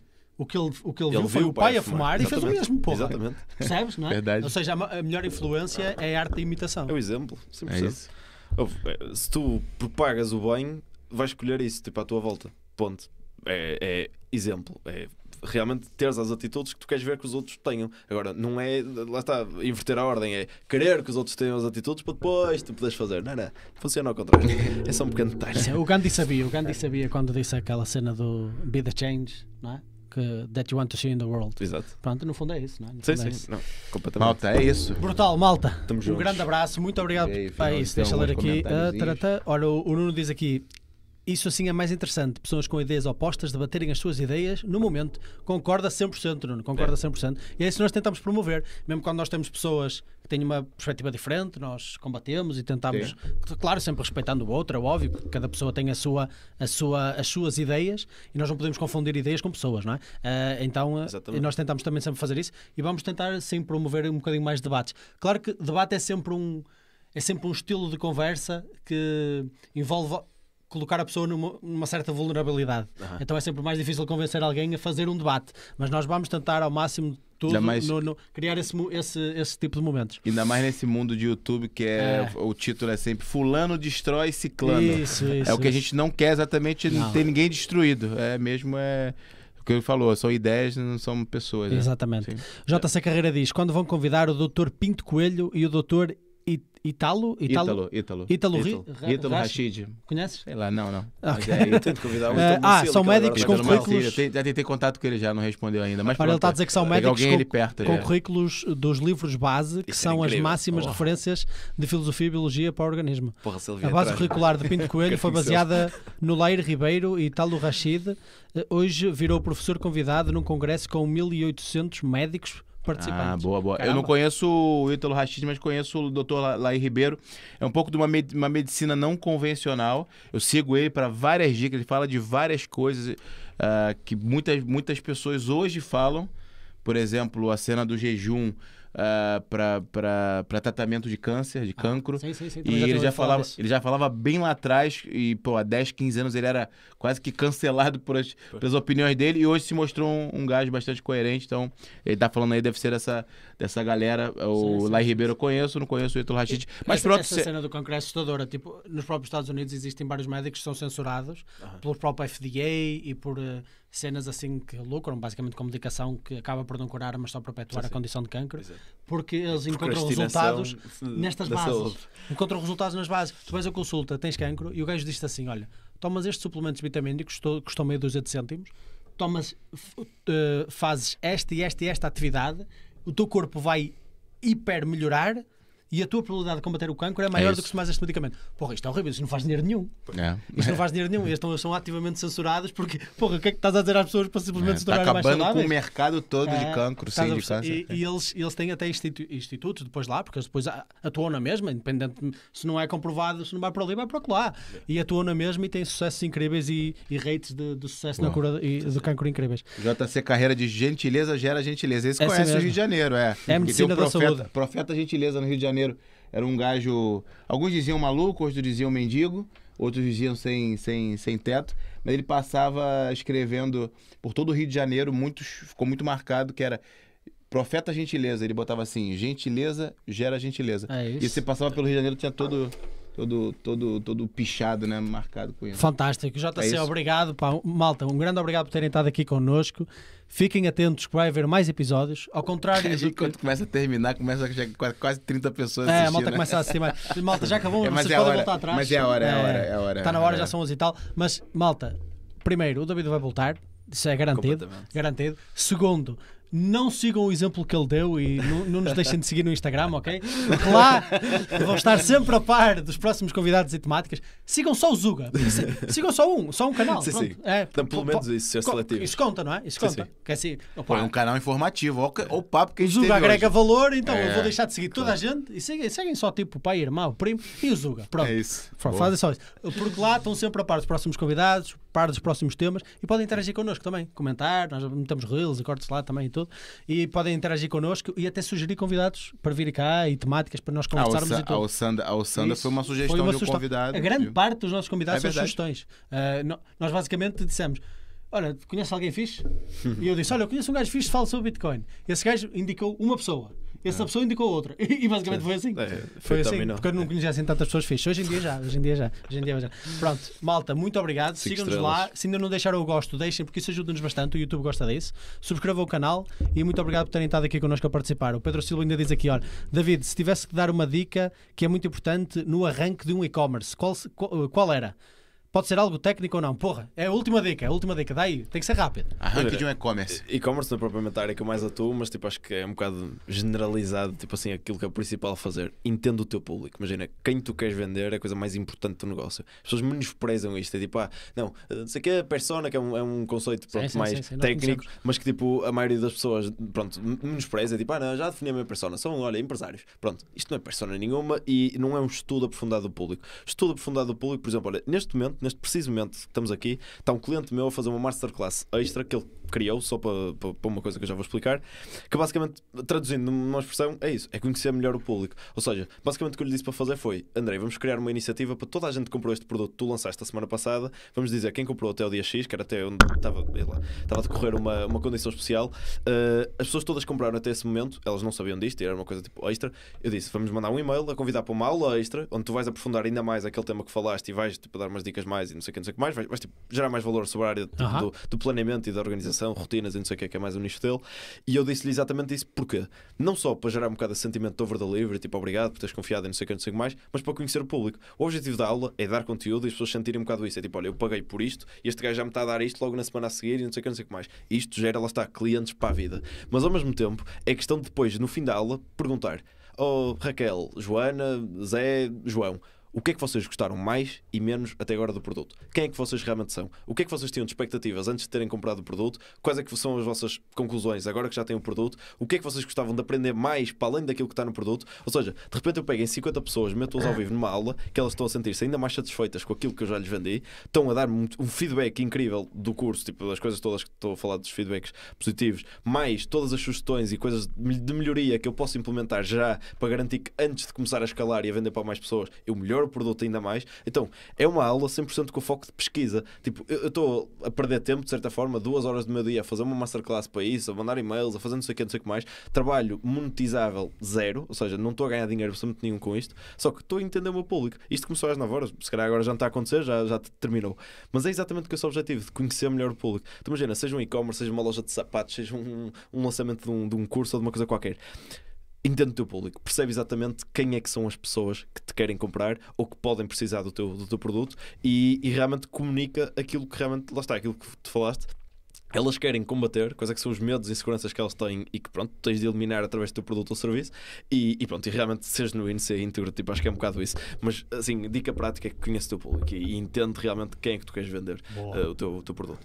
Um, pronto, é Isso isso. vai acabar por ditar também todas as soluções que vais criar, não é? É isso, imagina, a partir do momento que eu estou a falar com determinados termos, com determinada postura, com determinado não sei o quê, as pessoas que vão ver este podcast e que vão sintonizar comigo são as pessoas que têm este tipo de posicionamento, ou seja, tu atrás quem tu realmente és. Ou seja, num e-commerce, aquilo que tu transmites, as palavras que usas, a comunicação, não sei o quê, é que atrai o tipo de público. As pessoas enganam-se às vezes a, usar- a- pensar que o copy, tipo, o copywriting é, mais- é a escrita, tipo, no fundo, de tudo, aquilo que tu fazes online. Então, tipo, as pessoas às vezes enganam-se a pensar pensar que lá está, aquilo que faz comprar é palavra X, é o gatilho, não sei das quantas, é não sei o que, não sei o que mais. E tu falares de uma forma a que a pessoa perceba que tu a percebes melhor do que ela própria. Ou seja, é eu, por exemplo, que vivo XXX problemas, eu que não, ou seja, sei que os vivo, mas nem sei descrevê-los bem, porque lá está, estou tão tipo no, no loop no dia a dia, no piloto Uhum. automático, nem sei descrevê-los bem, e ter um gajo que numa página de vendas me descreve exatamente a minha situação, e eu leio aquilo e tipo, foda-se, este gajo está a falar como se fosse ao espelho.